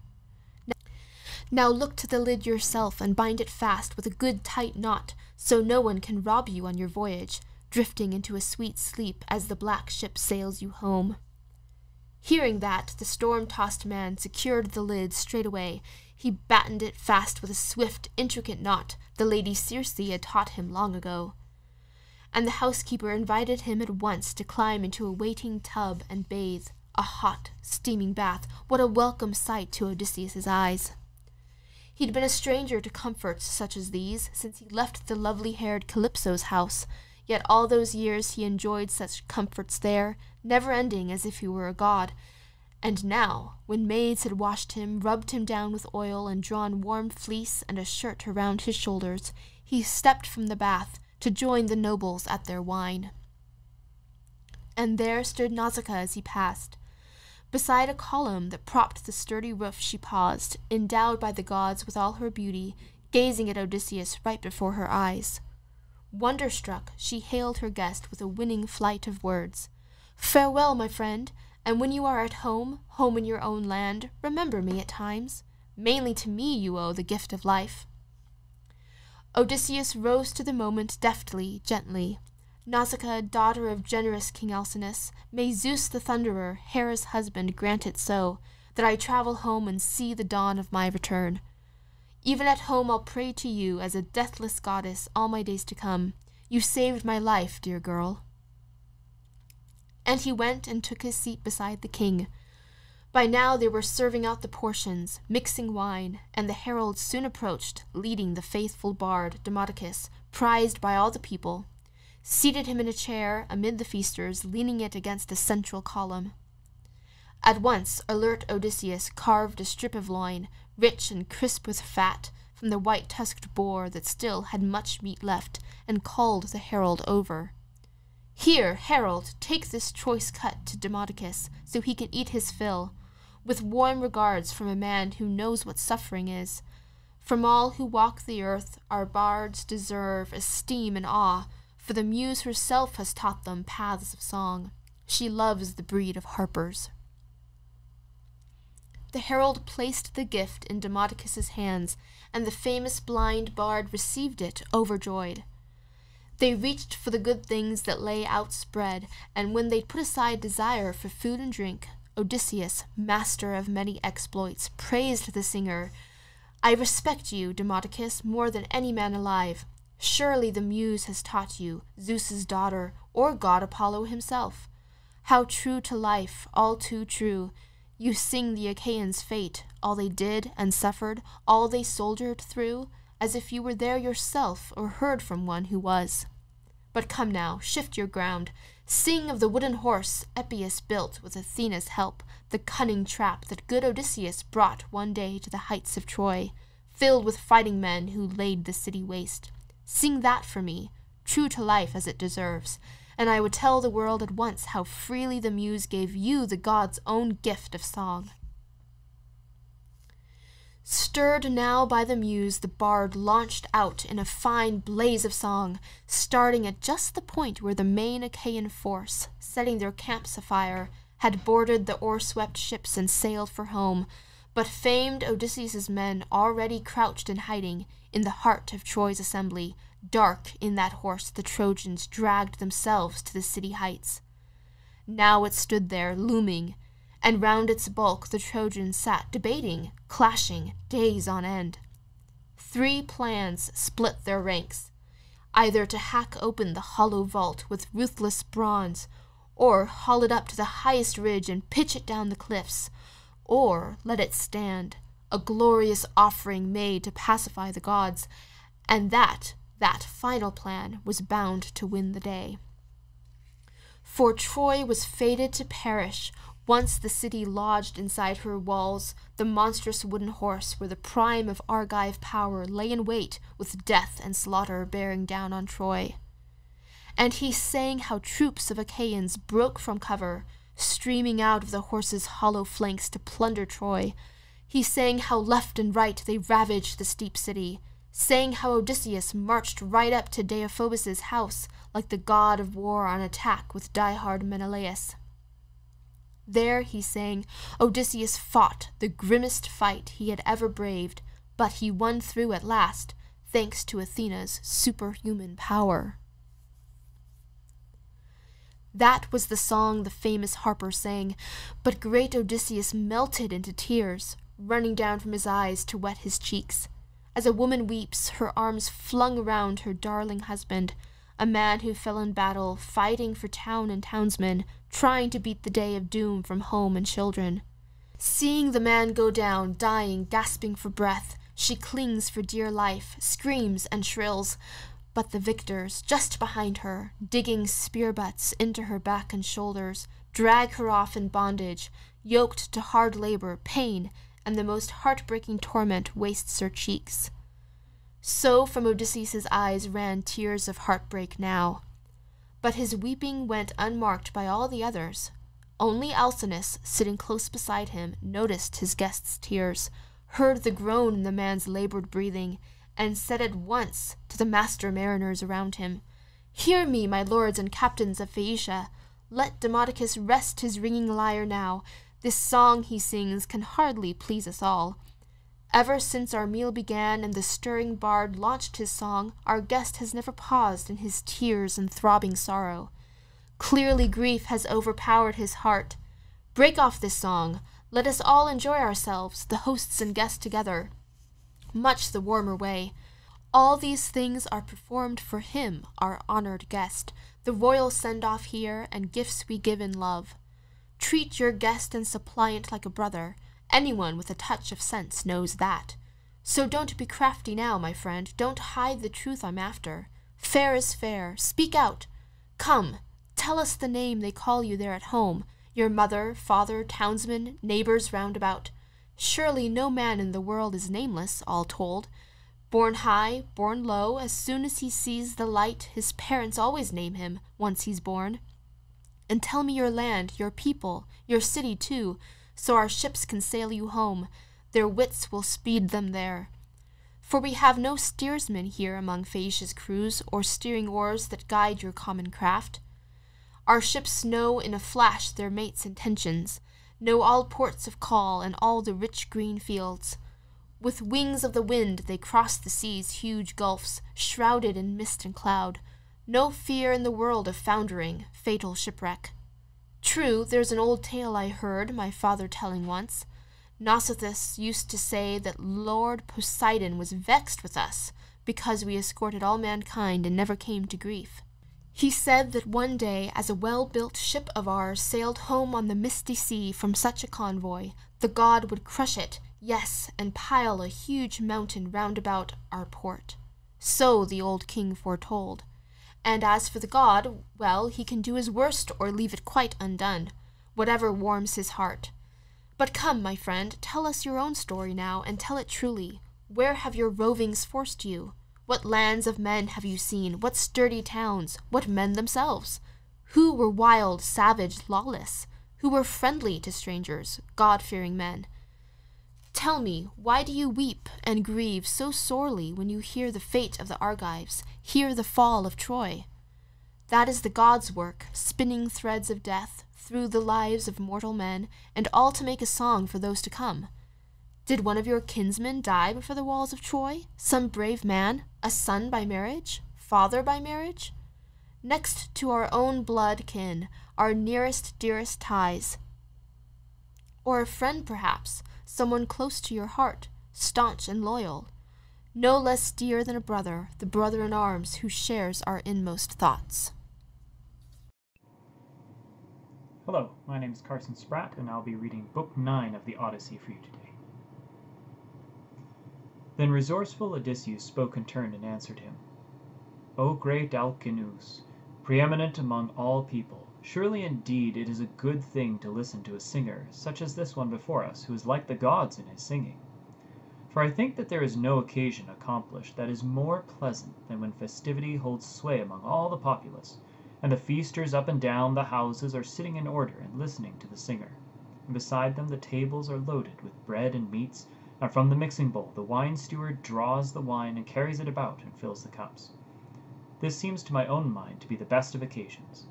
But now your wish was inclined to ask me about my mournful sufferings, so that I must mourn and grieve even more. What then shall I recite to you first of all? What leave till later? Many are the sorrows the gods of the sky have given me. Now first I will tell you my name, so that all of you may know me, and I hereafter escaping the day without pity, be your friend and guest, though the home where I live is far away from you.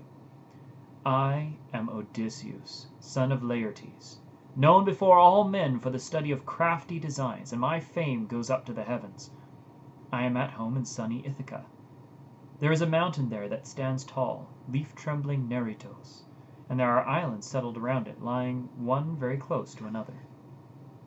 There is Dulichion and Same, wooded Zakynthos. But my island lies low and away, last of all on the water toward the dark, with the rest below facing east and sunshine, a rugged place, but a good nurse of men.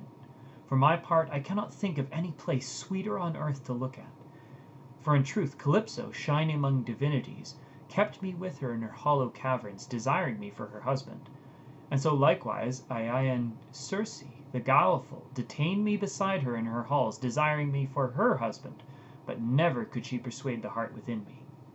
So it is that nothing is more sweet in the end than country and parents ever, even when far away one lives in a fertile place, when it is, in an alien country, far from his parents.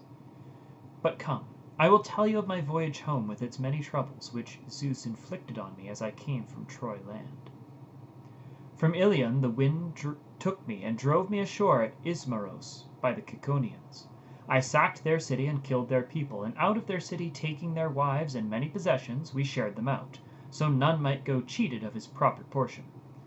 There I was for the light foot and escaping, and urged it, but they were greatly foolish and would not listen, and then and there much wine was being drunk, and they slaughtered many sheep on the beach, and lumbering horn curved cattle.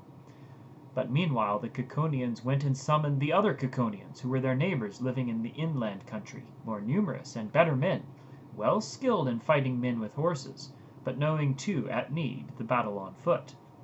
They came at early morning, like flowers in season, or leaves, And the luck that came our way from Zeus was evil, to make us unfortunate, so we must have hard pains to suffer. Both sides stood and fought their battles there by the running ships, and with bronze headed spears they cast at each other. And as long as it was early and the sacred daylight increasing, so long we stood fast and fought them off, though there were more of them.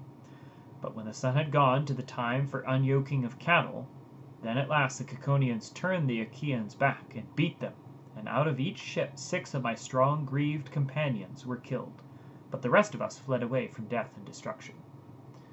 From there we sailed on further along, glad to have escaped death, but grieving still at heart for the loss of our dear companions. Even then I would not suffer the flight of my oar swept vessels until a cry had been made three times for each of my wretched companions, who died there in the plain, killed by the Ciconians. Cloud gathering Zeus drove the north wind against our vessels in a supernatural storm, and huddled under the cloud scuds land alike and the great water. Night sprang from heaven. The ships were swept along, yawing down the current. The violence of the wind ripped our sails into three and four pieces. These, then, in fear of destruction, we took down and stowed in the ships' hulls and rowed them on ourselves until we had made the mainland.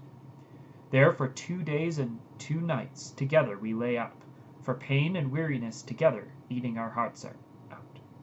But when the fair haired Dawn in her rounds brought on the third day, we, setting the masts upright, masts upright, and hoisting the white sails on them, sat still, and let the wind and the steersman hold them steady. And now I would have come home unscathed to the land of my fathers, but as I turned the hook of Malea, the sea and current and the north wind beat me off course and drove me on past Cythera. Nine days then I was swept along by the force of the hostile winds on the fishy sea, but on the tenth day we landed in the country of the Lotus eaters, who live on a flowering food, and there we set foot on the mainland and fetched water, and my companions soon took their supper there by the fast ships. But after we had tasted of food and drink, then I sent some of my companions ahead, telling them to find out what men, eaters of bread, might live here in this country. I chose two men, and sent a third with them, as a herald. My men went on, and presently met the Lotus eaters. Nor did these Lotus eaters have any thoughts of destroying our companions, but they only gave them lotus to taste of. But any of them who ate the honey sweet fruit of lotus was unwilling to take any message back, or to go away, but they wanted to stay there with the lotus eating people, feeding on lotus, and forget the way home. I myself took these men back weeping, by force, to where the ships were, and put them aboard under the rowing benches, and tied them fast, then gave the order to the rest of my eager companions to embark on the ships in haste, for fear some one else might taste of the lotus and forget the way home. And the men quickly went aboard and sat to the oarlocks, and sitting well in order, dashed the oars in the grey sea. From there, grieving still at heart, we sailed on further along, and reached the country of the lawless, outrageous Cyclopes, who, putting all their trust in the immortal gods, neither plough with their hands nor plant anything, but all grows for them without seed planting, without cultivation, wheat and barley, and also the grapevines, which yield for them wine of strength, and it is Zeus's rain that waters it for them. These people have no institutions, no meetings for councils. Rather, they make their habitations in caverns hollowed among the peaks of the high mountains, and each one is the law for his own wives and children, and cares nothing about the others. There is a wooded island that spreads away from the harbor, neither close in to the land of the Cyclopes, nor far out from it, forested. Wild goats beyond number breed there, for there is no coming and going of humankind to disturb them, nor are they visited by hunters, who in the forest suffer hardships as they haunt the peaks of the mountains. Neither again is it held by herded flocks, nor farmers, but all its days, never ploughed up and never planted, it goes without people, and supports the bleating wild goats. For the Cyclopes have no ships with cheeks of vermilion, nor have they builders of ships among them, who could have made them strong benched vessels, and these if made could have run them sailings to all the various cities of men, in the way that people cross the sea by means of ships and visit each other, and they could have made this island a strong settlement for them. For it is not a bad place at all. It could bear all crops in season, and there are meadowlands near the shores of the Grey Sea, well watered and soft. There could be grapes grown there endlessly, and there is smooth land for ploughing. Men could reap a full harvest always in season, since there is very rich subsoil. Also, there is an easy harbor, with no need for a hawser, nor anchor stones to be thrown ashore, nor cables to make fast. One could just run ashore and wait for the time when the sailor's desire stirred them to go and the right winds were blowing. Also, at the head of the harbor there runs bright water, spring beneath rock, and there are black poplars growing around it. There we sailed ashore, and there was some god guiding us in through the gloom of the night. Nothing showed to look at, for there was a deep mist around the ships, nor was there any moon showing in the sky, but she was under the clouds and hidden. There was none of us there whose eyes had spied out the island, and we never saw any long waves rolling in and breaking on the shore. But the first thing was when we beached the well benched vessels. Then, after we had beached the ships, we took all the sails down, and we ourselves stepped out onto the break of the sea beach, and there we fell asleep and waited for the divine dawn. But when the young dawn showed again with her rosy fingers, we made a tour about the island, admiring everything there and the nymphs, daughters of Zeus of the Aegis, started the hill roving goats our way for my companions to feast on. At once we went and took from the ships curved bows and javelins with long sockets, and arranging ourselves in three divisions, cast about, and the god granted us the game we longed for. Now there were twelve ships that went with me, and for each one nine goats were portioned out, but I alone had ten for my portion. So for the whole length of the day until the sun setting we sat there feasting on unlimited meat and sweet wine. For the red wine had not yet given out in the ships. There was still some left, for we had for we all had taken away a great deal in storing jars when we stormed the Ciconian sacred citadel. We looked across at the land of the Cyclopes, and they were near by, and we saw their smoke, and heard sheep and goats bleating. But when the sun went down and the sacred darkness came over, then we lay down to sleep along the break of the seashore. But when the young dawn showed again with her rosy fingers, then I held an assembly and spoke forth before all. The rest of you, who are my eager companions, wait here while I, with my own ship and companions that are in it, go and find out about these people, and learn what they and learn what they are, whether they are savage and violent and without justice, or hospitable to strangers and with minds that are godly. So speaking, I went aboard the ship, and told my companions also to go aboard, and to cast off the stern cables. And quickly they went aboard the ship, and sat to the oarlocks, and, sitting well in order, dashed the oars in the grey sea.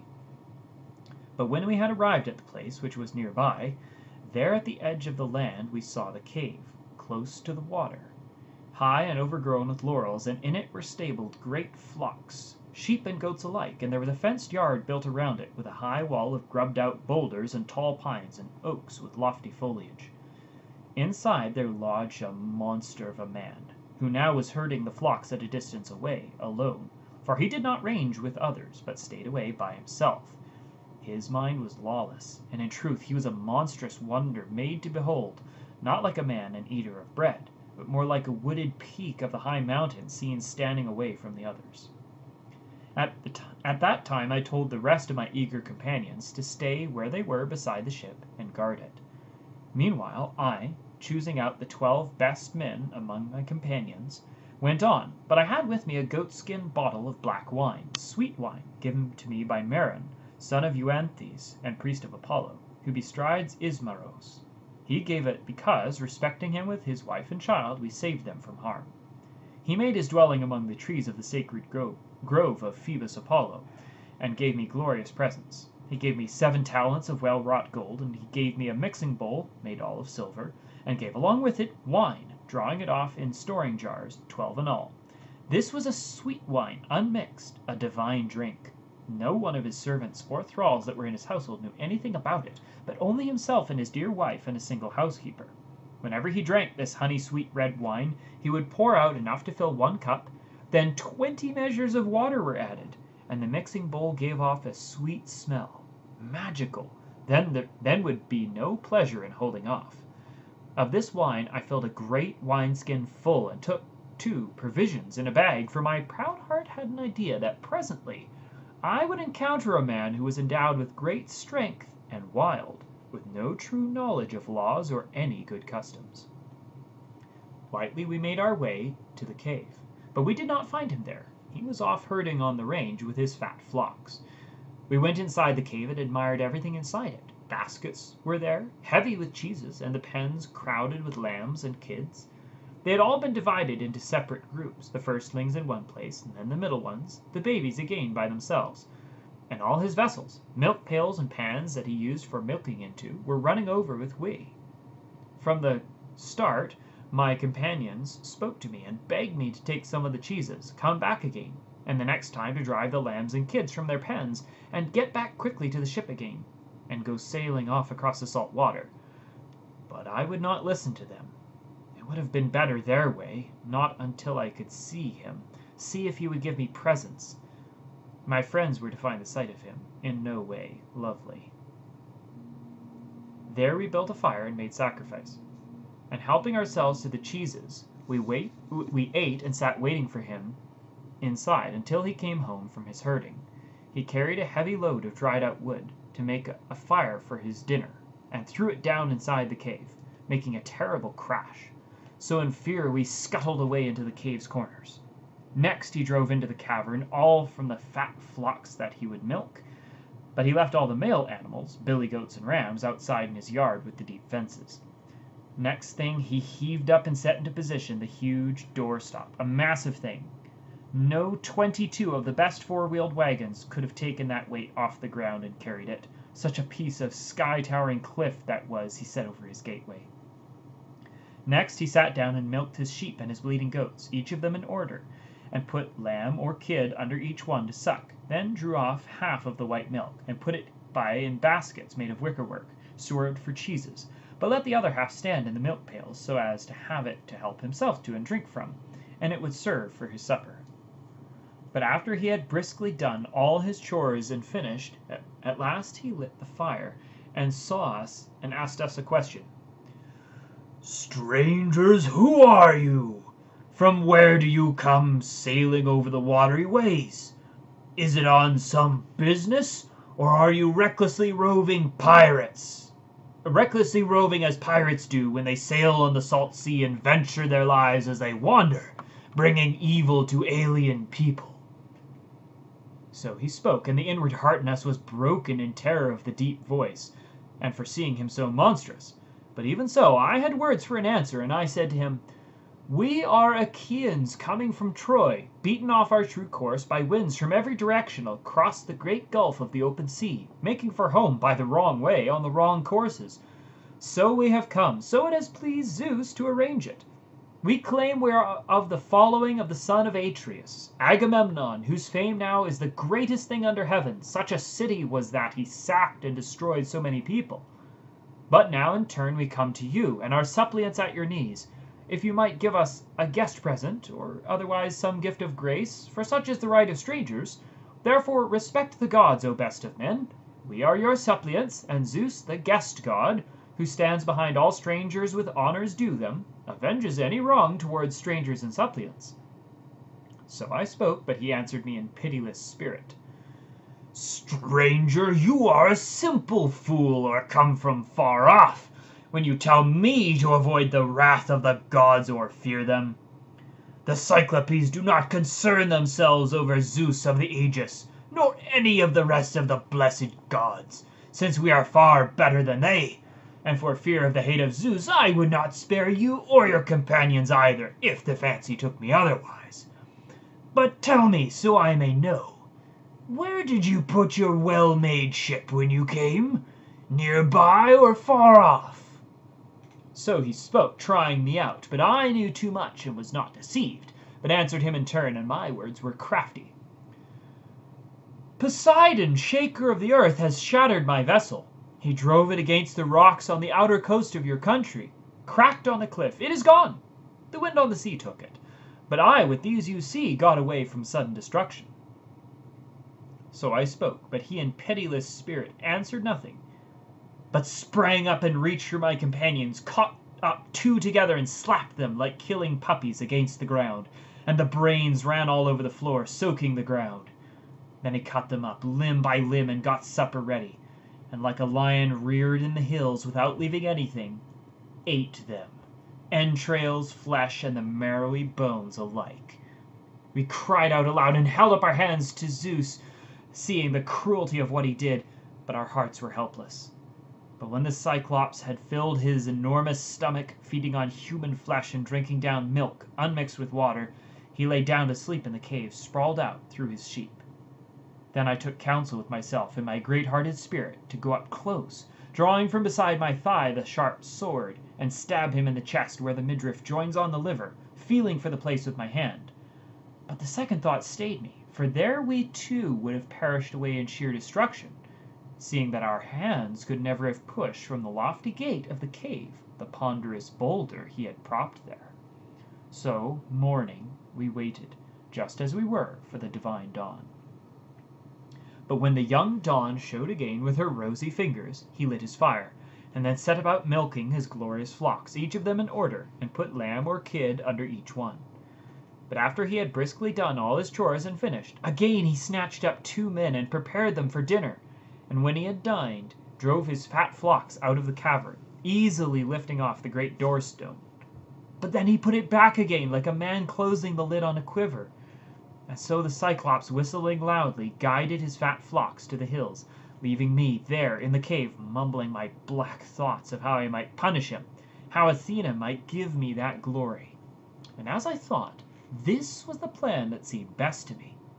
The Cyclops had lying there beside the pen a great bludgeon of olive wood, still green. He had cut it so that when it dried out he could carry it about, and we looking at it considered it to be about the size for the mast of a cargo carrying broad black ship of twenty oars which crosses the open sea. Such was the length of it, such the thickness, to judge by looking. I went up and chopped a length of about a fathom, and handed it over to my companions and told them to shave it down. And they made it smooth, while I was standing by them, sharpened the point, then put it over the blaze of the fire to harden. Then I put it well away and hid it under the ordure which was all over the floor of the cave, much stuff lying about. Next I told the rest of the men to cast lots, to find out which of them must endure, with me, to take up the great beam and spin it in Cyclops' eye when sweet sleep had come over him. The ones drew it whom I myself would have wanted chosen, four men, and I myself was the fifth, and allotted with them. With the evening he came back again, herding his fleecy flocks, but drove all his fat flocks inside the wide cave at once, and did not leave any outside in the yard with the deep fence, whether he had some idea or whether a god so urged him. When he had heaved up and set in position the huge doorstop, next he sat down, and started milking his sheep and his bleating goats, each of them in order, and put lamb or kid under each one. But after he had briskly done all his chores and finished, again he snatched up two men and prepared them for dinner. Then at last I, holding in my hands an ivy bowl full of the black wine, stood close up to the Cyclops and spoke out. Here, Cyclops, have a drink of wine now that you have fed on human flesh, and see what kind of drink our ship carried inside her. I brought it for you, and it would have been your libation had you taken pity and sent me home, but I cannot suffer your ra- your rages. Cruel, how can any man come and visit you ever again now that you have done what has no sanction? So I spoke, and he took it and drank it off, and was terribly pleased with the wine he drank, and questioned me again, saying, Give me still more freely, and tell me your name straightway now, so I can give you a guest present to make you happy. For the grain giving land of the Cyclopes also yields them wine of strength, and it is Zeus's rain that waters it for them. But this comes from where ambrosia and nectar flow in abundance. So he spoke, and I gave him the gleaming wine again. Three times I brought it to him and gave it to him. Three times he recklessly drained it. But when the wine had got into the brains of the Cyclops, then I spoke to him, and my words were full of beguilement. Cyclops, you ask me for my famous name. I will tell you then, but you must give me a guest gift as you have promised. Nobody is my name. My father and mother call me Nobody, as do all the others who are my companions. So I spoke, and he answered me in pitiless spirit. Then I will eat nobody after his friends, and the others I will eat first, and that shall be my guest present to you. He spoke and slumped away and fell on his back and lay there with his thick neck crooked over on one side, and Sleep, who subdues all, came on and captured him, and the wine gurgled up from his gullet with gobs of human meat. This was his drunken vomiting. And then I shoved the beam underneath a deep bed of cinders, waiting for it to heat. And I spoke to all my companions in words of courage, so none should be in a panic and back out. But when the beam of olive, green as it was, was nearly at the point of catching fire and glowed, terribly incandescent, then I brought it close up from the fire, and my friends about me stood fast. Some great divinity breathed courage into us. They seized the beam of olive sharp at the end and leaned on it into the eye, while I from above, leaning my weight on it, twirled it, like a man with a brace and bit who bores into a ship timber, and his men from underneath, grasping the strap on either side, whirl it, and it bites resolutely deeper. So, seizing the fire point hardened timber, we twirled it in his eye, and the blood boiled around the hot point, so that the blast and scorch of the burning ball singed all his eyebrows and eyelids, and the fire made the roots of his eye crackle. As when a man who works as a blacksmith plunges a screaming great axe blade or plane into cold water, treating it for temper, since this is the way steel is made strong, even so Cyclops' eyes sizzled about the beam of the olive. He gave a giant, horrible cry, and the rocks rattled to the sound, and we scuttled away in fear. He pulled the timber out of his eye, and it blubbered with plenty of blood. Then, when he had frantically taken it in his hands and thrown it away, he cried aloud to the other Cyclopes, who live around him in their own caves along the windy pinnacles. They, hearing him, came swarming up from their various places, and they stood around the cave and asked him what was his trouble. Why, Polyphemus, what do you want with all this outcry through the immortal night, and have made us all thus sleepless? Surely no mortal against your will can be driving your sheep off. Surely none can be killing you by force or treachery? Then from inside the cave strong Polyphemus answered, Good friends, nobody is killing me by force or treachery. So then the others, speaking in winged words, gave him an answer. If alone as you are, none uses violence on you, why, there is no avoiding the sickness sent by great Zeus, so you had better pray to your father, the Lord Poseidon. So they spoke as they went away, and the heart within me laughed over how my name and my perfect planning had fooled him. But the Cyclops, groaning aloud and in the pain of his agony, felt with his hands, and took the boulder out of the doorway, and sat down in the entrance himself, spreading his arms wide to catch anyone who tried to get out with the sheep, hoping that I would be so guileless in my heart as to try this. But I was planning so that things would come out the best way, and trying to find some release from death for my companions and myself too, combining all my resource and treacheries, as with life at stake, for the great evil was very close to us. And as I thought, this was the plan that seemed best to me. There were some male sheep, rams, well nourished, thick and fleecy, handsome and large, with a dark depth of wool. Silently I caught these and lashed them together with pliant willow withes from where the monstrous Cyclops, lawless of mind, had used to sleep. I had them in threes, and the one in the middle carried a man, while the other two went on each side, so guarding my friends. Three rams carried each man, but as for myself, there was one ram, far the finest of all the flock. This one I clasped around the back, snuggled under the wool of the belly, and stayed there still, and with a firm twist of the hands and enduring spirit, clung fast to the glory of this fleece, unrelenting. So he grieved for the time, and waited for the divine dawn. But when the young dawn showed again with her rosy fingers, then the male sheep hastened out of the cave toward pasture, but the ewes were bleating all through the pens unmilked, their udders ready to burst. Meanwhile their master, suffering and in bitter pain, felt over the backs of all his sheep, standing up as they were, but in his guilelessness did not notice how many men were fastened under the breasts of his fleecy sheep. Last of all the flock the ram went out of the doorway, loaded with his own fleece and with me and my close counsels. Then feeling him, powerful Polyphemus spoke a word to him. My dear old ram, why are you thus leaving the cave last of the sheep? Never in the old days were you left behind by the flock, but long striding far ahead of the rest would pasture on the tender bloom of the grass, be first at running rivers, and be eager always to lead the way back to the sheepfold at evening. Now you are last of all.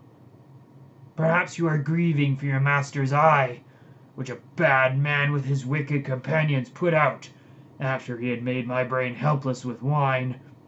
This nobody, who I think has not yet got clear of destruction, If only you could think like us and only be given a voice to tell me where he is skulking away from my anger, then surely he'd be smashed against the floor and his brains go spattering all over the cave to make my heart lighter from the burden of all the evils this niddering nobody gave me.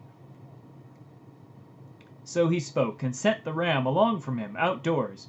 And when we had got a little way from the yard in the cavern, first I got myself loose from my ram, then set my companions free, and rapidly then, with many a backward glance, we drove the long striding sheep, rich with fat, until we reached our ship. And the sight of us who had escaped death was welcome to our companions, but they ge- began to mourn for the others. Only I would not let them cry out, but with my brows nodded to each man, and told them to be quick, and to load the fleecy sheep on board our vessel and sail out on the salt water. Salt water. Quickly they went aboard the ship and sat to the oarlocks, and sitting well in order, dashed the oars in the grey sea. But when I was as far from the land as a voice shouting carries, I called out aloud to the Cyclops, taunting him, Cyclops! In the end, it was no weak man's companions you were to eat by violence and force in your hollow cave, and your evil deeds were to catch up with you and be too strong for you, hard one, who dared to eat your own guests in your own house, so Zeus and the rest of the gods have punished you. So I spoke, and still more the heart in him was angered. He broke away the peak of a great mountain, and let it fly, and threw it in front of the dark proud ship by only a little. It just failed to graze the steering oar's edge, but the sea washed up in the splash as the stone went under.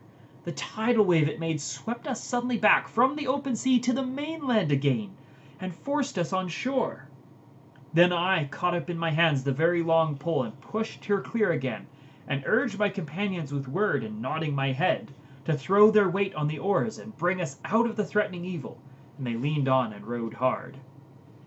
But when we had cut through the sea to twice the previous distance, again I started to call out to Cyclops. My friends about me checked me, first one, then another speaking, trying to soothe me. Hard one, why are you trying once more to stir up this savage man, who just now threw his missile in the sea, forcing our ship to the land again? And we thought once more we were finished. And if he had heard a voice or any one of us speaking, he would have broken all our heads and our ship's timbers with a cast of a great jagged stone so strong as his throwing. So they spoke, but could not persuade the great heart in me.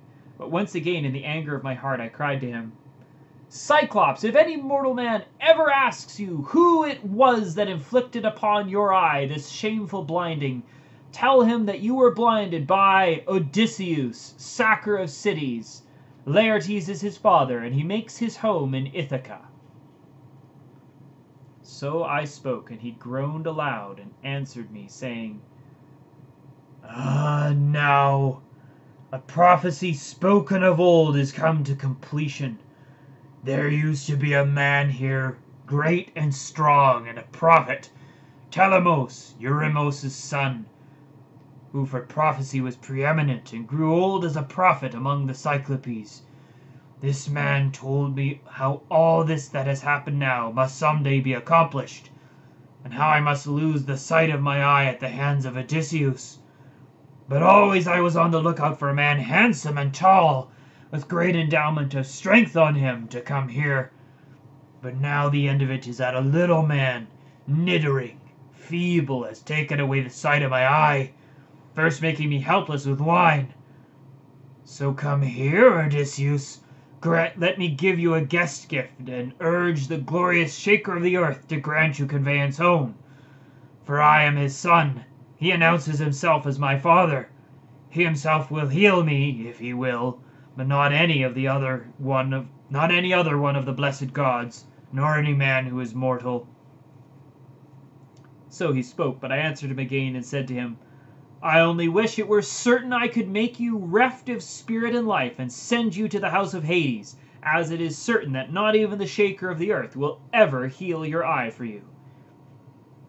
So I spoke, but he then called to the Lord Poseidon in prayer, reaching both arms up toward the starry heaven. Hear me, Poseidon, who circle the earth, dark haired. If truly I am your son, and you acknowledge yourself as my father, grant that Odysseus, cities, son of Laertes, who makes his home in Ithaca may never reach that home.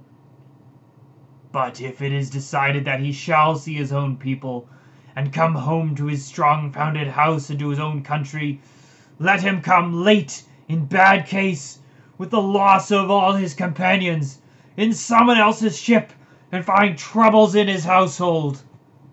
So he spoke in prayer, and the dark haired god heard him. Then for the second time, lifting a stone far greater, he whirled it and threw, leaning into the cast his strength beyond measure, and the stone fell behind the dark prowed ship by only a little. It just failed to graze the steering oar's edge, and the sea washed up, washed up in the splash as the stone went under. The tidal wave drove us along forward and forced us onto the island. But after we had so made the island, where all the rest of our strong bent ships were waiting together, and our companions were sitting about them grieving, having waited so long for us, making this point we ran our ship on the sand and beached her, and we ourselves stepped out onto the break of the sea beach. And from the hollow ships, bringing out the flocks of the Cyclops, we shared them out, so none might go cheated of his proper portion. But for me alone my strong grieved companions accepted the ram when the sheep were shared, and I sacrificed him on the sands to Zeus, dark clouded son of Cronos, lord over all, and burned him the thighs. But he was not moved by my offerings, but was still pondering on a way how all my strong bent ships should be destroyed and all my eager companions. So for the whole length of the day until the sun setting, we sat there feasting on unlimited meat and sweet wine.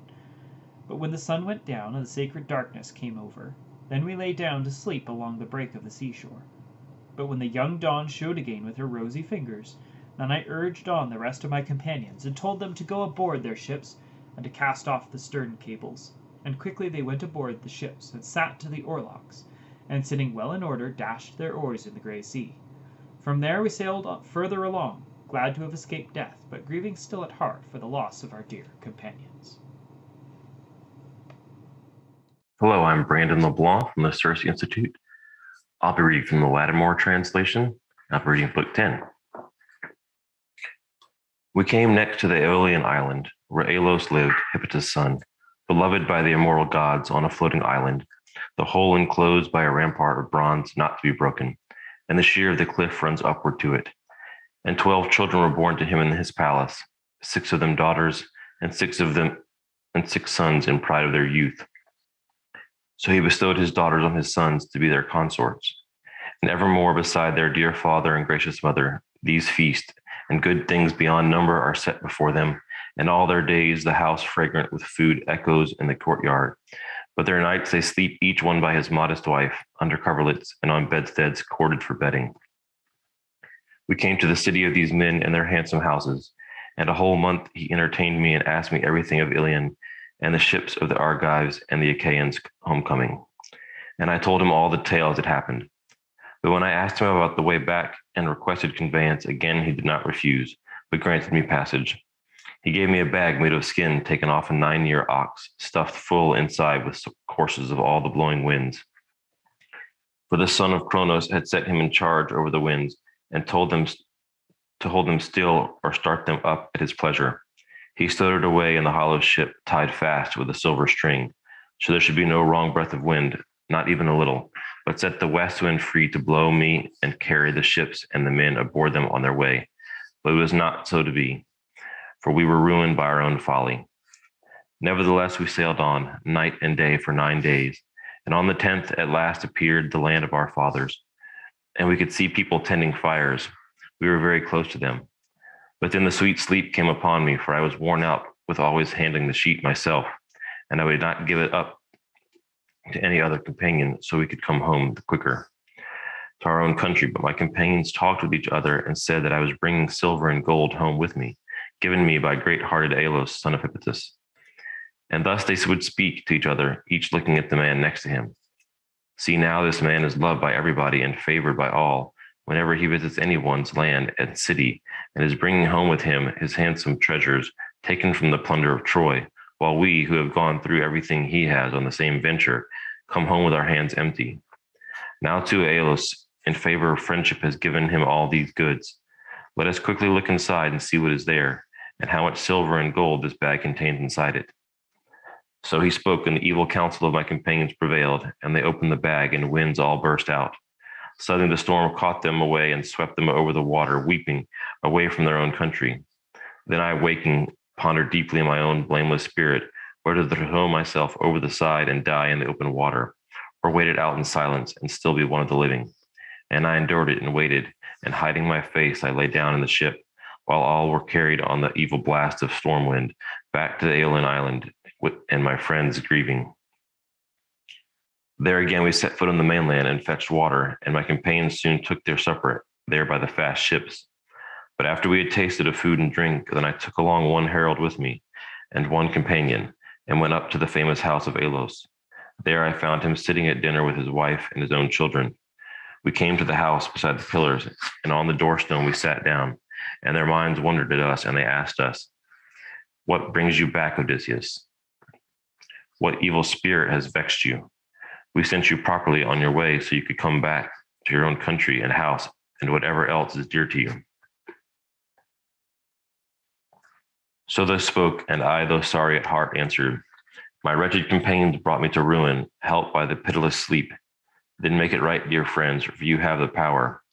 So I spoke to them, plying them with words of endearment. But they were all silent. Only the Father found words and answered, O least of living creatures, out of this land, hurry. I have no right to see on his way, none to give passage to any man whom the blessed gods hate with such bitterness. Out. This arrival means you are hateful to the immortals. So speaking, he sent me, groaning heavily, out of his palace. And from there, grieving still at heart, we sailed on further. But the men's spirit was worn away with the pain of rowing and our own silliness, since homecoming seemed ours no longer. Nevertheless, we sailed on, night and day, for six days, and on the seventh came to the sheer citadel of Lamos, Telepylos of the Laestrygones, where the one herdsman driving his flocks and hails another, who answers as he drives his flocks out. And there a man who could go without sleep could earn him double wages, one for herding the cattle, one for the silvery sheep. There the courses of the night and day lie close together. There, as we entered the glorious harbor, which a sky towering cliff encloses on either side, with no break anywhere, but and two projecting promontories facing each other run out toward the mouth, and there is a narrow entrance. There, all the rest of them had their oar swept ships in the inward part. There they tied up close together inside the hollow harbor, for there never was a swell of surf inside it, neither great nor small, but there was a pale calm on it. I myself, however, kept my black ship on the outside, at the very end, making her fast to the cliff with a cable, and climbed to a rocky point of observation and stood there.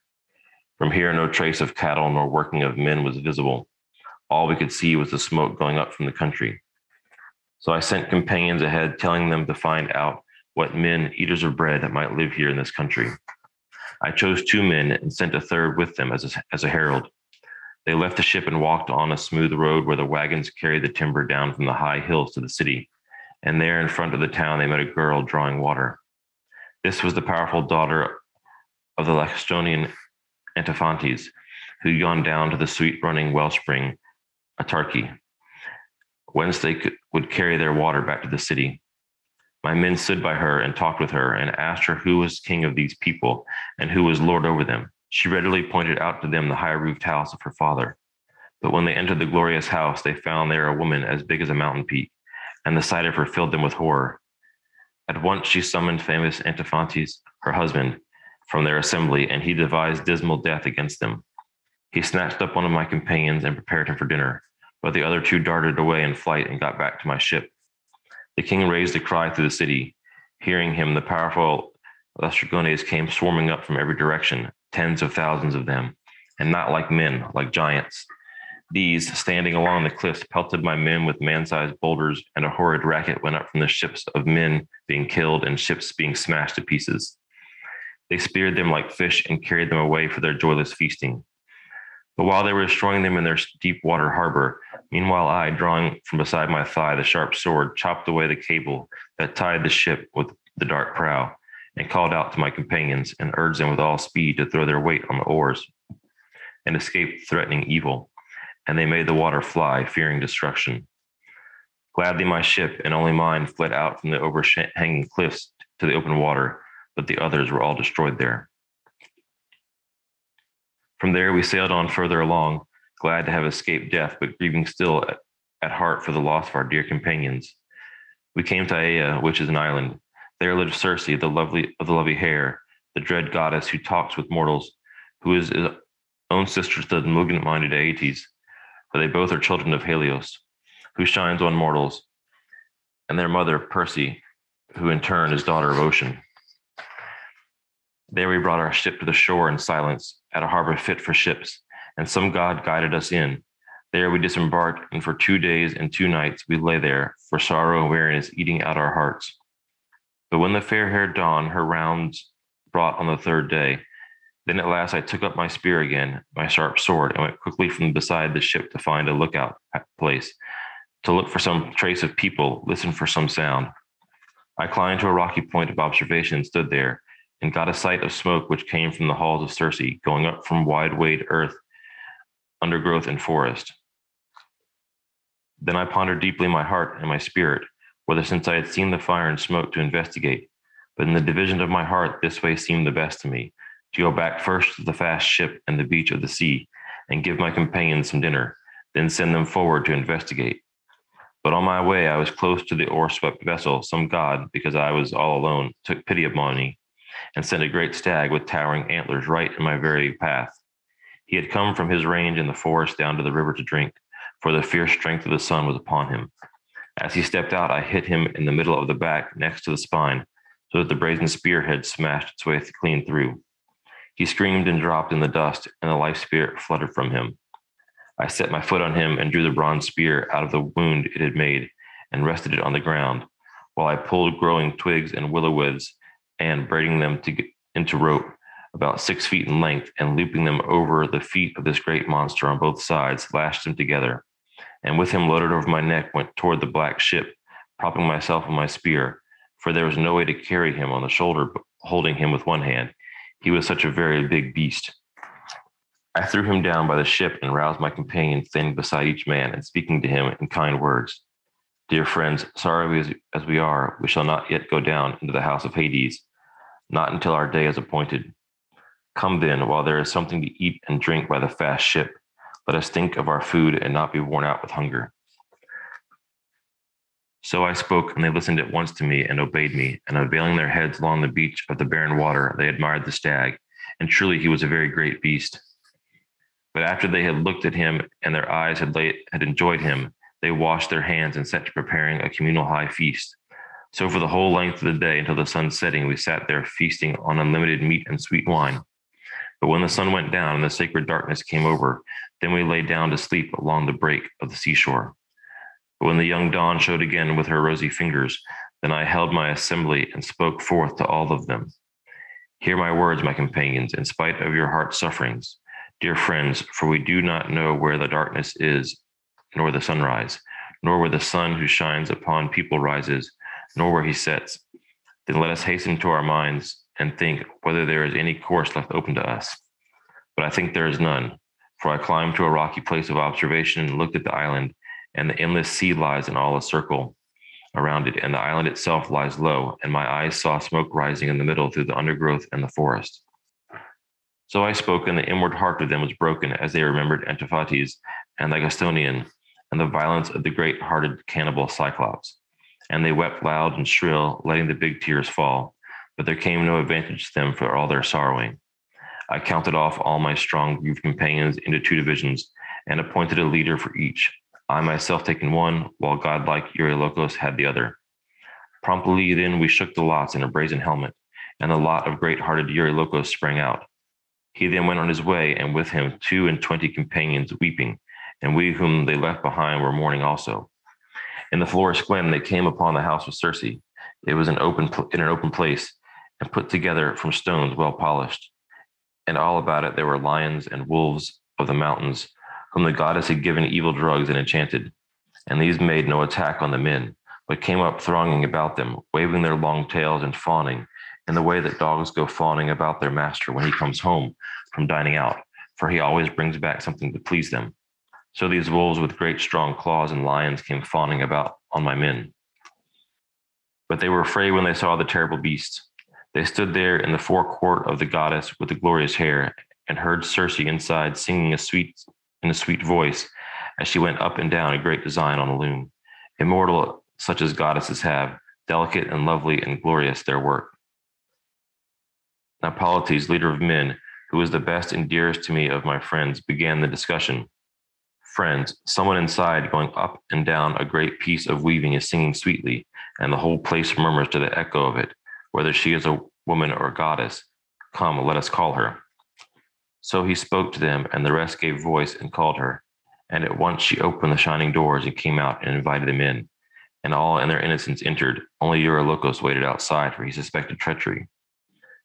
She brought them inside and seated them on chairs and benches and mixed them a potion with barley and cheese and pale honey, added to Pramnian wine.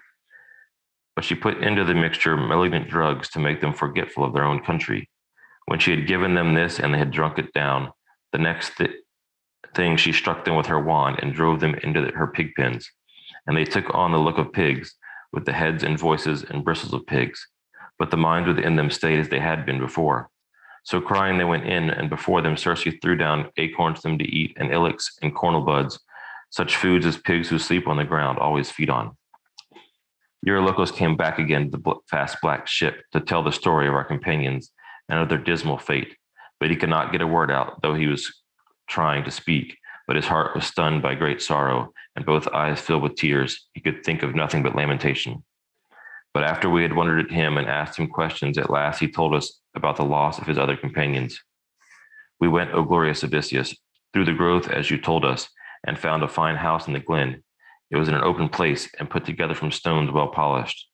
Someone, goddess or woman, was singing inside in a clear voice as she went up and down her loom, and they called her and spoke to her, and at once she opened the shining doors and came out and invited them in and all in their innocence entered. Only I waited for them outside, for I suspected treachery. The whole lot of them vanished away together, nor did one single one come out, though I, though I sat and watched for a long time. So he spoke, and I slung my great bronze sword with the silver nails across my shoulders, and hung my, my bow on also, and told him to guide me back to the same way he had gone. But he, clasping my knees in both hands, entreated me, and in a loud lamentation spoke to me and addressed me.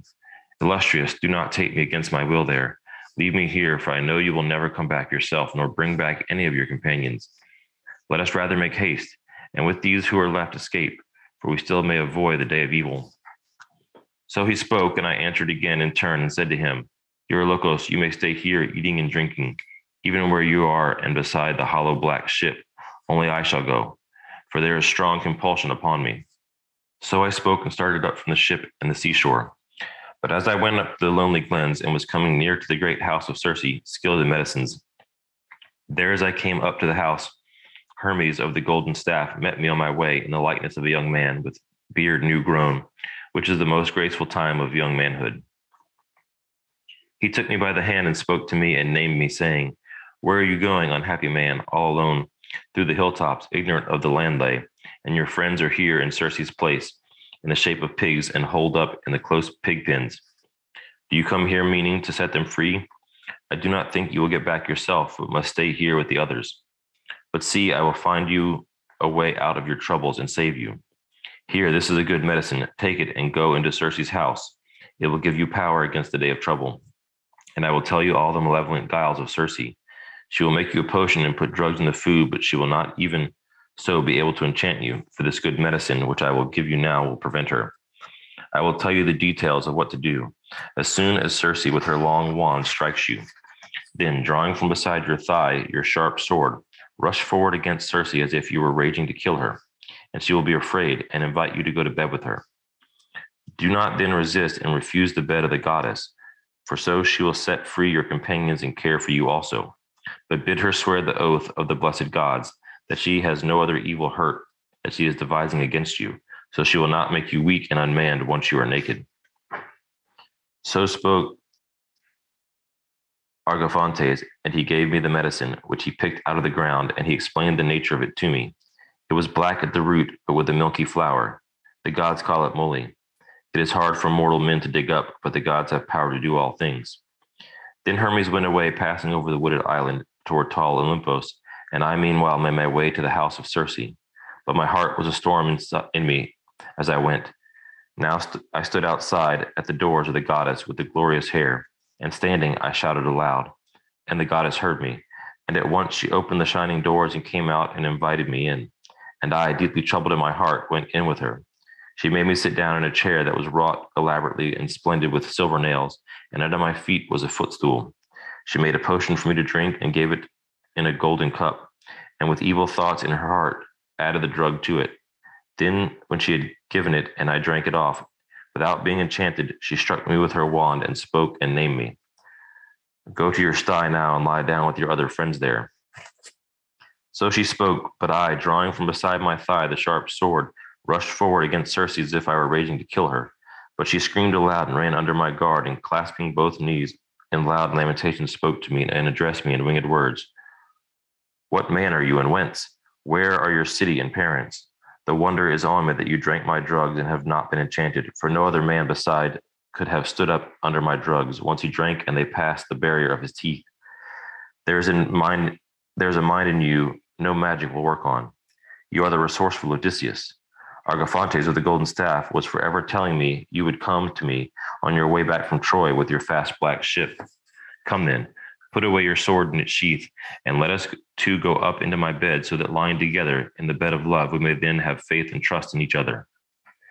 So she spoke, and I answered her again and said to her, Circe, how can you ask me to be gentle with you when it is you who turned my companions into pigs in your palace?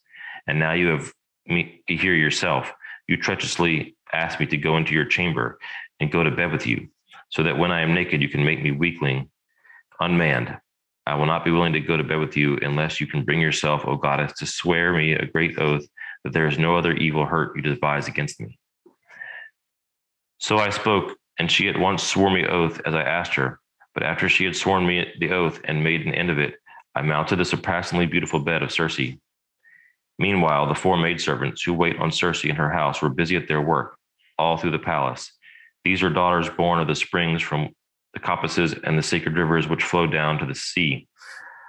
Of these, one laid the coverlets, splendid and stained in purple, over the backs of the chairs and spread on the seats the cloth to sit on. The second drew up silver tables and placed on them in front of the chairs and laid out the golden serving baskets upon them. The third mixed wine, kindly sweet and fragrant, in the silver mixing bowl and set out the golden goblets. The fourth one brought in water, then set about building up an abundant fire underneath the great cauldron, and the water heated. But when the water had come to a boil in the shining bronze, then she sat me down in the bathtub and washed me from the great cauldron, mixing hot and cold just as I wanted, and pouring it over shoulders and head to make the heart wasting weariness for my limbs. When she had bathed me and anointed me with olive oil, she put a splendid mantle and a tunic upon me and made me sit down in a chair that was wrought elaborately and splendid with silver nails, and under my feet was a footstool. A maidservant brought water for us and poured it from a splendid and, golden pitcher, holding it above a silver basin for us to wash, and she pulled a polished table before us. A grave housekeeper brought in bread and served it to us, adding many good things to it, generous with her provisions, and told us to eat. But nothing pleased my mind, and I sat there thinking of something else, mind full of evil imaginings. When Circe noticed how I sat there without ever putting my hands to the food and with the strong sorrow upon me, she came close and stood beside me, addressed and addressed me in winged words. Why, Odysseus, do you sit so, like a man who has lost his voice, eating your heart out, but touch neither food nor drink? Is it that you suspect me of more treachery? But you have nothing to fear, since I have already sworn by my strong oath to you. So she spoke, but I answered her again and said to her, Oh, o Circe, how could any man right in his mind ever endure to taste the food and drink that are set before him, until with his eyes he saw his pain set free? So then, if you are sincerely telling me to eat and drink, set them free, so my eyes can again behold my eager companions. So I spoke, and Circe walked on out through the palace, holding her wand in her hand, and opened the doors of the pigsty and drove them out. They looked like nine year old porkers they stood ranged and facing her, and she, making her way through their ranks, anointed each of them with some other medicine. And the bristles, grown upon them by the evil medicine Circe had bestowed upon them before, now fell away from them. And they turned back once more into men, younger than they had been, and taller for the eye to behold, and handsomer by far. They recognized me, and each of them clung to my hand. The lovely longing for lamentation came over us, and the house echoed terribly to the sound, and even the goddess took pity. And she, shining among goddesses, came close and said to me, Son of Laertes and seed of Zeus, resourceful Odysseus, Go back down now to your fast ship in the sand of the seashore, and first of all, drag your ship up to, on the land, stowing your possessions and all the ship's running gear away in the sea caves, and then come back, bringing with you your eager companions. So she spoke, and the proud heart in me was persuaded, and I went back down to my fast ship in the sand of the seashore. And there I found beside the fast ship my eager companions, pitiful in their lamentation and weeping big tears. And as in the country, the calves around the cows returning from the pasture back to the dung of the farmyard, well filled with grazing, come gambling together to meet them, and the pens no longer can hold them in, but lowing incessantly, they come running around their mothers. So these men, once their eyes saw me, came streaming around me, in tears and in the spirit in them made them feel as if they were back in their own country, the very city of rugged Ithaca, where they were born and raised up. So they came in tears about me and cried in winged words, O great Odysseus, we are as happy to see you as returning as if we had come back to our own Ithacan country. But come, tell us about the death of our other companions. So they spoke, but I answered in soft words and told them, First of all, let us drag our ship up on the land, stowing our possessions and all the ship's running gear away in the sea caves, and then make haste, all of you, to come with me, so that you can see your companions in the sacred dwelling of Circe, eating and drinking, for they have all in abundance. So I spoke, and at once they did as I told them. Only Eurylochus was trying to hold back all my other companions. And he spoke to them and addressed them in winged words Ah, poor wretches, where are we going? Why do you long for the evils of going down into Circe's palace? For she will transform the lot of us into pigs or wolves or lions. And so we shall guard her great house for her under compulsion.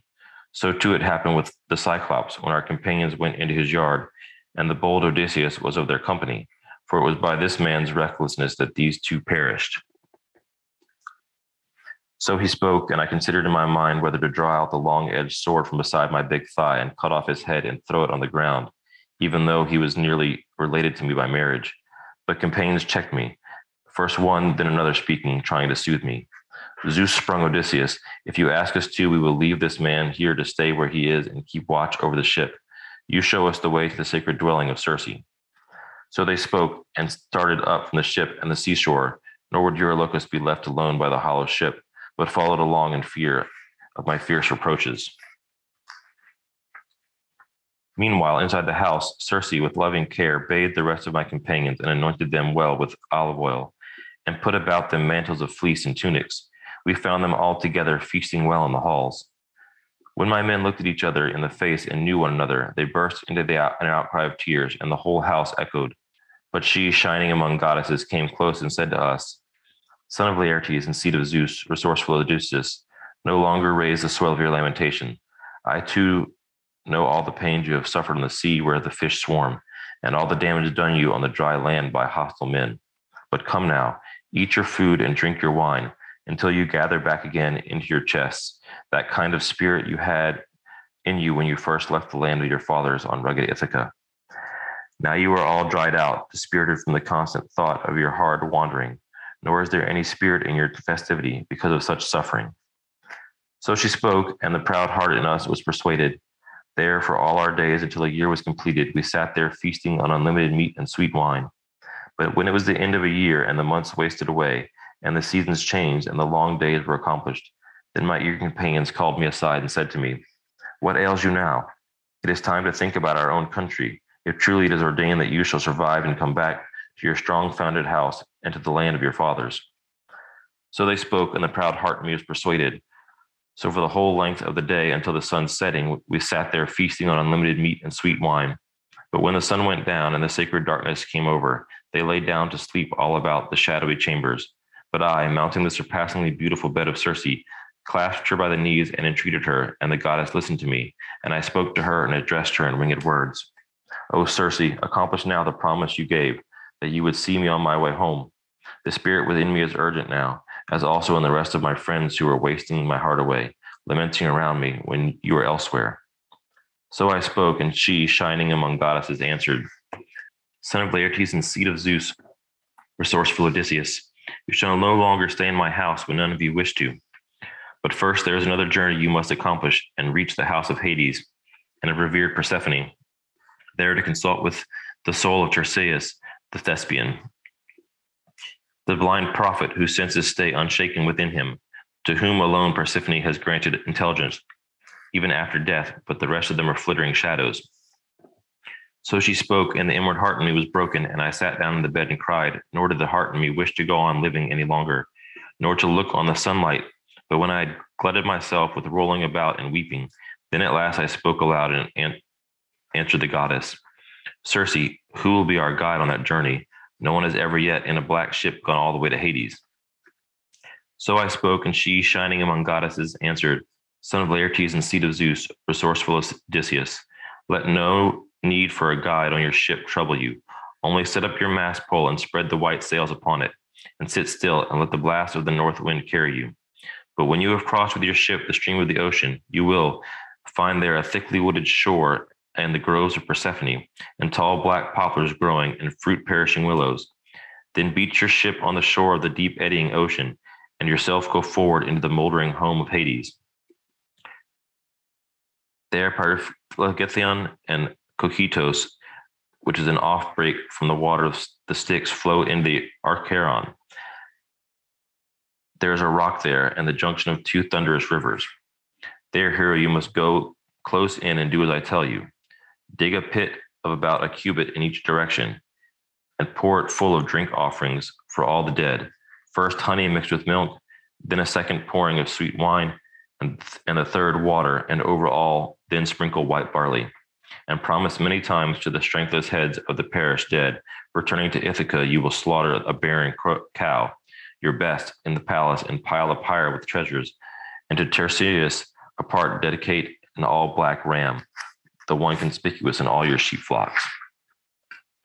But when with your prayers you have entreated the glorious hordes of the dead, then sacrifice one ram and one black female, turning them toward Erebos, but yourself turn away from them and make for, for where the river runs. And there the numerous souls of the perished dead will come and gather about you. Then encourage your companions and tell them, taking the sheep they are lying by, slaughtered with the pitiless bronze, to skin these and burn them, and pray to the divinities, to Hades the powerful, and to revered Persephone. While you yourself, drawing from beside your thigh the sharp sword, crouch there and do not let the strengthless heads of the perished dead draw near to the blood until you have questioned Tiresias. Then, leader of the host, the prophet will soon come to you, and he will tell you the way to go, the stages of your journey, and tell you how to make your way home on the sea where the fish swarm. So she spoke, and dawn of the golden throne came on us and she put clothing upon me, an outer cloak and a tunic, while she, the nymph, mantled herself in a gleaming white robe, fine woven and delightful, and around her waist she fastened a handsome belt of gold, and on her head was a wimple. While I walked all about the house and roused my companions, standing beside each man and speaking to him in kind words. No longer lie abed, dreaming away in sweet sleep. The queenly Circe has shown me the way. So let us go now. So I spoke, and the proud heart in them was persuaded. Yet I did not lead my, away my companions without some loss. There was one, Elpenor, the youngest man, not terribly powerful in fighting nor sound in his thoughts. This man, apart from the rest of his friends in search of cool air, had lain down drunkenly to sleep on the roof of Circe's palace. And when his companions stirred to go, he, hearing their tumult and noise of talking, started suddenly up, and never thought, when he went down, to go by way of the long ladder, but blundered straight off the edge of the roof, so that his neck bone was broken out of its sockets and his soul went down to Hades. Now, as my men were on their way, I said a word to them. You think you are on your way back now to your own beloved country, but Circe has indicated another journey for us to the house of Hades and of revered Persephone, there to consult with the soul of Tiresias the Theban. So I spoke, and the inward heart of them was broken. They sat down on the ground and lamented and tore their hair out, but there came no advantage to them from all their sorrowing. When we came down to our fast ship in the sand of the seashore, we sat down sorrowful and weeping big tears. Circe, meanwhile, had gone down herself to the side of the black ship and tethered aboard it a ram and one black female, easily passing by us unseen. Whose eyes can follow the movement of a god passing from place to place unless the god wishes? My name is David Beecham. I am a graduate of New St. Andrews class of 2002. I am reading from Richmond Lattimore's translation. Book 11. Now, when we had gone down again to the sea and our vessel, first of all we dragged the ship down into the bright water and in the black hole set the mast in place and set sails, and took the sheep and walked them aboard, and ourselves also embarked. But sorrowful and weeping big tears, Circe of the lovely hair, the dread goddess who talks with mortals, sent us an ex- excellent company, a following wind filling the sails to carry from astern the ship with the dark prow. We ourselves over all the ship, making fast the running gear, sat still and let the wind and the steersman hold her steady. All day long her sails were filled as she went through the water, and the sun set, and all the journeying ways were darkened. She made the limit, which is of the deep running ocean. There lie the community and city of Cimmerian people, hidden in fog and cloud. Nor does Helios, the radiant sun, ever break through the dark to illuminate them with his shining, neither when he climbs up into the starry heaven, nor when he wheels to return again from heaven to earth. But always a glum night is spread over the wretched mortals. Making this point, we ran the ship ashore, and took out the sheep, and ourselves walking along by the stream of the ocean until we came to that place of which Circe had spoken. There Perimedes and Eurylochus held the victims fast, and I, drawing from beside my thigh my sharp sword, dug a pit of about a cubit in each direction, and poured it full of drink offerings for all the dead, first honey mixed with milk, and second pouring with sweet wine, and third water, and over it all I sprinkled white barley. I promised many times to the strengthless heads of the perished dead that, returning to Ithaca, I would slaughter a barren cow, my best, in my place, and pile the pyre with treasures, and Tiresias apart would dedicate an all black ram, the one conspicuous in all our sheep flocks. Now, when, with sacrifices and prayers, I had so entreated the hordes of the dead, I took the sheep and cut their throats over the pit, and the dark clouding blood ran in, and the souls of the perished dead gathered to the place, up out of Erebos. Brides and young unmarried men and long suffering elders, virgins, tender and with sorrows of their young hearts upon them, and many fighting men killed in battle, stabbed with brazen spears, still carrying their bloody armor upon them.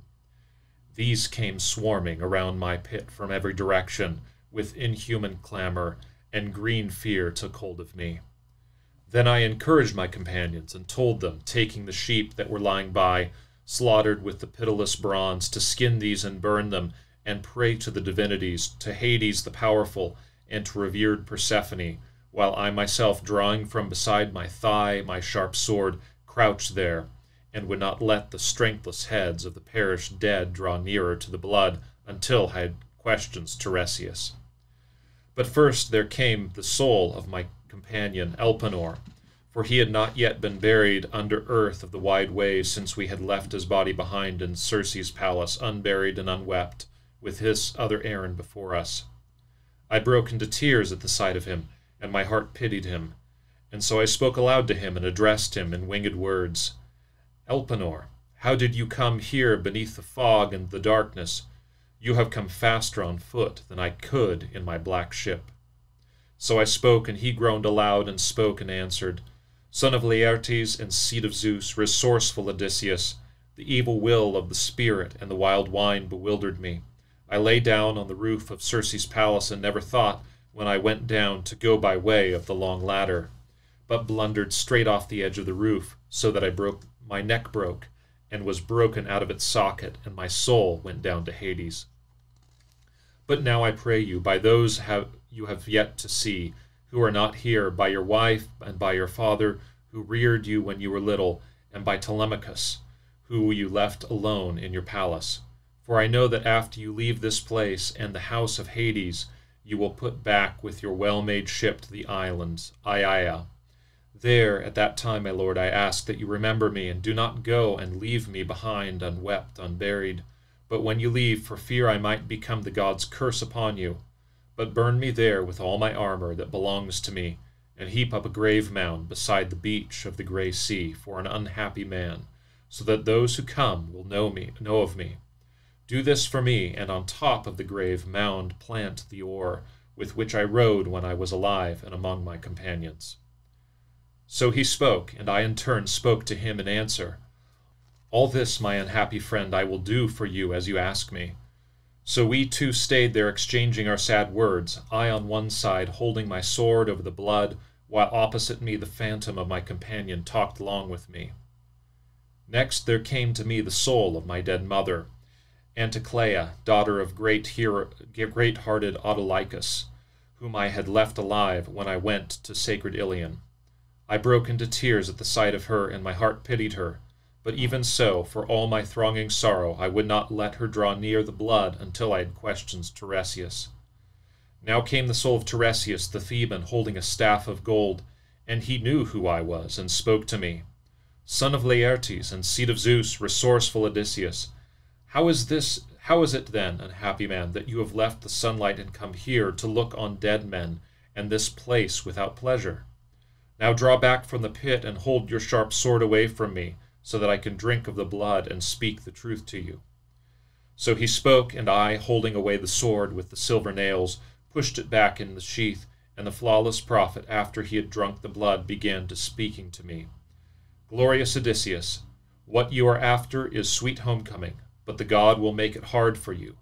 I think you will not escape the shaker of the earth who holds a grudge against you in his heart, and because you blinded his dear son, hates you but even so, and still you might come back after much suffering, if you can contain your own desire and contain your companions. At that time, when you first put in your well made vessel at the island Thrinacia, escaping the sea's blue water, and there discover pasturing the cattle and fat sheep of Helios, who sees all things and listens to all things.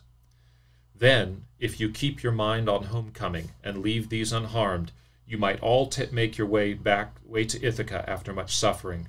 But if you harm them, then I testify to the destruction of your ship and your companions. But if you let yourself get clear, you will come home in bad case and with loss of all your companions in someone else's ship and finding troubles in your household. Insolent men who are eating away your livelihood and courting your godlike wife and offering gifts to win her. You may punish the violences of these men when you come home but after you have killed these suitors in your own place, either by treachery or openly with the sharp bronze, then you must take up your well shaped oar and go on a journey until you have come to where there are men living who know nothing of the sea, and who eat food that is not mixed with salt, who never have known ships whose cheeks are painted purple, who never have known well shaped oars, which act for ships as wings do. And I will tell you a very clear proof, and you cannot miss it when, as you walk, some other wayfarer happens to meet you and says you carry a winnow fan on your bright shoulder, then you must plant your well-shaped oar in the ground and render ceremonies sacrificed render ceremonies sacrificed to the Lord Poseidon, one ram and one bull, and a mounter of sows, a boar pig, and make your way home again, and render holy hecatombs to the immortal gods to who hold the wide heaven, all of them in order. Death will come to you from the sea in some altogether unwarlike way, and it will end you in the ebbing time of a sleek old age. Your people about you will be prosperous. All this is true that I can tell you. So he spoke, but I in turn said to him in answer, All this, Tiresias, surely must be as the gods spun it. But come now, tell me this, and give me an accurate answer. I see before me now the soul of my perished mother, but she sits beside the blood in silence, and has not yet deigned to look directly at her own son and speak a word to me. Tell, tell me, Lord, what will make her know me and know my presence? So I spoke, and he at once said to me in answer, Easily I will tell you and put it in your understanding. Any one of the perished dead you allow to come up to the blood will give you an, a true answer, but if you begrudge this to any one, he will return to the place from where he came from. So speaking, the soul of the Lord Tiresias went back into the house of Hades, once he had uttered his prophecies, while I waited steadily where I was standing, until my mother came and drank the dark, clouding blood, and at once she knew me, and full of lamentation she spoke to me in winged words. My child, how did you come here, beneath the fog and the darkness, and still alive? All this is hard for the living to look on, for in between lie the great rivers and terrible waters that flow. Ocean, first of all, which there is no means of crossing on foot, not unless one has a well made ship. Are you come now to this place from Troy with your ship and your companions after wandering a long time, and have not yet come to Ithaca, and there seen your wife in your palace? So she spoke, and I in turn said to her in answer, Mother, a duty brought me here to the house of Hades. I had to consult the soul of Tiresias the Theban, for I have not yet been near Achaean country, nor ever set foot on our land, but always suffering I have wandered since the time I first went along with great Agamemnon to Ilion, land of good horses, and the battle against the Trojans. But come now, tell me this, and give me an accurate answer. What doom of death that lays men low has been your undoing? Was it at long sickness, or did Artemis of the arrows come upon you with her painless shafts and destroy you? And tell me of my father and son whom I left behind. Is my inheritance still with them, or does some other man hold them now? and thinks I will come no more? Tell me about the wife I married, that she wants, what she is thinking, and whether she stays fast by my son and guards everything, or if she has buried the best man among the Achaeans. So I spoke, and my queenly mother answered me quickly. All too much with enduring heart she does wait for you there in your own palace, and always with her the wretched nights and the days also waste her away, with weeping. No one yet holds your fine inheritance, but in freedom Telemachus administers your allotted lands and apportions the equal feasts, working that befits a man with authority to judge, for all call him in. Your father remains on the estate where he is, and does not go to the city. There is no bed there, nor is there bed clothing, nor blankets, nor shining coverlets, but in the winter time he sleeps in the house where the thralls do, in the dirt next to the fire, and with foul clothing upon him. But when summer comes and the blossoming time of harvest, everywhere he has places to sleep on the ground, on fallen leaves in piles along the raised, rising ground of his orchard, and there he lies grieving, and sorrows grow sorrow grows big within him as he longs for your homecoming, and harsh old age is on him. And so it was with me also, and that was the reason I perished. Nor in my palace did the Lady of Arrows, well aiming, come upon me with her painless shafts and destroy me nor was I visited by sickness, which beyond other things takes the life out of the man with hateful weakness. But shining Odysseus, it was my longing for you, your cleverness and your gentle ways, that took the sweet spirit of life from me. So she spoke, but I pondered in my, it in my heart, yet wished to take the soul of my dead mother in my arms. Three times I started toward her, and my heart was urgent to hold her, and three times she fluttered out of my hands like a shadow or a dream, and the sorrow sharpened at the heart within me. And so I spoke to her and addressed her in winged words, saying, Mother, why will you not wait for me when I am trying to hold you, so that even in Hades, with our arms embracing, we can both take the satisfaction of dismal mourning? Or are you nothing but an image that proud Persephone sent my way to make me grieve all the more for sorrow? So I spoke, and my queenly mother answered me quickly, O my child, ill fated beyond all other mortals, this is not Persephone, daughter of Zeus, beguiling you, but it is only what happens when they die to all mortals. The sinews no longer hold the flesh and bones together, and once the spirit has left the white bones, all the rest of the body is made subject to the fire's strong fury, but the soul flutters out like a dream and flies away. Therefore you must strive back towards the light again with all speed, but remember the, these things for your wife, so that you may tell her hereafter. So we two were conversing back and forth, and the women came to me. They were sent my way by proud Persephone. These were all who had been the wives and daughters of princes, and now they gathered in swarms around the dark blood. I then thought about a way to question them, each by herself, as I thought this was the plan that seemed best to me. Drawing out the long edged sword from beside my big thigh, I would not let them all drink the dark blood at the same time. So they waited and came to me in order, and each one I told me told me about her origin, and I questioned all of them. There first I saw Tyro, glorious descended, and she told me she was the daughter of the stately Salmoneus, but she was set, she was the wife of Cretheus, son of Aeolus, and she was in love with a river god Enipeus, by far the handsomest of all the rivers whose streams crossed over the earth and she used to, used to haunt Enipeus' beautiful waters, taking his likeness. The god who circles the earth and shakes it lay with her with, where the swirling river finds its outlet, and sea blue wave curved into a hill of water reared up about the two to hide the god and the mortal woman. And he broke her virgin zone and drifted asleep upon her.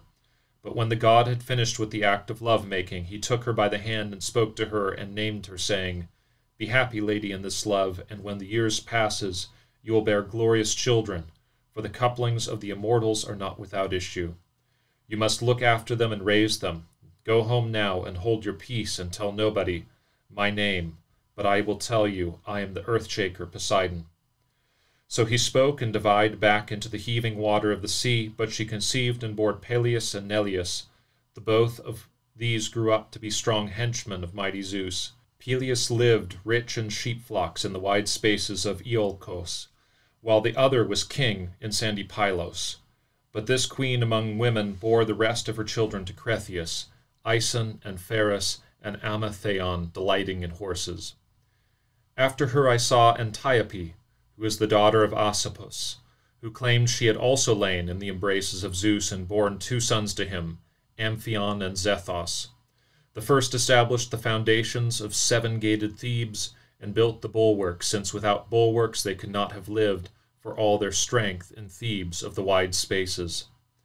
After her I saw Amphitryon's wife, Alcmene, who after lying in love in the embraces of great Zeus brought forth Heracles, lion hearted and bold of purpose, and I saw Megara, daughter of high spirited Creon, whom Amph- Amphitryon's bold and weariless son had married. I saw beautiful Epicaste, Oedipodes' mother, who in the ignorance of her mind had done a monstrous thing when she married her own son. He killed his father and married her, but the gods soon made all known to mortals.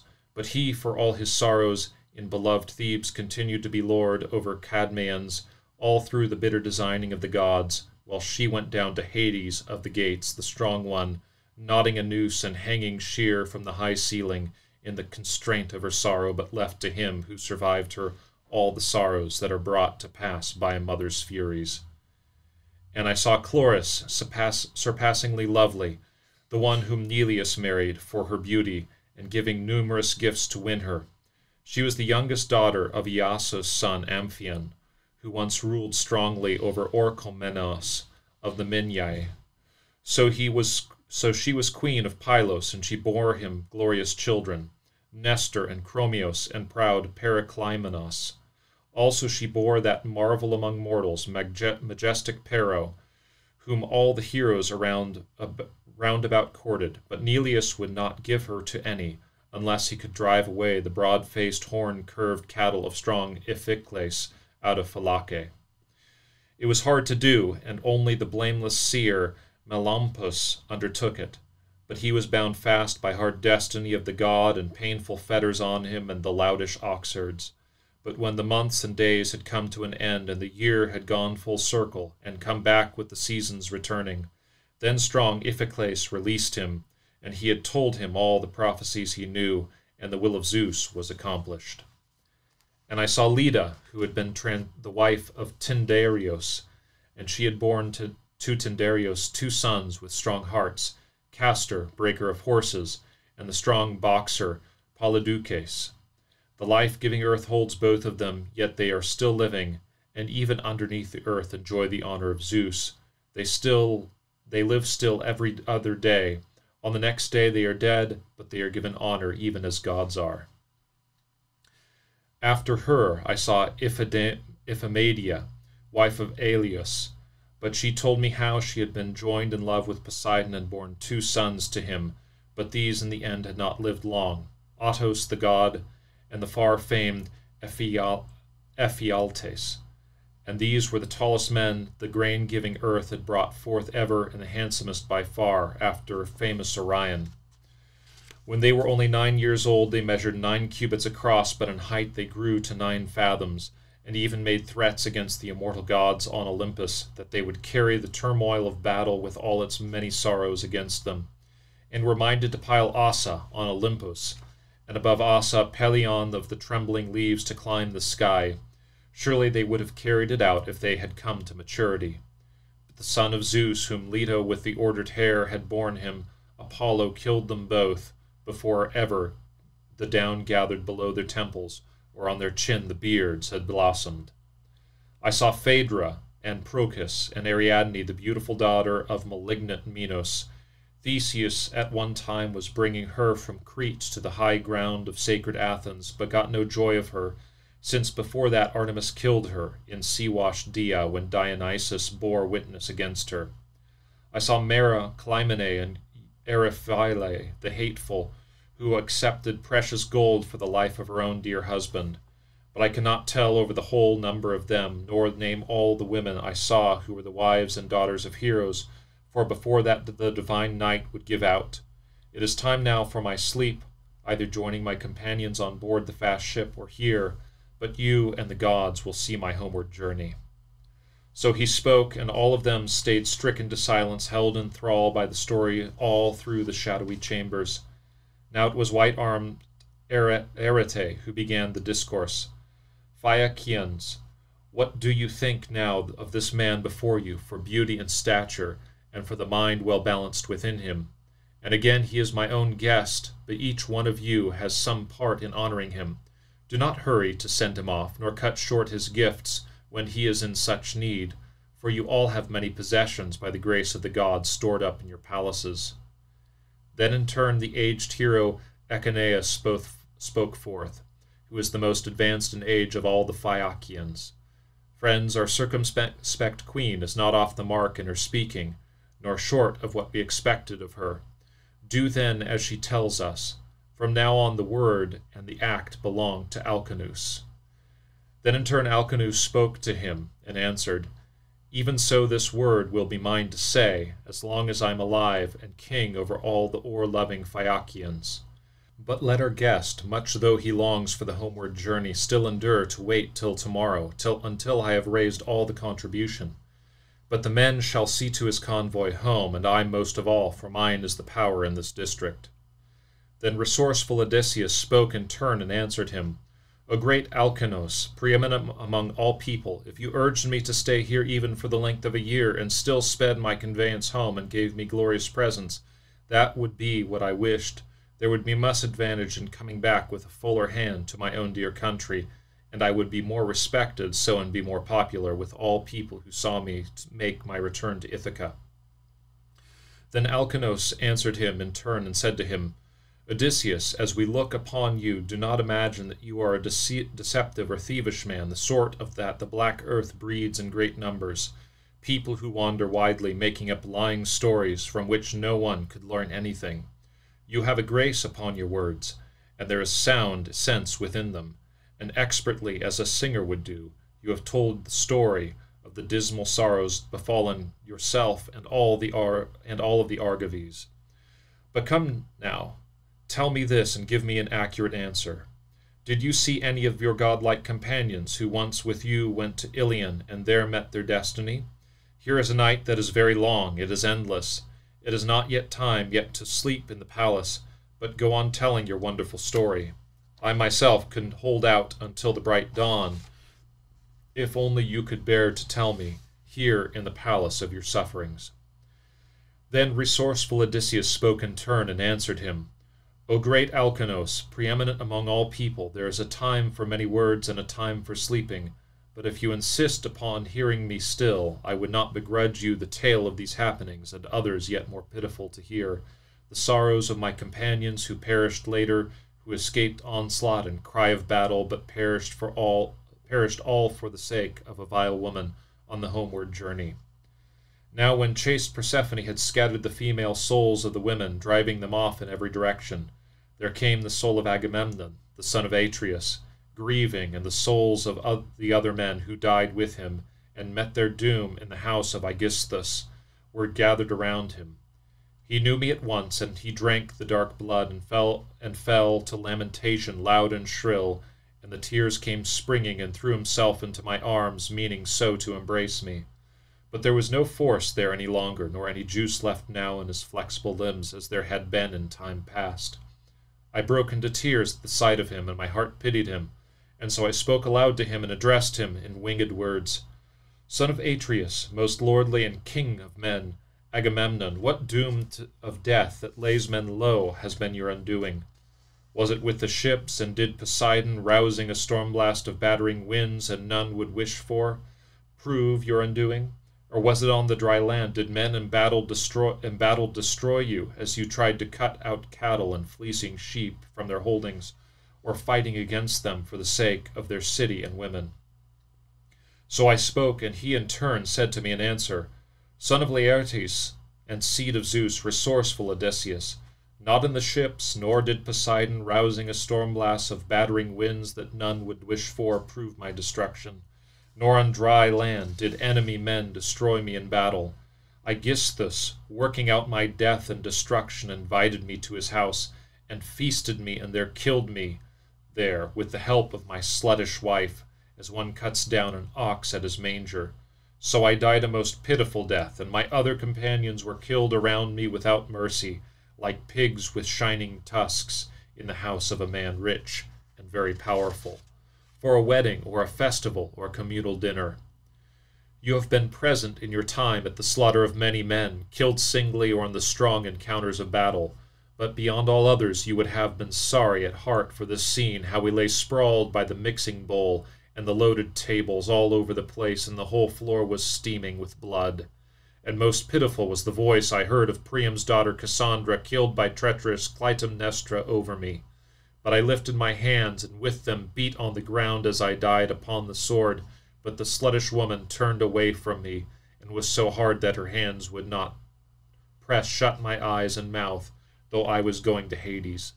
So there is nothing more deadly or more vile than a woman who stores her mind with acts that are of such sort as this one when she thought of this act of dishonor and plotted the murder of her lawful husband.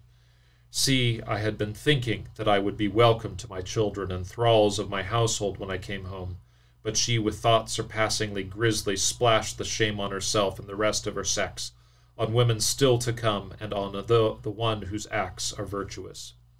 So he spoke, and I again said to him in answer, Shame it is, for how terribly Zeus of the wide brows from the beginning had, has been hateful to the seed of Atreus through the schemes of women. Many of us died for the sake of Helen, and when you were far, Clytemnestra plotted treason against you. So I spoke, and he in turn said to me in answer, So by this do not be easy even with your wife, nor give her an entire account of all you are sure of. Tell her part of it, but lest the rest be hidden in silence. And yet you, Odysseus, will never be murdered by your wife. The daughter of Icarius circumspect Penelope is all too virtuous, and her mind is stored with good thoughts. Ah, well, she was only a young wife when we left her and went off to the fighting, and she had an infant child then at her breast. That child now must sit with the men and be counted. Happy he, for his dear father will come back and see him, and he will fold his arm his father in his arms as is right. My wife never even let me feed my eyes with the sight of my own son, but before that I that I myself was killed by her. And put away in your heart this other thing that I tell you. When you bring your ship into your own country, do it secretly, not in the open. There is no trusting in women. But come now, tell me this and give me an accurate answer. Tell me if you happen to hear that my son was still living, whether perhaps in Orchomenus or in sandy Pylos, or perhaps with Menelaus in wide Sparta, for nowhere upon the earth has there been any death of noble Orestes. So he spoke, and I again said to him in answer, Son of Atreus, why do you ask me that? I do not know if he is alive or dead. It is bad to babble em- emptily. So we two stood there exchanging our sad words, grieving both together and shedding the big tears. After this there came to us the soul of Peleus' son, Achilles, and the soul of Patroclus, and the soul of stately Antilochus, and the soul of Aias, for who, who for beauty and stature was greatest of all the Danaans, next to the stately son of Peleus. The soul of swift-footed Achilles, scion of Aeacus, knew me, and fully and full of lamentation he spoke to me in winged words. Son of Laertes, and seed of Zeus, resourceful Odysseus, hard man, what made you think of this bigger endeavor? How could you endure to come down here to Hades' place, where the senseless dead dwell, mere imitations of perished mortals? So he spoke, and I again said to him in answer, Son of Peleus, far the greatest of the Achaeans, Achilles, I came for the need to consult Tiresias, if he might tell me some plan by which I might come back to rocky Ithaca. For have I have not yet been near Achaean country, nor ever set foot in my land, but always I have had troubles, Achilles. No man before has been more blessed than you, nor ever will be. Before, when you were alive, we Argives honored you as we did the gods, and now in this place you have great authority over the dead. Do not grieve even in death, Achilles. So I spoke, and he in turn said to me in answer, O shining Odysseus, never try to console me for dying. I would rather follow the plough as thrall to another man, one with no land allotted him and not much to live on, than be a king over all the perished to dead. But come now, and tell me anything you have heard of my proud son, whether or not he went along to war to fight as champion, and tell me anything you have heard about stately Peleus, whether he still keeps his position among the Myrmidon hordes, or whether in Hellas and Phthia they have diminished his state because old age constrains his hands and feet, and I am no longer there under the light of the sun to help him, not the man I used to be once, when in the wide Troad I killed the best of their people fighting for the Argives. If only for a little while I could come like that to the house of my father, my force and my invincible hands would terrify such men as use force on him and keep him away from his rightful honors. So he spoke, and I again said to him in answer, I have no report to give you of stately Peleus, but as for your beloved son Neoptolemus, I will tell you, since you ask me to do it, all the true story. For I myself, in the hollow hull of the balanced ship, brought him over from Scyros to join the strong greaved Achaeans. Whenever we, around the city of Troy, Troy took, talked over our counsels, he would always speak first and never blunder. In speaking, only godlike Nestor and I were better than he was. And when we Achaeans fought the in the Trojan plain, he never would hang back where there would be where, where there were plenty of other men, nor stay with the masses, but run far out in front, giving way to no man for fury, and many were those he killed in the terrible fighting. I cannot tell over the number of all, or no, nor name all, the people he killed as he fought for the Argives, but what a great man was one, the son of Tele- Telephos, he slew with the brazen spear. The hero Eurypylos and many Cataean companions were killed about him by reason of womanish presence. Next to great Memnon, this was the finest man I ever saw. Again, we who were best of the Argives entered the horse of the Epeius made, and all the command was given to me to keep close hidden inside or sally from it out from it, the other leaders of the Danaans and men of council were wiping their tears away, and the limbs were shaking under each man of them.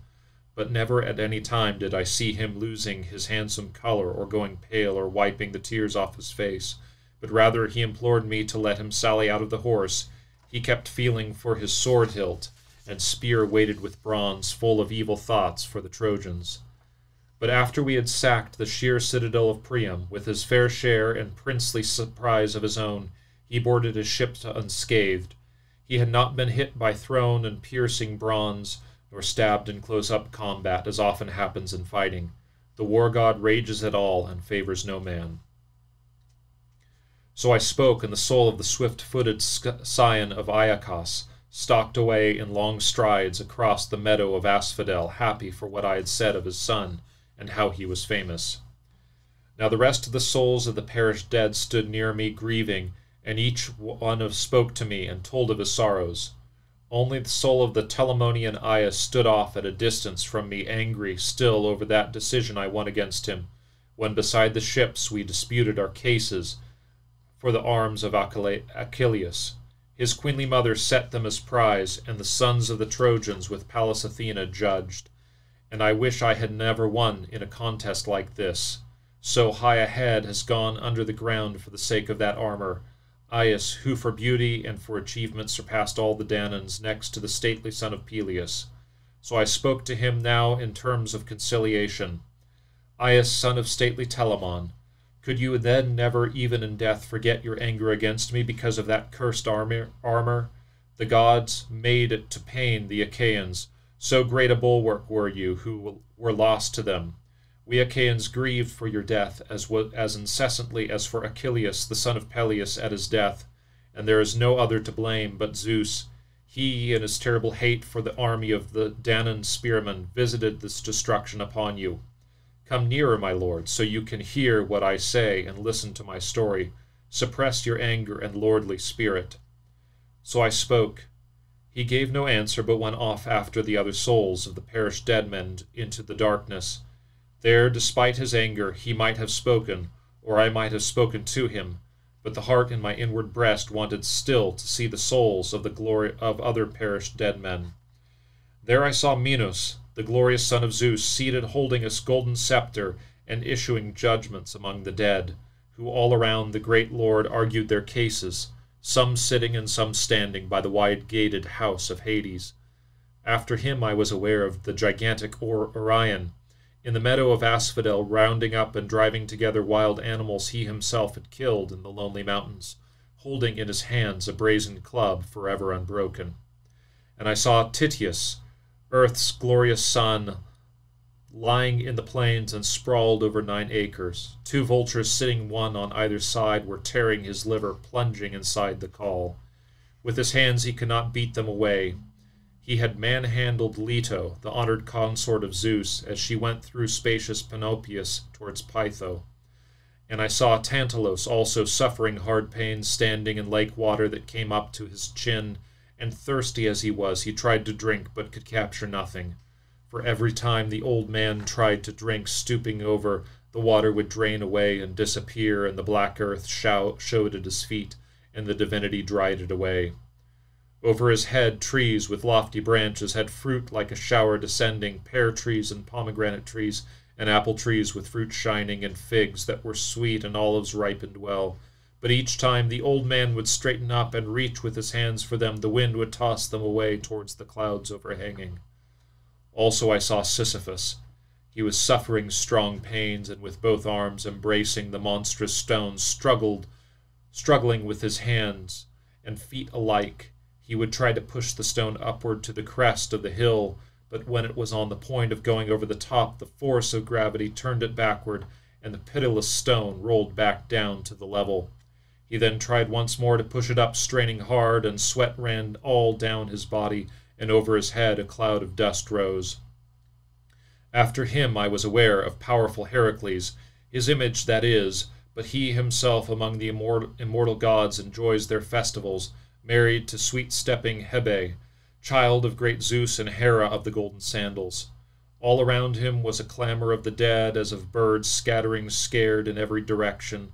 But he came on like dark night, holding his bow bare with an arrow laid on the bowstring, and forever looking, as one who shot with terrible glances. There was a terrible belt crossed over his chest, and a golden baldric with marvelous works of art, figured upon it bears and lions with glaring eyes and boars of the forests, the battles and the quarrels, the murders and the manslaughters.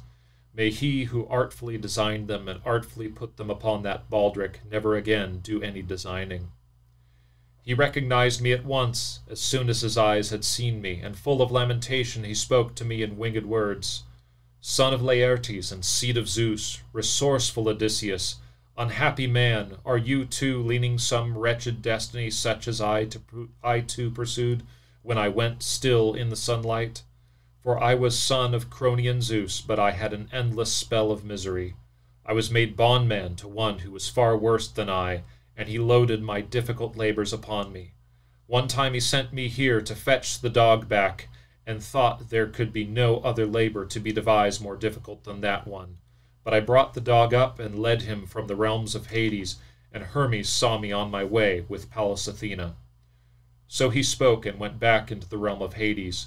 But I stayed fast in place where I was to see if some other one of the generation of heroes who died before me would come, and I might have seen men earlier still whom I wanted to see Peirithous and Theseus, God's glorious children, but before the ho- that the hordes of the dead gathered about me with inhuman clamor, and green fear took hold of me, with the thought that proud Persephone might send up against me some Gorgonish head of a terrible monster up out of Hades.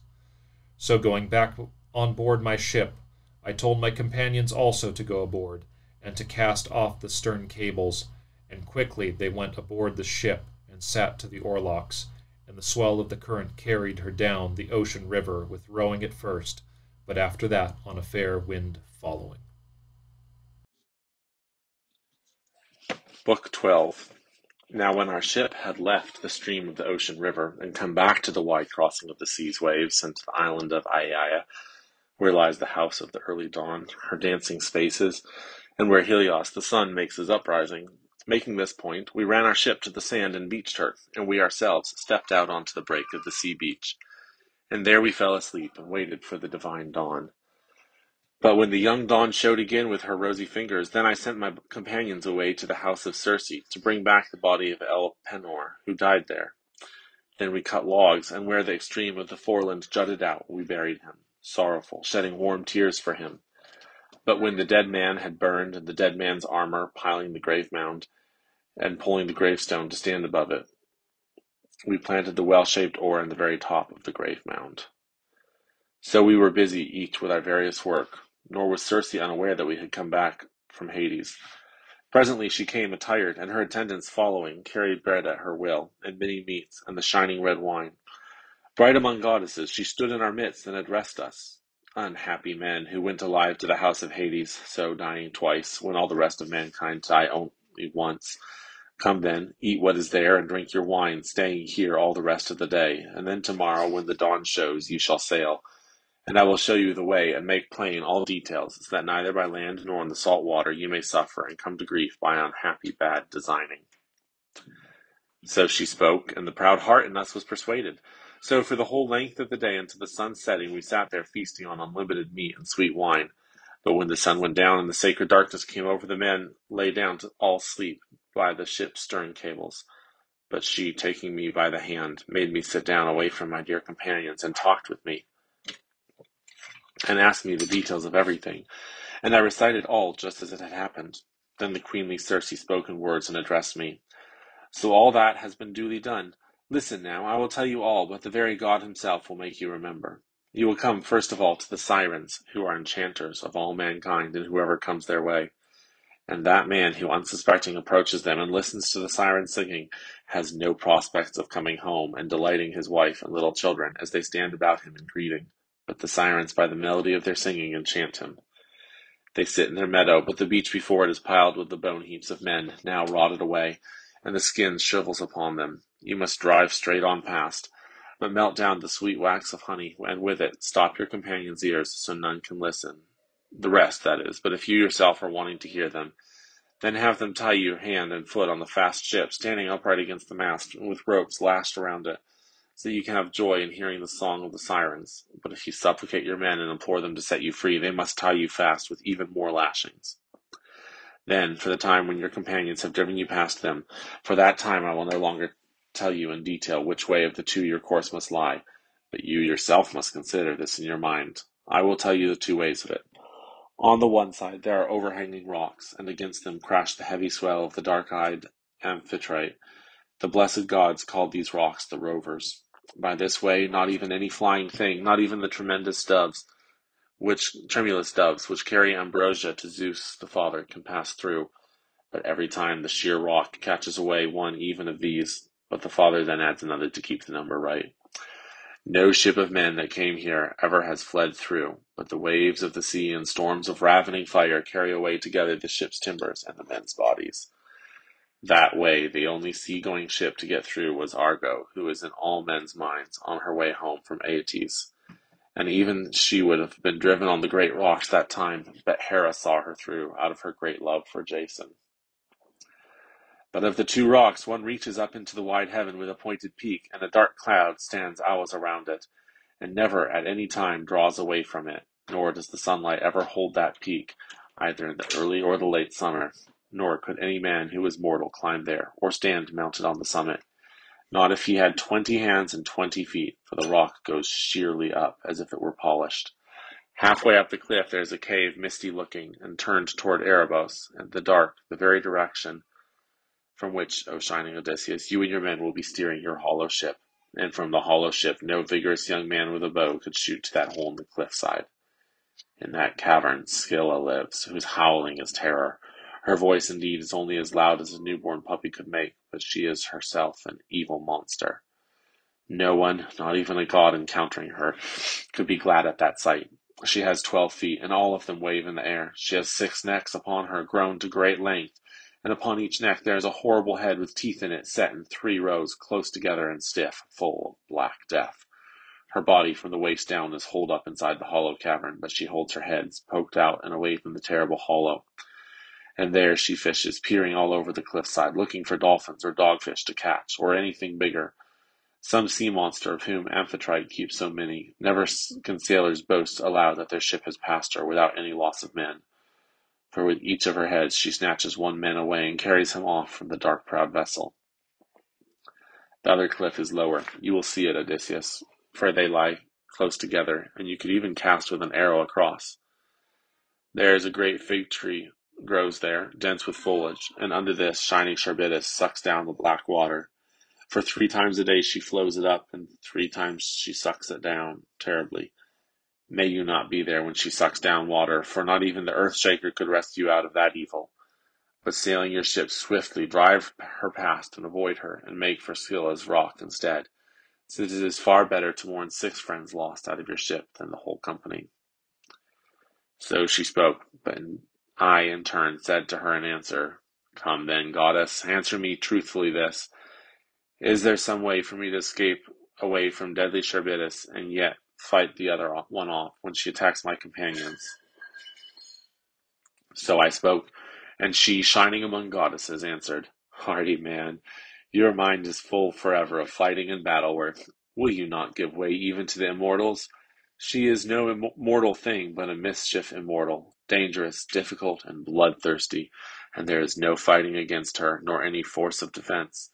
It is best to run away from her, for if you arm for battle beside her rock and waste time there, I fear she will make another outrush and catch you with all her heads and snatch away once more the same number of men.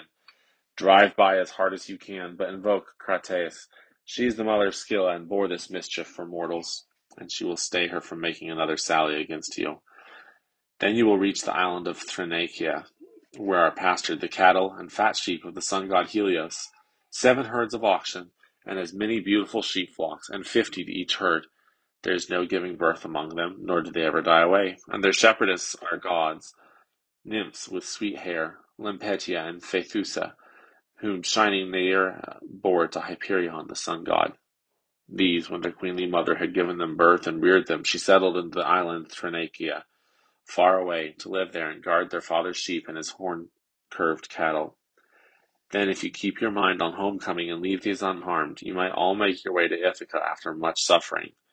But if you do harm them, then I testify to the destruction of your ship and your companions. But if you yourself get clear, you will come home in bad case with the loss of all your companions. So she spoke, and dawn of the golden throne came on us. She, shining among the goddesses, went away up the island. Then, going back on board my ship, I told my companions also to go aboard and to cast off the stern cables, and quickly they went on board the ship and sat to the oarlocks. And sitting well in the order, dashed the oars in the grey sea. But fair-haired Circe, the dread goddess who talks with mortals, sent us an excellent companion, a following wind, filling the sails to carry from astern the ship with the dark prow. We ourselves, over all the ship, making fast the running gear, sat there, and let the wind and the steersman hold her steady. Then, sorrowful as I was, I spoke and told my companions, Friends, since it is not right for one or two of us only to know the divinations that Circe, bright among goddesses, gave me, so I will tell you and knowing all, we may either die or turn aside from death and escape destruction. First of all, she tells us to keep away from magical sirens and their singing and their flowery meadow. But only I, she said, was to listen to them. But you must tie me hard in hurtful bonds to hold me fast in position, upright against the mast, with the rope's ends fastened around it. But if I supplicate you and implore you to set me free, then you must tie me fast with even more lashings. So, as I was telling all the details to my companions, meanwhile the well-made ship was coming rapidly closer to the Siren's Isle, for the harmless wind was driving her onward. But immediately then the breeze dropped, and a windless calm fell there, and some divinity stilled the tossing waters. My companions stood up and took the sails down, and stowed them away in the hollow hull, and took their places for rowing, and with their planed oar blades whitened the water. Then I, taking a great wheel of wax with the sharp bronze, cut a little piece off and rubbed it together in my heavy hands, and soon the wax grew softer under the powerful stress of the sun and the heat and the light of Hyperion's lordling. One after another I stopped the ears of all my companions, and they then bound me hand and foot in the fast ship, standing upright against the mast with the rope's ends lashed around it. And sitting then to row, they dashed their oars in the grey sea. But when we were as far from the land as a voice shouting carries, lightly plying the swift ship as it drew nearer, was seen by the Sirens, and they directed their sweet song towards us. Come this way, honored Odysseus, great glory of the Achaeans, and stay your ships, that you can listen here to our singing. For no one else has ever sailed past this place in his black ship until he has listened to the honey sweet voice that issues from our lips. Then goes on, well pleased, knowing more than ever he did, for we know everything that the Argives and the Trojans did and suffered in wide Troy, through the gods' despite. Over all the generous earth we know everything that happens. So they sang in sweet utterance, and the heart within me desired to listen, and I signaled my companions to set me free, nodding with my brows. But they leaned on and rowed hard, and Perimedes and Eurylochus, rising up straightway, fastened me with even more lashings and squeezed me tighter. But when they had rowed on past the sirens, and we could no longer hear their voices, and lost the sound of their singing, presently my eager companions took away their from their ears the beeswax with which I had stopped them. Then they set me free from my lashings. But after we had left the island behind, the next thing we saw was smoke and a heavy surf, and we heard it thundering. The men were terrified, and they let the oars fall out of their hands, and these banged all about in the wash. The ship stopped still, with the men no longer rowing to keep way on her. Then I, going up and down the ship, urged my companions, standing beside each man and speaking to him in evil in kind words, Dear friends, surely we are not unlearned in evils. This is no greater evil now than it was when Cyclops had us cooped in his hollow cage by force and violence. But even there, by my courage and counsel and my intelligence, we escaped away. I think that all this will be remembered some day too. Then do as I say. Let us all be won over. Sit well, all of you, to your oarlocks, and dash your oars deep into the breaking surf of the water. So in that way Zeus might grant that we get clear of this danger and flee away from it. For you, steersman, I have this order, so store it deeply in your mind as you control the steering oar of this hollow ship. You must keep her clear from where the smoke and the breakers are, and make hard for the sea rock, lest, without your knowing, she might drift that way, and you bring all of us into disaster. So I spoke, and they quickly obeyed my words. I had not yet spoken of Scylla, a plague that could not be dealt with, for fear my companions might be terrified and give over their rowing and take cover inside the ship. For my part, I let go from my mind the difficult instruction that Circe had given me, for she told me not to be armed for combat. But I put on my glorious armor, and taking up two long spears in my hand, I stood bestriding the vessel's foredeck at the prow, for I expected Scylla of the rocks to appear first from that direction, she who brought pain to my companions. I could not make her out anywhere, and my eyes grew weary from looking everywhere on the misty face of the sea rock.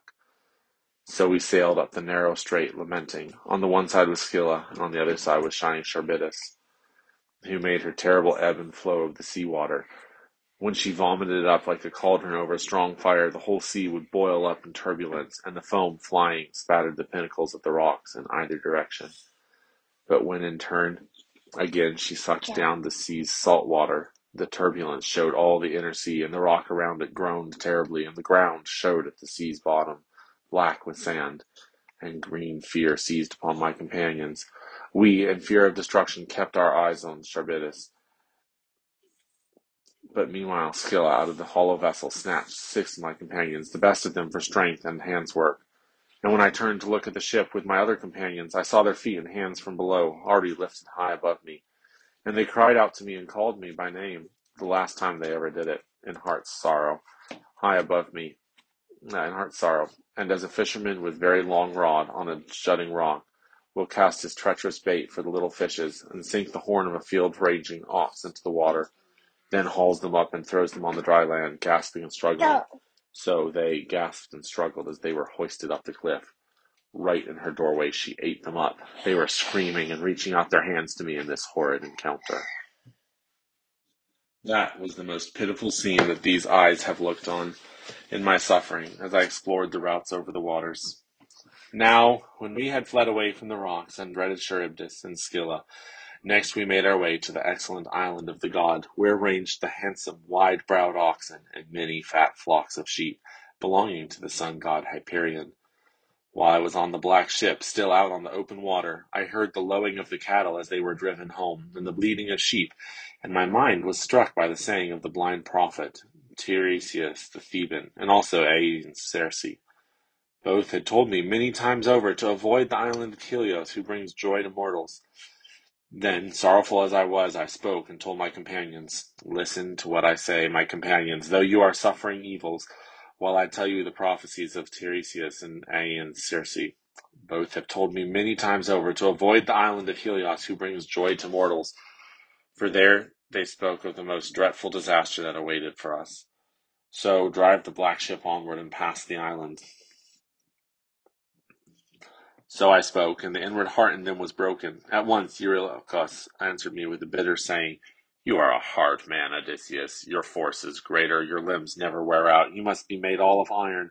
When you, you will not let your companions, worn with hard work and wanting sleep, set foot on this land, where if we did on the sea-girt island, we could once more make ready a greedy dinner. But you force us to blunder along, just as we are through the running night driven from the island over the misty face of the water. In the nights the hard storm winds arise, and they bring damage to ships. How could any of us escape sheer destruction if suddenly there rises the blast of a storm from the bitter blowing of the south wind or the west wind, who beyond others hammer a ship apart in despite of the gods our masters? But now let us give way to the black night's persuasion. Let us make ready our evening meal, remaining close by our fast ship, and at dawn we will go aboard and put forth unto the wide sea. So spoke Eurylochus, and my other companions assented. I saw then what evil the divinity had in mind for us, and so I spoke aloud to him and addressed him in winged words. Eurylochus, I am only one man. You force me to it. But come then, all of you, swear a strong oath to me, that if we come upon some herd of cattle or on some great flock of sheep, no one of you in evil and reckless action will slaughter any ox or sheep. No, rather than this, eat at your pleasure of the food immortal Circe provided. So I spoke, and they all swore me the oath that I asked them.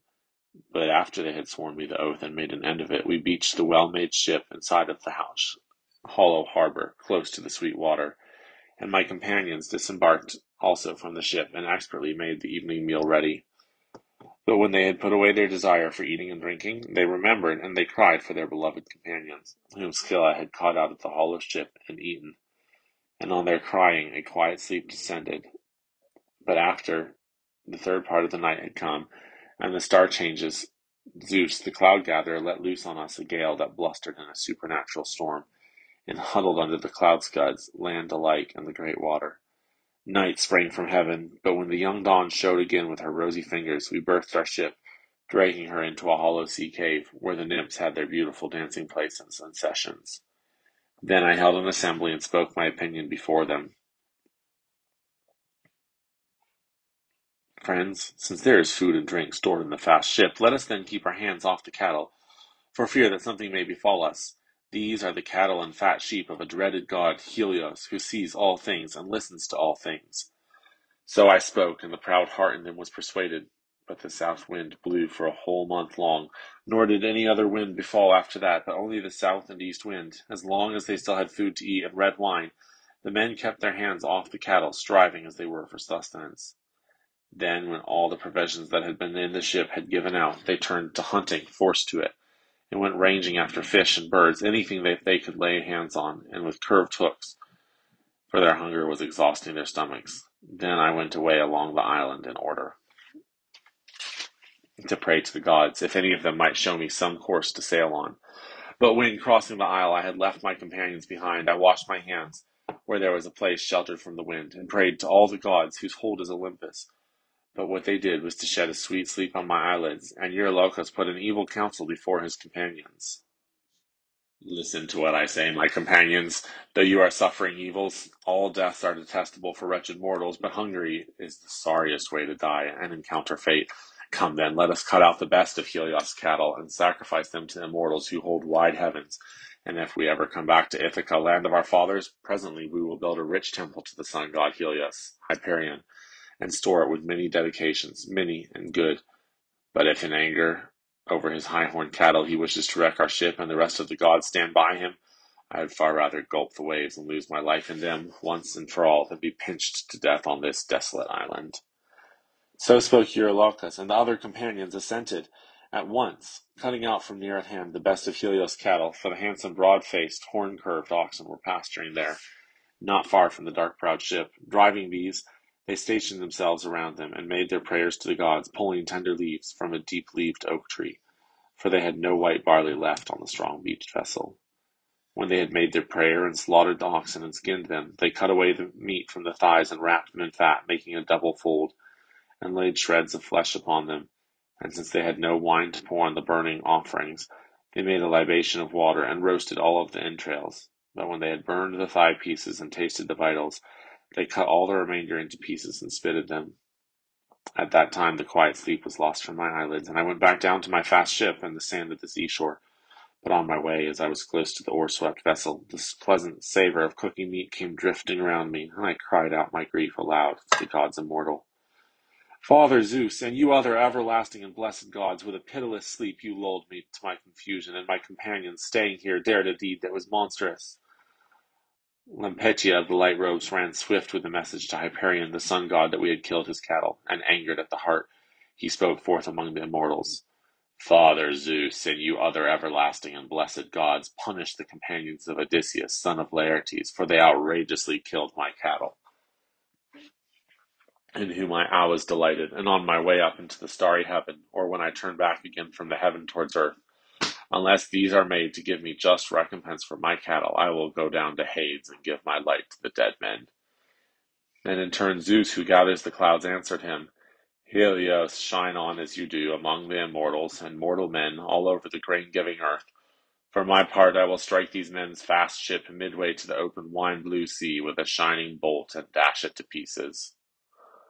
All this I heard afterwards from fair-haired Calypso, and she told me she herself had heard it from the guide Hermes. But when I came back again to the ship and the seashore, they all stood about and blamed each other, but we were not able to find any remedy, for the oxen were already dead. The next thing was that the gods began to show forth portents before us. The skins crawled, and the meat that was stuck on the spits bellowed, both roast and raw, and the noise was like lowing of cattle. Six days thereafter my own eager companions feasted on the cattle of Helios the sun god, cutting the best ones out. But when Zeus the son of Cronos established the seventh day, then at last the wind ceased from its stormy blowing, and presently we went aboard and put forth on the wide sea, and set the mast upright, and hoisted the white sails on it. But after we had left the island, and there was no more land in sight, but only the sky and sea, then Cronian Zeus drew on a blue-black cloud and settled it over the hollow ship. And the open sea was darkened beneath it, and she ran on, but not for a very long time, as suddenly a screaming west wind came upon us, stormily blowing, and the blast of the storm wind snapped both the forestays that were holding the mast, and the mast went over backwards, and all the running gear collapsed in the wash, and at the stern of the ship the mast pole crashed down on the steersman's head and pounded to pieces all the bones of his head, so that he, like a diver, dropped from the high deck, and the proud life left his bones there. Zeus, with thunder and lightning together, crashed on our vessel, and struck by the thunderbolt of Zeus, she spun in a circle, and all was full of brimstone. My men were thrown in the water, bobbing like sea crows. They were washed away on their running waves all around the black ship, and the god took away their homecoming. But I went on my way through the vessel to where the high seas had worked the keel free of, out of the hull, and the bare keel floated on the swell, which had broken the mast off at the keel. Yet still there was a backstay made out of ox hide fastened to it. With this I lashed together both keel and mast, then rowed the two of them, while the deadly storm winds carried me. After this the west wind ceased from its stormy blowing, and the south wind came swiftly on, bringing to my spirit grief that I must measure the whole way back to Charybdis. All that night I was carried along, and with sun rising I came to the sea rock of Scylla, the dreaded Charybdis. At this time Charybdis sucked down the sea's salt water, but I reached high in the air above me to where the tall fig tree grew, and caught hold of it and clung like a bat. There was no place where I could firmly brace my feet or climb up it, for the roots of it were far above me, and the branches hung out far, big and long branches that overshadowed Charybdis. Inexorably I hung on, waiting for her to vomit the keel and mast back up again. I longed for them, and they came late, at the time when a man leaves the law court for dinner, after judging the many disputes brought by brought him by litigious young men. That was the time it took the timbers to appear from Charybdis. Then I let go my hold with hands and feet, and dropped off, and came crashing down between and missing the two long timbers. But I mounted these, and with both hands I paddled my way out. But the Father of gods and men did not let Scylla see me again, or would, could not have escaped from sheer destruction. From there I was carried along nine days, and on the tenth night the gods brought me to the island of Ogygia, the home of Calypso, who with the lovely hair and a dreaded goddess who talks with mortals. She befriended me and took care of me. Why tell the rest of the story again, since yesterday in your house I told it to you and your majestic wife. It is hateful to me to tell a story over again when it has been well told.